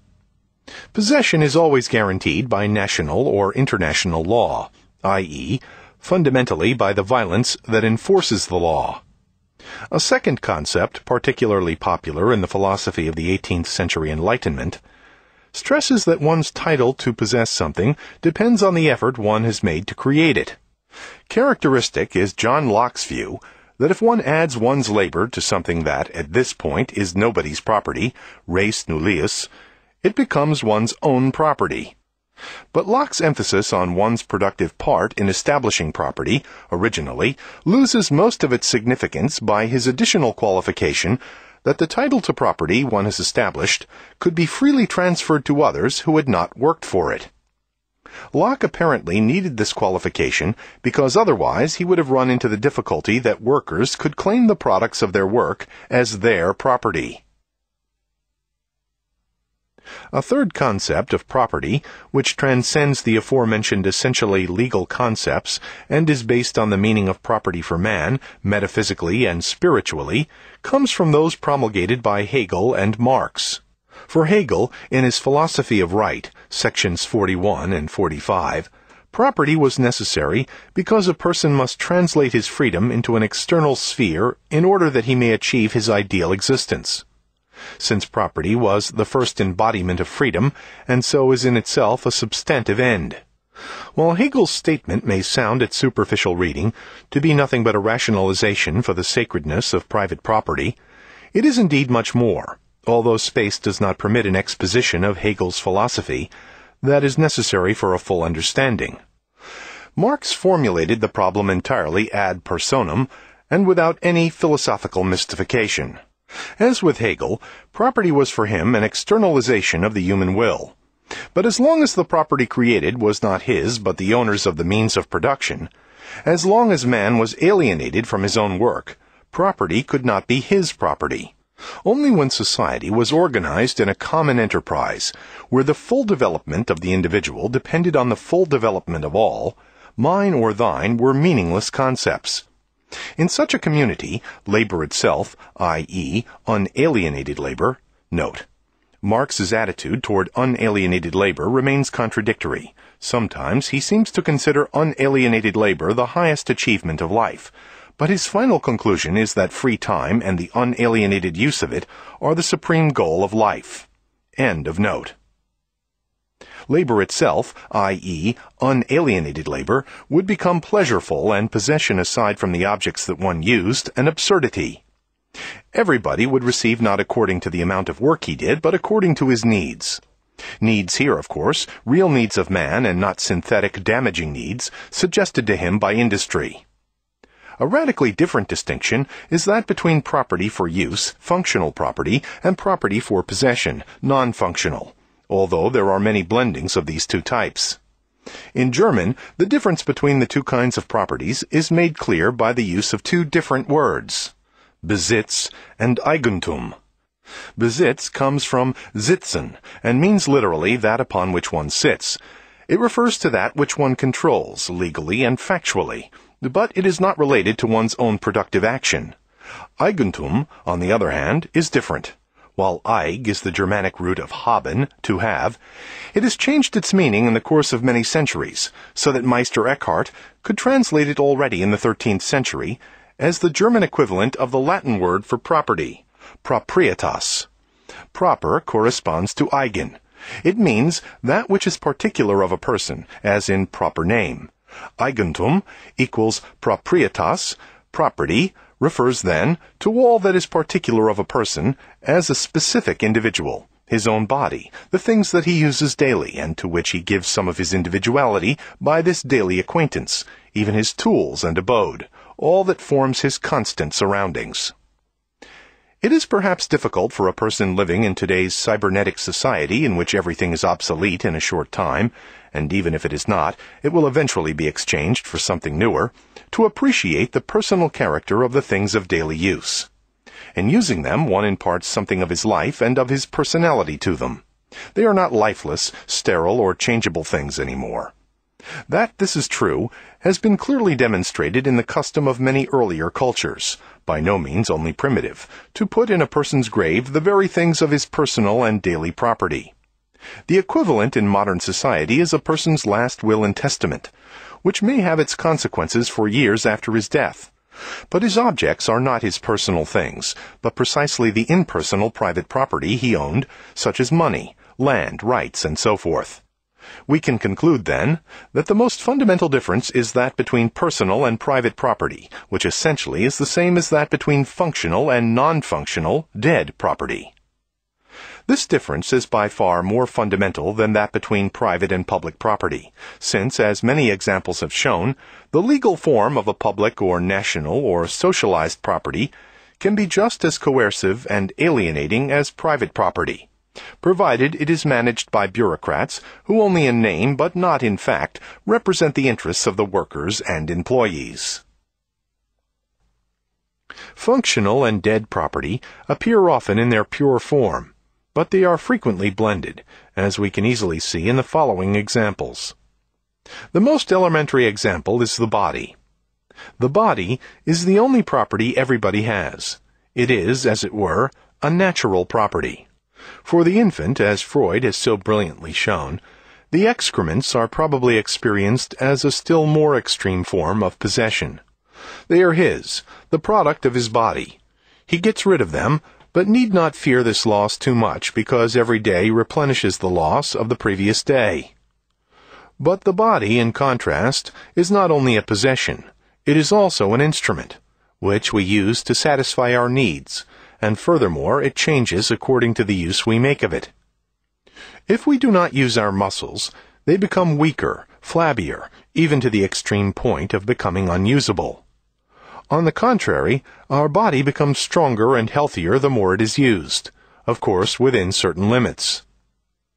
In the case of having a house or a piece of land, the situation is different, because we deal here with a social category and not with a natural one as is the case with the body. Let us think of a nomadic tribe. They did not own land. They lived on a piece of land for a while, used it, built their tents or huts on it, and after a while abandoned it.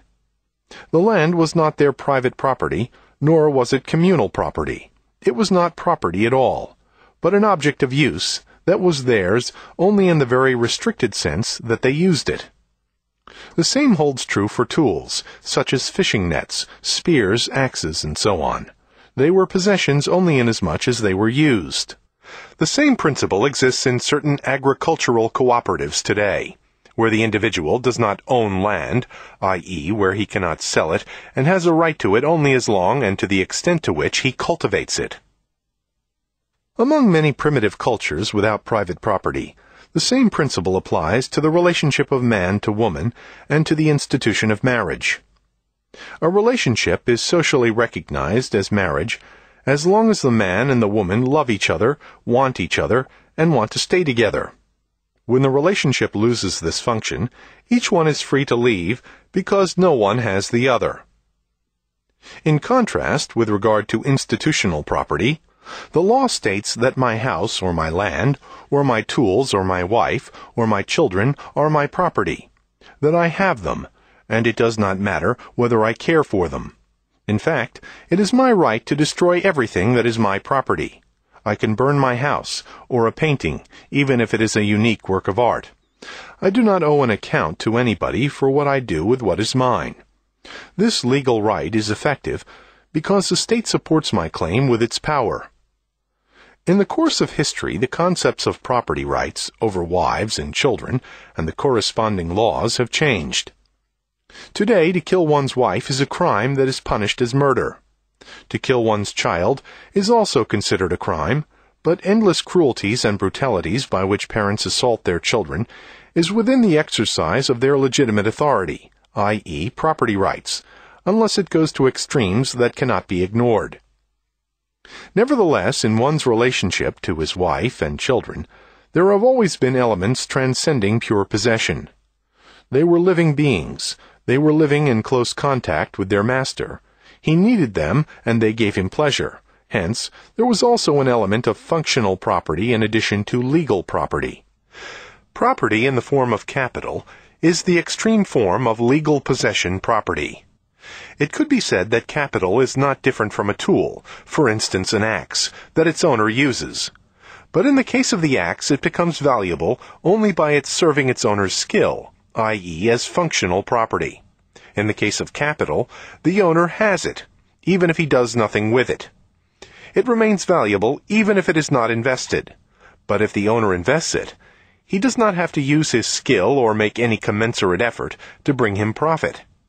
The same holds true for the oldest form of capital, land. My legal right that makes me the owner permits me to gain profit from it without making any effort, i.e., without doing any work myself. It is for this reason that non-functional property may also be called dead property. Dead, or non-functional property, has its legitimacy in conquest or in law. But the law itself is backed up by force, and in this sense the difference between conquered property and legal property is only relative. Also, in the case of legal possession, force constitutes right, because the state guarantees my property right by force, of which the state has the monopoly. Man cannot exist without having, but he can exist very well with purely functional having, and has existed so for the first plus minus 40,000 years of his history, since he emerged as Homo sapiens sapiens. Indeed, he can only, as I shall argue later, only exist sanely if he has mainly functional property and a minimum of dead property. Functional property is an existential and actual need of man. Institutional property satisfies pathological need conditioned by certain socio-economic circumstances. Man must have a body, shelter, tools, weapons, vessels. These things are necessary for his biological existence. There are other things that he needs for his spiritual existence, such as ornaments and objects of decoration. Briefly, artistic and sacred objects, and the means to produce them. They can be property in the sense that an individual uses them exclusively but they are functional property. With an increase in civilization, functional property in things increases.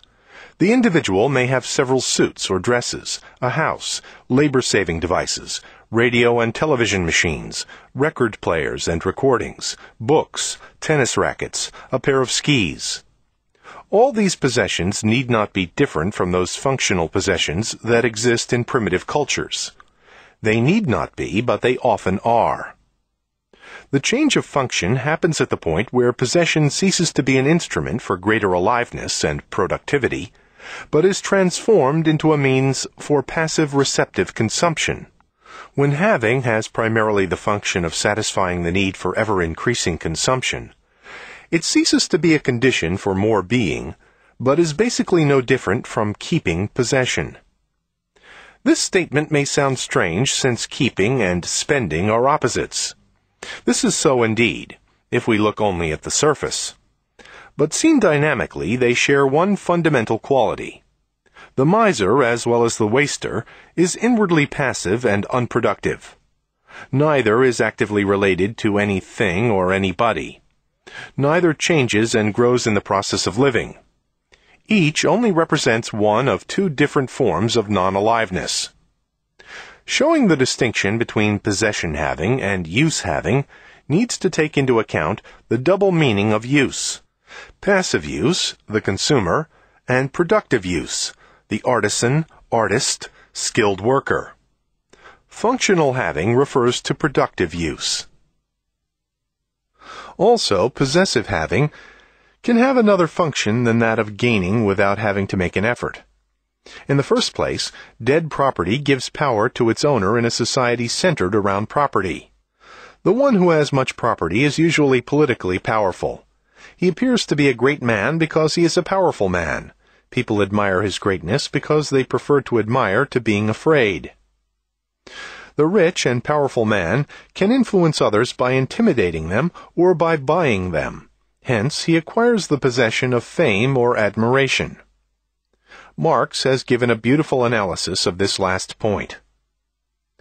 That which exists for me through the medium of money, that which I can pay for, i.e., which money can buy, that I am the possessor of the money. My own power is as great as the power of money. The properties of money are my own, the possessor's, properties and faculties. What I am and can do is therefore not at all determined by my individuality. I am ugly, but I can buy the most beautiful woman for myself. Consequently, I am not ugly, for the effect of ugliness, its power to repel, is annulled by money. As an individual I am lame, but money provides me with twenty-four legs. Therefore, I am not lame. I am a detestable, dishonorable, unscrupulous, and stupid man, but money is honored, and so also is its possessor. Money is the highest good, and so its possessor is good. Besides, money saves me the trouble of being dishonest. Therefore, I am presumed honest. I am stupid, but since money is the real mind of all things, how should its possessor be stupid? Moreover, he can buy talented people for himself, and is not he who has power over the talented more talented than they? I, who can have, through the power of money, everything for which the human heart longs, do I not possess all human abilities? Does not my money, therefore, transform all my incapacities into their opposites? If money is the bond which binds me to human life, and society to me, and which links me with nature and man, is it not the bond of all bonds? Is it not, therefore, also the universal agent of separation? It is the real means of both separation and union, the galvano-chemical power of society. Since money as the existing and active concept of value confounds and exchanges everything, it is the universal confusion and transposition of all things, the inverted world, the confusion and transposition of all natural and human qualities. He who can purchase bravery is brave, though a coward.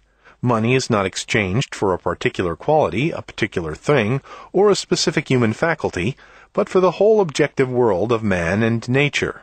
Thus, from the standpoint of its possessor, it exchanges every quality and object for every other, even though they are contradictory. It is the fraternization of incompatibles. It forces contraries to embrace. Let us assume man to be man, and his relation to the world to be a human one. Then love can only be exchanged for love, trust for trust, etc. If you wish to enjoy art, you must be an artistically cultivated person. If you wish to influence other people, you must be a person who really has a stimulating and encouraging effect upon others. Every one of your relations to man and to nature must be a specific expression, corresponding to the object of your will, of your real individual life. If you love without evoking love in return, i.e., if you are not able, by the manifestation of yourself as a loving person, to make yourself a beloved person, then your love is impotent and a misfortune. These considerations lead to the conclusion that the conventional classification of property in private and public, nationalized or socialized property is insufficient and even misleading.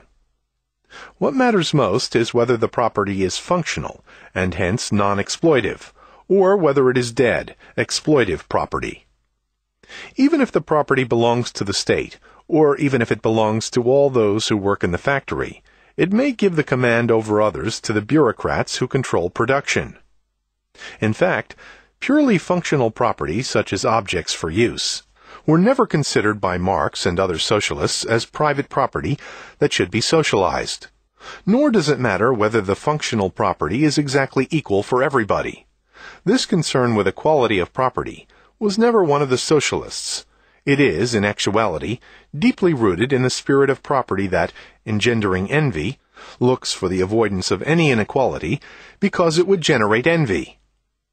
The central issue is whether possession furthers the activity and aliveness of an individual, or whether it paralyzes his activity and furthers indolence, sloth, and unproductivity. 16. On the psychology of having. With this last remark, we enter into the discussion of having as a mental and affective phenomenon.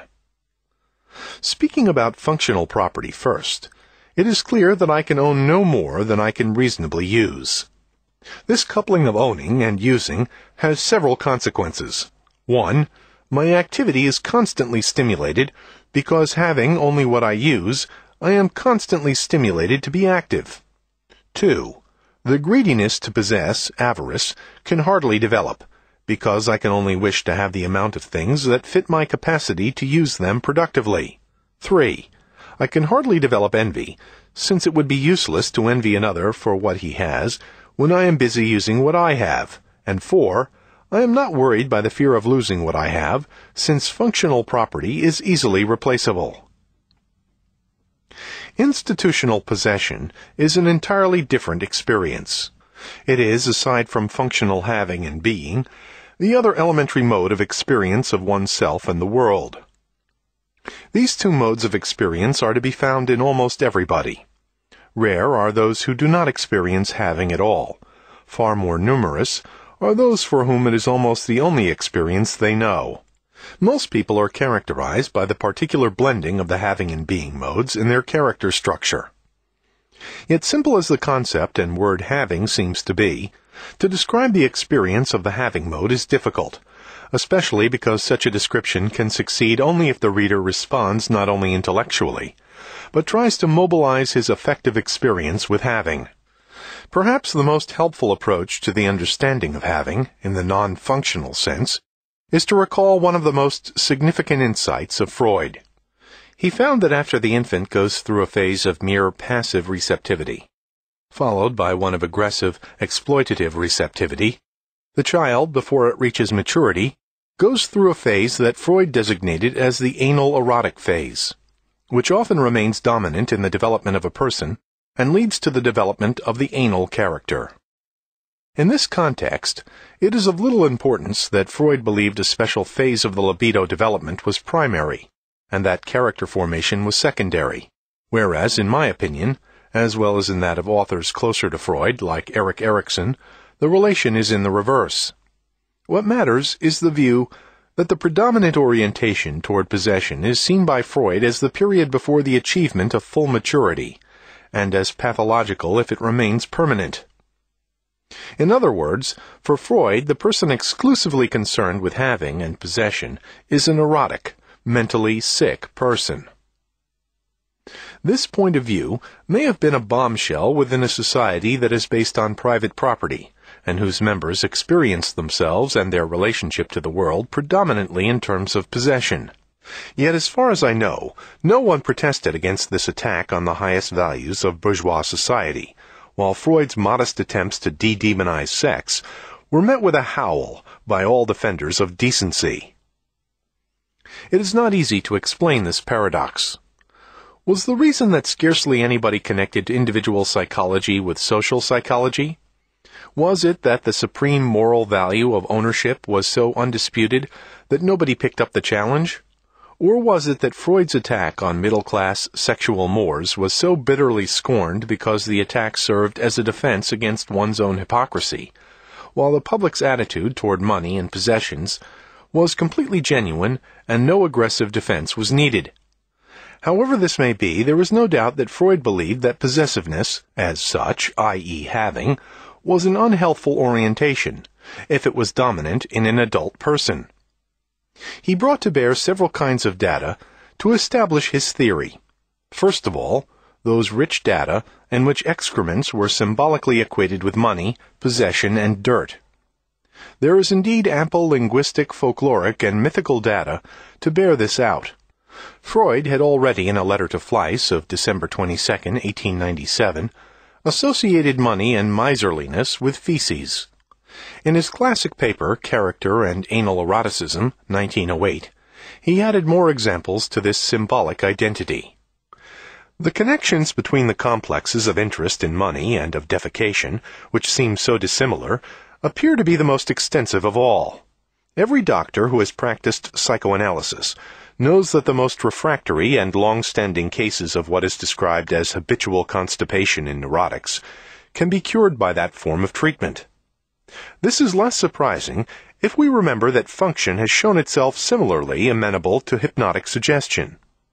But in psychoanalysis, one only achieves this result if one deals with the patient's money complex and induces them to bring it into consciousness with all its connections. It might be supposed that the neurosis is here only following an indication of common usage in speech, which calls a person who keeps too careful a hold on his money dirty or filthy.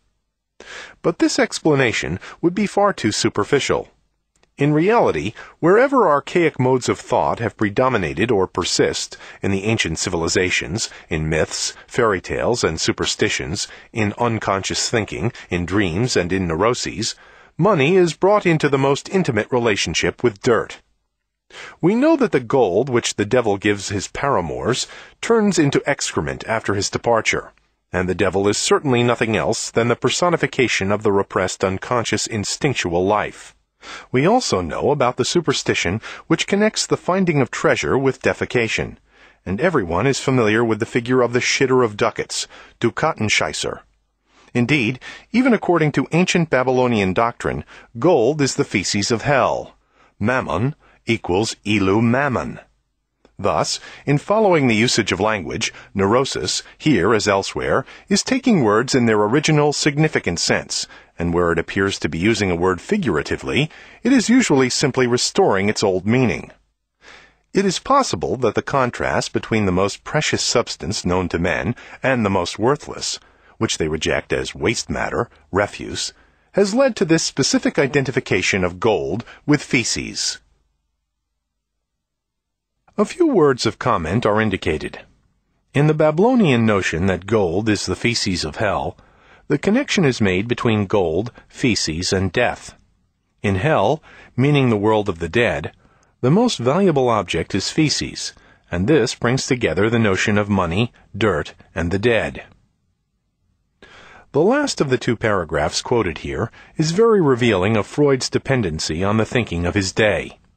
Seeking the reason for the symbolic identity of gold and feces, he proposes the hypothesis that their identity may be based on the very fact of their radical contrast, gold being the most precious and feces the most worthless substance known to man. Freud ignores the other possibility that gold is the most precious substance for civilization, whose economy is generally based on gold, but that this holds by no means for those primitive societies for which gold may not have had any great value.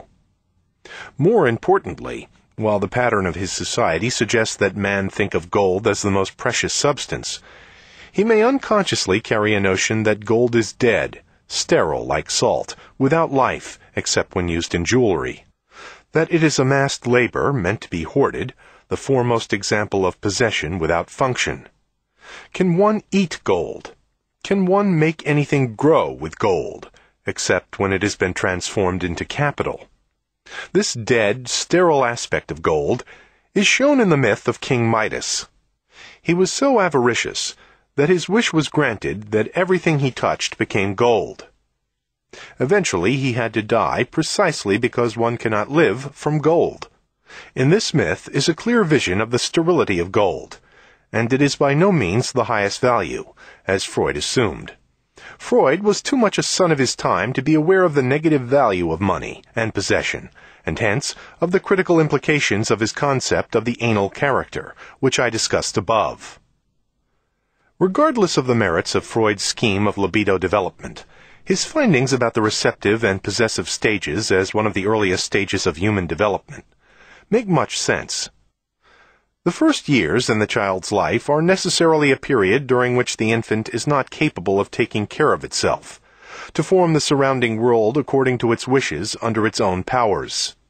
It is forced either to receive, to snatch, or to possess, because it cannot yet produce. Thus, the category of having is a necessary transitional stage in the child's development. But if possessiveness remains the dominant experience in the adult, it indicates that he has not achieved the goal of normal development to productivity, but has become stuck in the experience of having, because of this failure in his development. Here, as with other orientations, what is normal at an early stage of evolution becomes pathological if it occurs at a later stage. Possessive having is based on the reduction of the capacity for productive activity. This reduction can be traced to many factors. By productive activity, I understand the free, active expression of one's faculties, not the actions motivated by instincts or by the compulsive need to act in certain ways. This is not the place to take up this discussion. Suffice it to say here that we must look for factors such as early intimidation, lack of stimulation, over-pampering, both individually and socially. But the sequence also goes the other way round. The having orientation and its satisfaction weakens the effort and eventually the capacity to make productive efforts. The more a person has, the less is he attracted to making active efforts having and inner laziness ultimately form a vicious circle, reinforcing each other. Let us look at an example of a person whose total orientation is one of having. The miser. The most obvious object of possession for him is money and its material equivalents such as land, houses, movable property, etc. Most of his energy is directed toward keeping it, more by saving and non-use rather than by business activities and speculation. He experiences himself as if he were a fortress. Nothing must leave it. Hence, nothing must be spent beyond what is absolutely necessary. And what this absolutely necessary is depends on the degree of his miserliness. It is exceptional, though not rare, that a person would deprive himself of all amenities of life such as pleasant food, nice clothing, and decent housing, in order to reduce his expenses to almost nothing. The average person is puzzled why a person should deprive himself of all enjoyments. But one must not forget that this is not really the case. The miser finds the greatest enjoyment precisely in the experience of his possession. To have is for him a sweeter pleasure than beauty, love, or any sensuous or intellectual pleasure. The rich miser presents a picture that is sometimes less obvious. He may even spend millions in philanthropy or for art because it is an expense that, aside from tax advantages, is demanded by his social status and because of the publicity value of a favorable image. But he may go to great lengths to set up a control system that ensures him against any unnecessary expenditure of postage or he may make compulsive efforts to prevent his workers losing even one minute of their working time.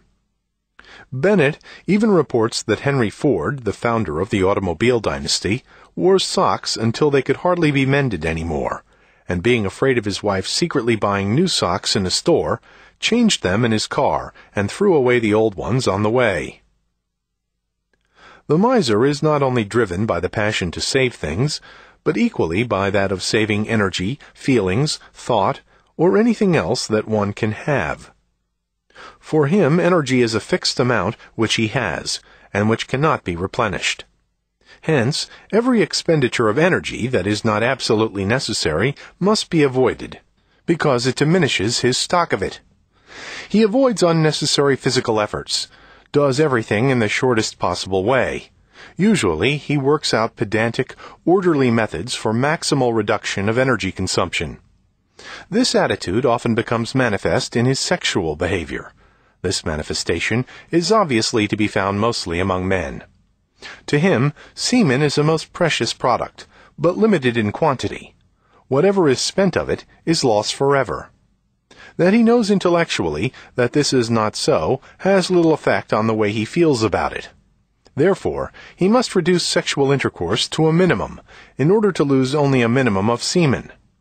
I have known quite a number of men who had worked out a system to achieve the optimal compromise between the demands of saving and of health, which, they thought, demands a certain amount of sexual activity.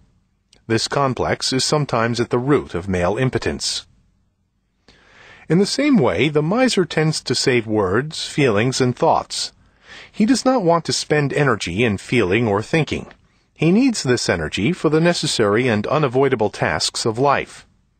He remains cold and indifferent to the joys and sorrows of others, even his own.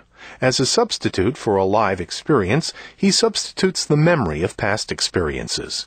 These memories are a precious possession, and often he goes over them in thought as he would count his money, his cattle, or his industrial stocks.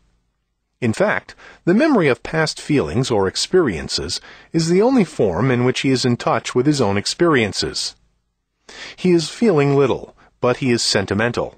Sentimental being used here in the sense of feelingless feelings, the thought of or the daydreams of feelings, rather than felt feelings. It is a well-known fact that many possessive, cold, and even cruel people, and the three belong together, who are not moved by human suffering that is real, can shed tears when a movie presents one of those constellations that they remember from their own childhood, or that they think of in daydreams. We have so far ignored the differences in the objects possessed, along with the respective difference in the experience of possessing them. Probably the most important difference is between non-living and living objects. Non-living objects, money, land, and jewelry, do not oppose their owner. The only opposition could come from social and political forces that threaten the safe and secure possession of property. The most important guarantee for this security is the law and the exercise of force by the state, which make it effective. Those whose inner security is by and large based on possession are necessarily conservative and ardent opponents of movements that want to reduce the state's monopoly of force. For those whose security rests on the possession of living beings, especially of human beings, the situation is more complex. They too are dependent on the state's capacity of enforcing the law, but they are also confronted with the resistance of the human being to being possessed, to being transformed into a thing that can be had and controlled. This statement may be questioned by some. They will point out the fact that millions of people are satisfied with being ruled, in fact, that they prefer control to freedom. In Escape from Freedom, 1941, I attempted myself to point to this fear of freedom and to the attraction of unfreedom.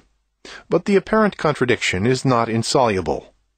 To be free, rather than to have security, is frightening to anyone who has not acquired the courage for the adventure of being. He is willing to give up his freedom if his coercion is made to appear as non-coercion if the controller is given the features of a benign father, if he feels he is not a thing controlled but a loved child guided. But where this disguise is not used and the object of possession is aware of what happens to him, his first reaction is that of resistance, in all forms and with all means. The child resists with the weapons of the helpless, sabotage and obstruction. More specifically, his weapons are bedwetting, constipation, temper tantrums, and so on. The helpless classes react sometimes by sabotage or inefficiency, but as history shows, often by frank rebellions and revolutions, which are the birth pains of new developments. Whatever form the fight against domination takes, it has a deep influence on the one who wants to control. He must develop the passionate striving to control others, and this drive becomes a passion charged with lust. The attempt to possess, have human beings necessarily leads to the development of sadism, one of the ugliest and most perverted of passions. The ultimate object of having is to have oneself. I have myself means I am full with myself. I am what I have, and I have what I am. The true representative of this type of person is the full-fledged narcissist. He is filled only with himself. He transforms the whole world into something he owns. He is not interested in anything or anybody outside himself, except as objects to be incorporated into his sphere of possessions. A mode of experience that is fundamentally akin to that of having is consuming. Again, we can easily distinguish between functional, rational, and non-functional, irrational consumption. If I eat because my hunger indicates my body's need for food, or because I enjoy food, my eating is functional and rational, in the sense that it serves the healthful operation of my entire organism, including my educated taste. But if I overeat out of greed, depression, or anxiety, my eating is irrational. It harms and does not further me physiologically or mentally. This holds true for all consumption, which is rooted in greed and has an obsessional character, in avarice, drug addiction, in the consumerism of today, and for sexual consumption. What appears today as a great pleasure-producing sexual passion is actually only an expression of greed an attempt to devour each other. It is an attempt of two people, or one of two, to take full possession of the other. People sometimes describe their most ardent sexual experiences in words such as, we fell upon each other. Indeed, they do. They fall upon each other like hungry wolves, and the basic mood is that of hostile possessiveness, and not that of joy, not to speak of love. To fill oneself up with people, food, or other things is a more archaic form of possession and having. In the latter case, the object I have can still be taken away from me by superior force, trickery, and so on. My possession requires a social situation that guarantees my title. If I introject the object I want to keep, it is safe from all interference. Nobody can rob me of what I have swallowed. This first type of having can be clearly seen in the infant's attempt to take things into its mouth. This is his first way of securely having. But of course, as far as physical objects are concerned, the method of introjection is extremely limited. Strictly speaking, it can occur only with objects that are edible and not harmful to the organism. Cannibalism may have one of its roots here. If I believe that the body of a man, especially of a strong and brave man, gives strength, Eating it would be the archaic equivalent of acquiring a slave. But there is a type of consumption that is not necessarily by mouth. The best example is the private automobile. It can be argued that such is functional property, and for this reason not equivalent to dead possession. This would be true if the private car were really functional, but it is not. It does not stimulate or activate any of man's powers. It is a distraction, enables a person to run away from himself, produces a false sense of strength, helps to form a sense of identity based on the brand of car the man drives. It prevents him from walking and thinking, is sufficiently exacting to make a concentrated conversation impossible, and stimulates competition. One would need to write a book in order to give a full description of the irrational and pathogenic function of the type of consumption that the private automobile represents. To sum up, non-functional, hence pathogenic consumption, is similar to having. Both types of experience weaken or even destroy man's productive development, deprive him of aliveness, and transform him into a thing. I hope the experience of having and non-functional consumption will still become clearer as we go on contrasting it with its opposite, the experience of being. Part 6 17. From having to well-being. If well-being, in the sense defined in the beginning of this book, functioning well as a person, not as an instrument, is the supreme goal of one's efforts, two specific ways stand out that lead to the attainment of this goal. Breaking through one's narcissism and breaking through the property structure of one's existence. Narcissism is an orientation in which all one's interest and passion are directed to one's own person, one's body, mind, feelings, interests, and so forth.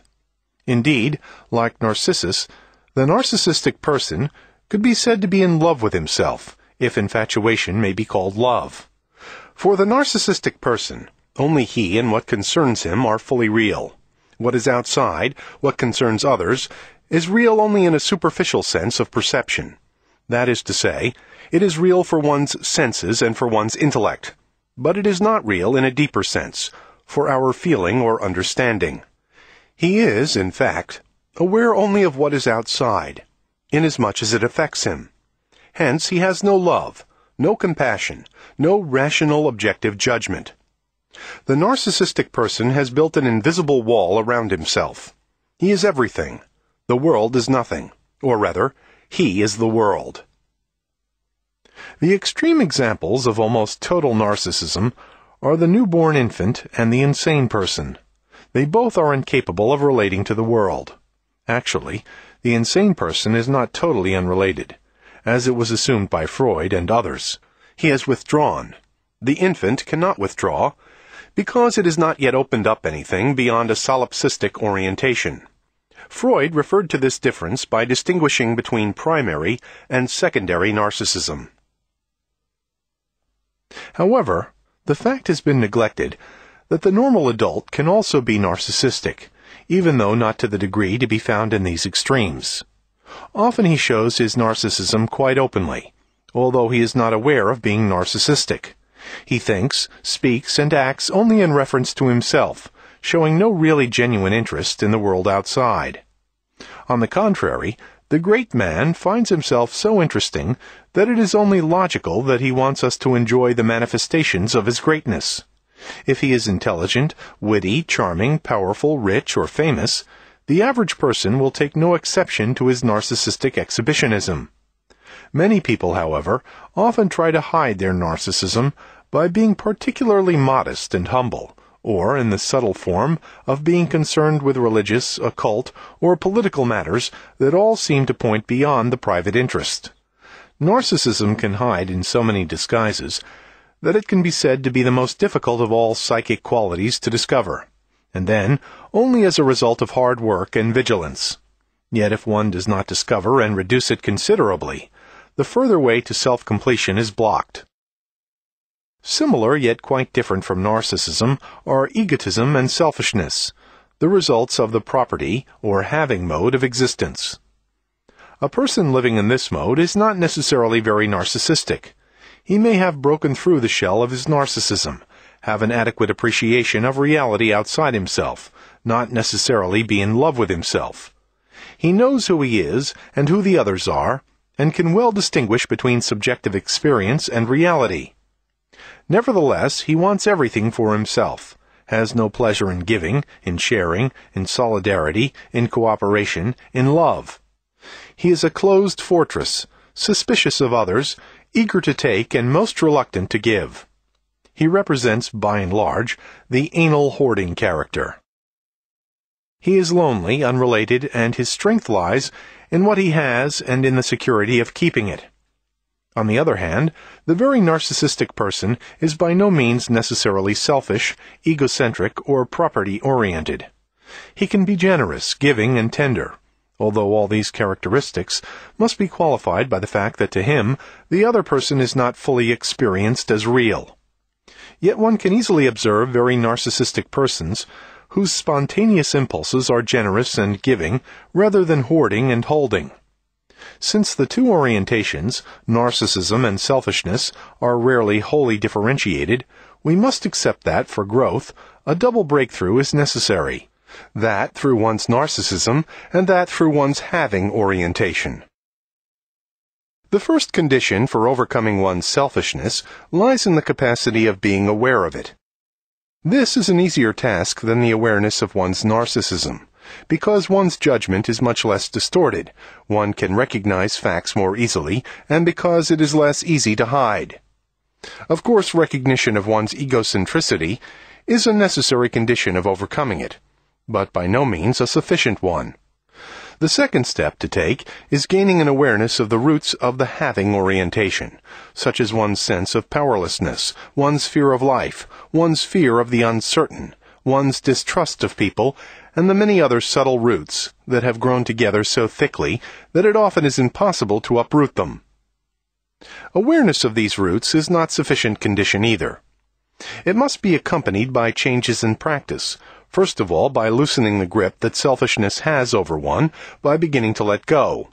One must give up something, share, and go through the anxiety that these first little steps engender.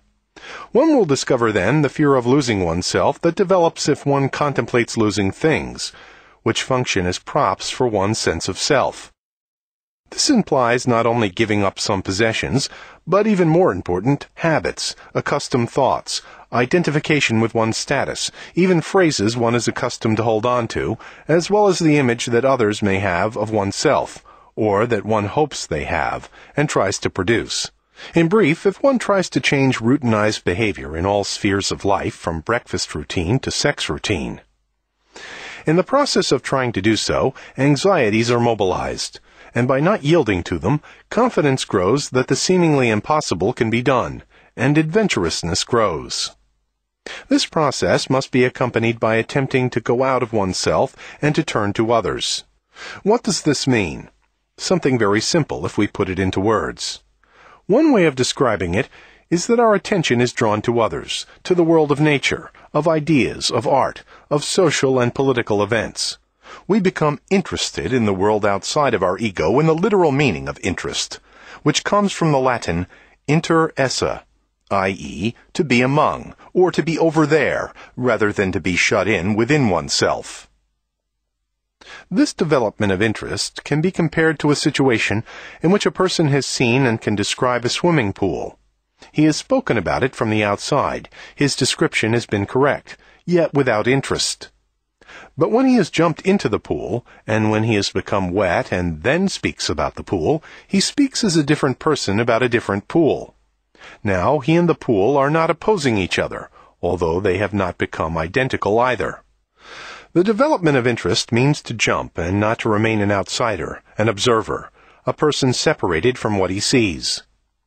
If a person has the will and the determination to loosen the bars of his prison of narcissism and selfishness, when he has the courage to tolerate the intermittent anxiety, he experiences the first glimpses of joy and strength that he sometimes attains and only then a decisive new factor enters into the dynamics of the process. This new experience becomes the decisive motivation for going ahead and following the path he has charted. Until then, his own dissatisfaction and rational considerations of all kinds can guide him. But these considerations can carry him only for a short while. They will lose their power if the new element does not enter, experience of well-being, fleeting and small as it may be, which feels so superior to anything experienced so far, that it becomes the most powerful motivation for further progress, one that becomes stronger in and of itself the further progress goes on. To sum up once more, awareness, will, practice, tolerance of fear and of new experience, they are all necessary if transformation of the individual is to succeed.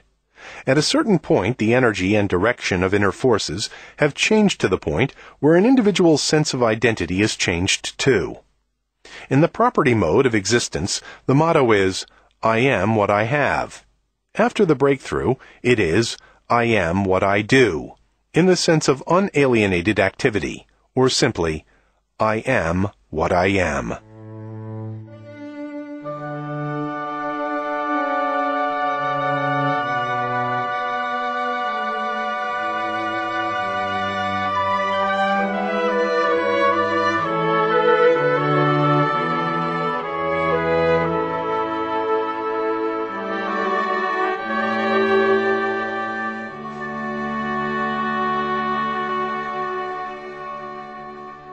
This concludes the reading of The Art of Being by Erich Fromm.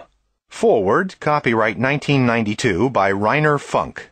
This unabridged recording was published by arrangement with the Continuum International Publishing Group, Incorporated, and was produced in 2006 by Blackstone Audiobooks, Incorporated, which holds the copyright. Neither this recording nor any portion of it may be reproduced or used for any purpose without prior written authorization from Blackstone Audio Books. This book was read by Raymond Todd.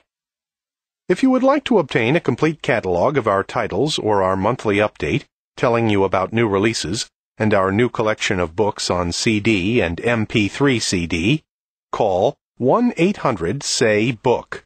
That's 1-800-729-2665. You may also obtain the same information from our award-winning website.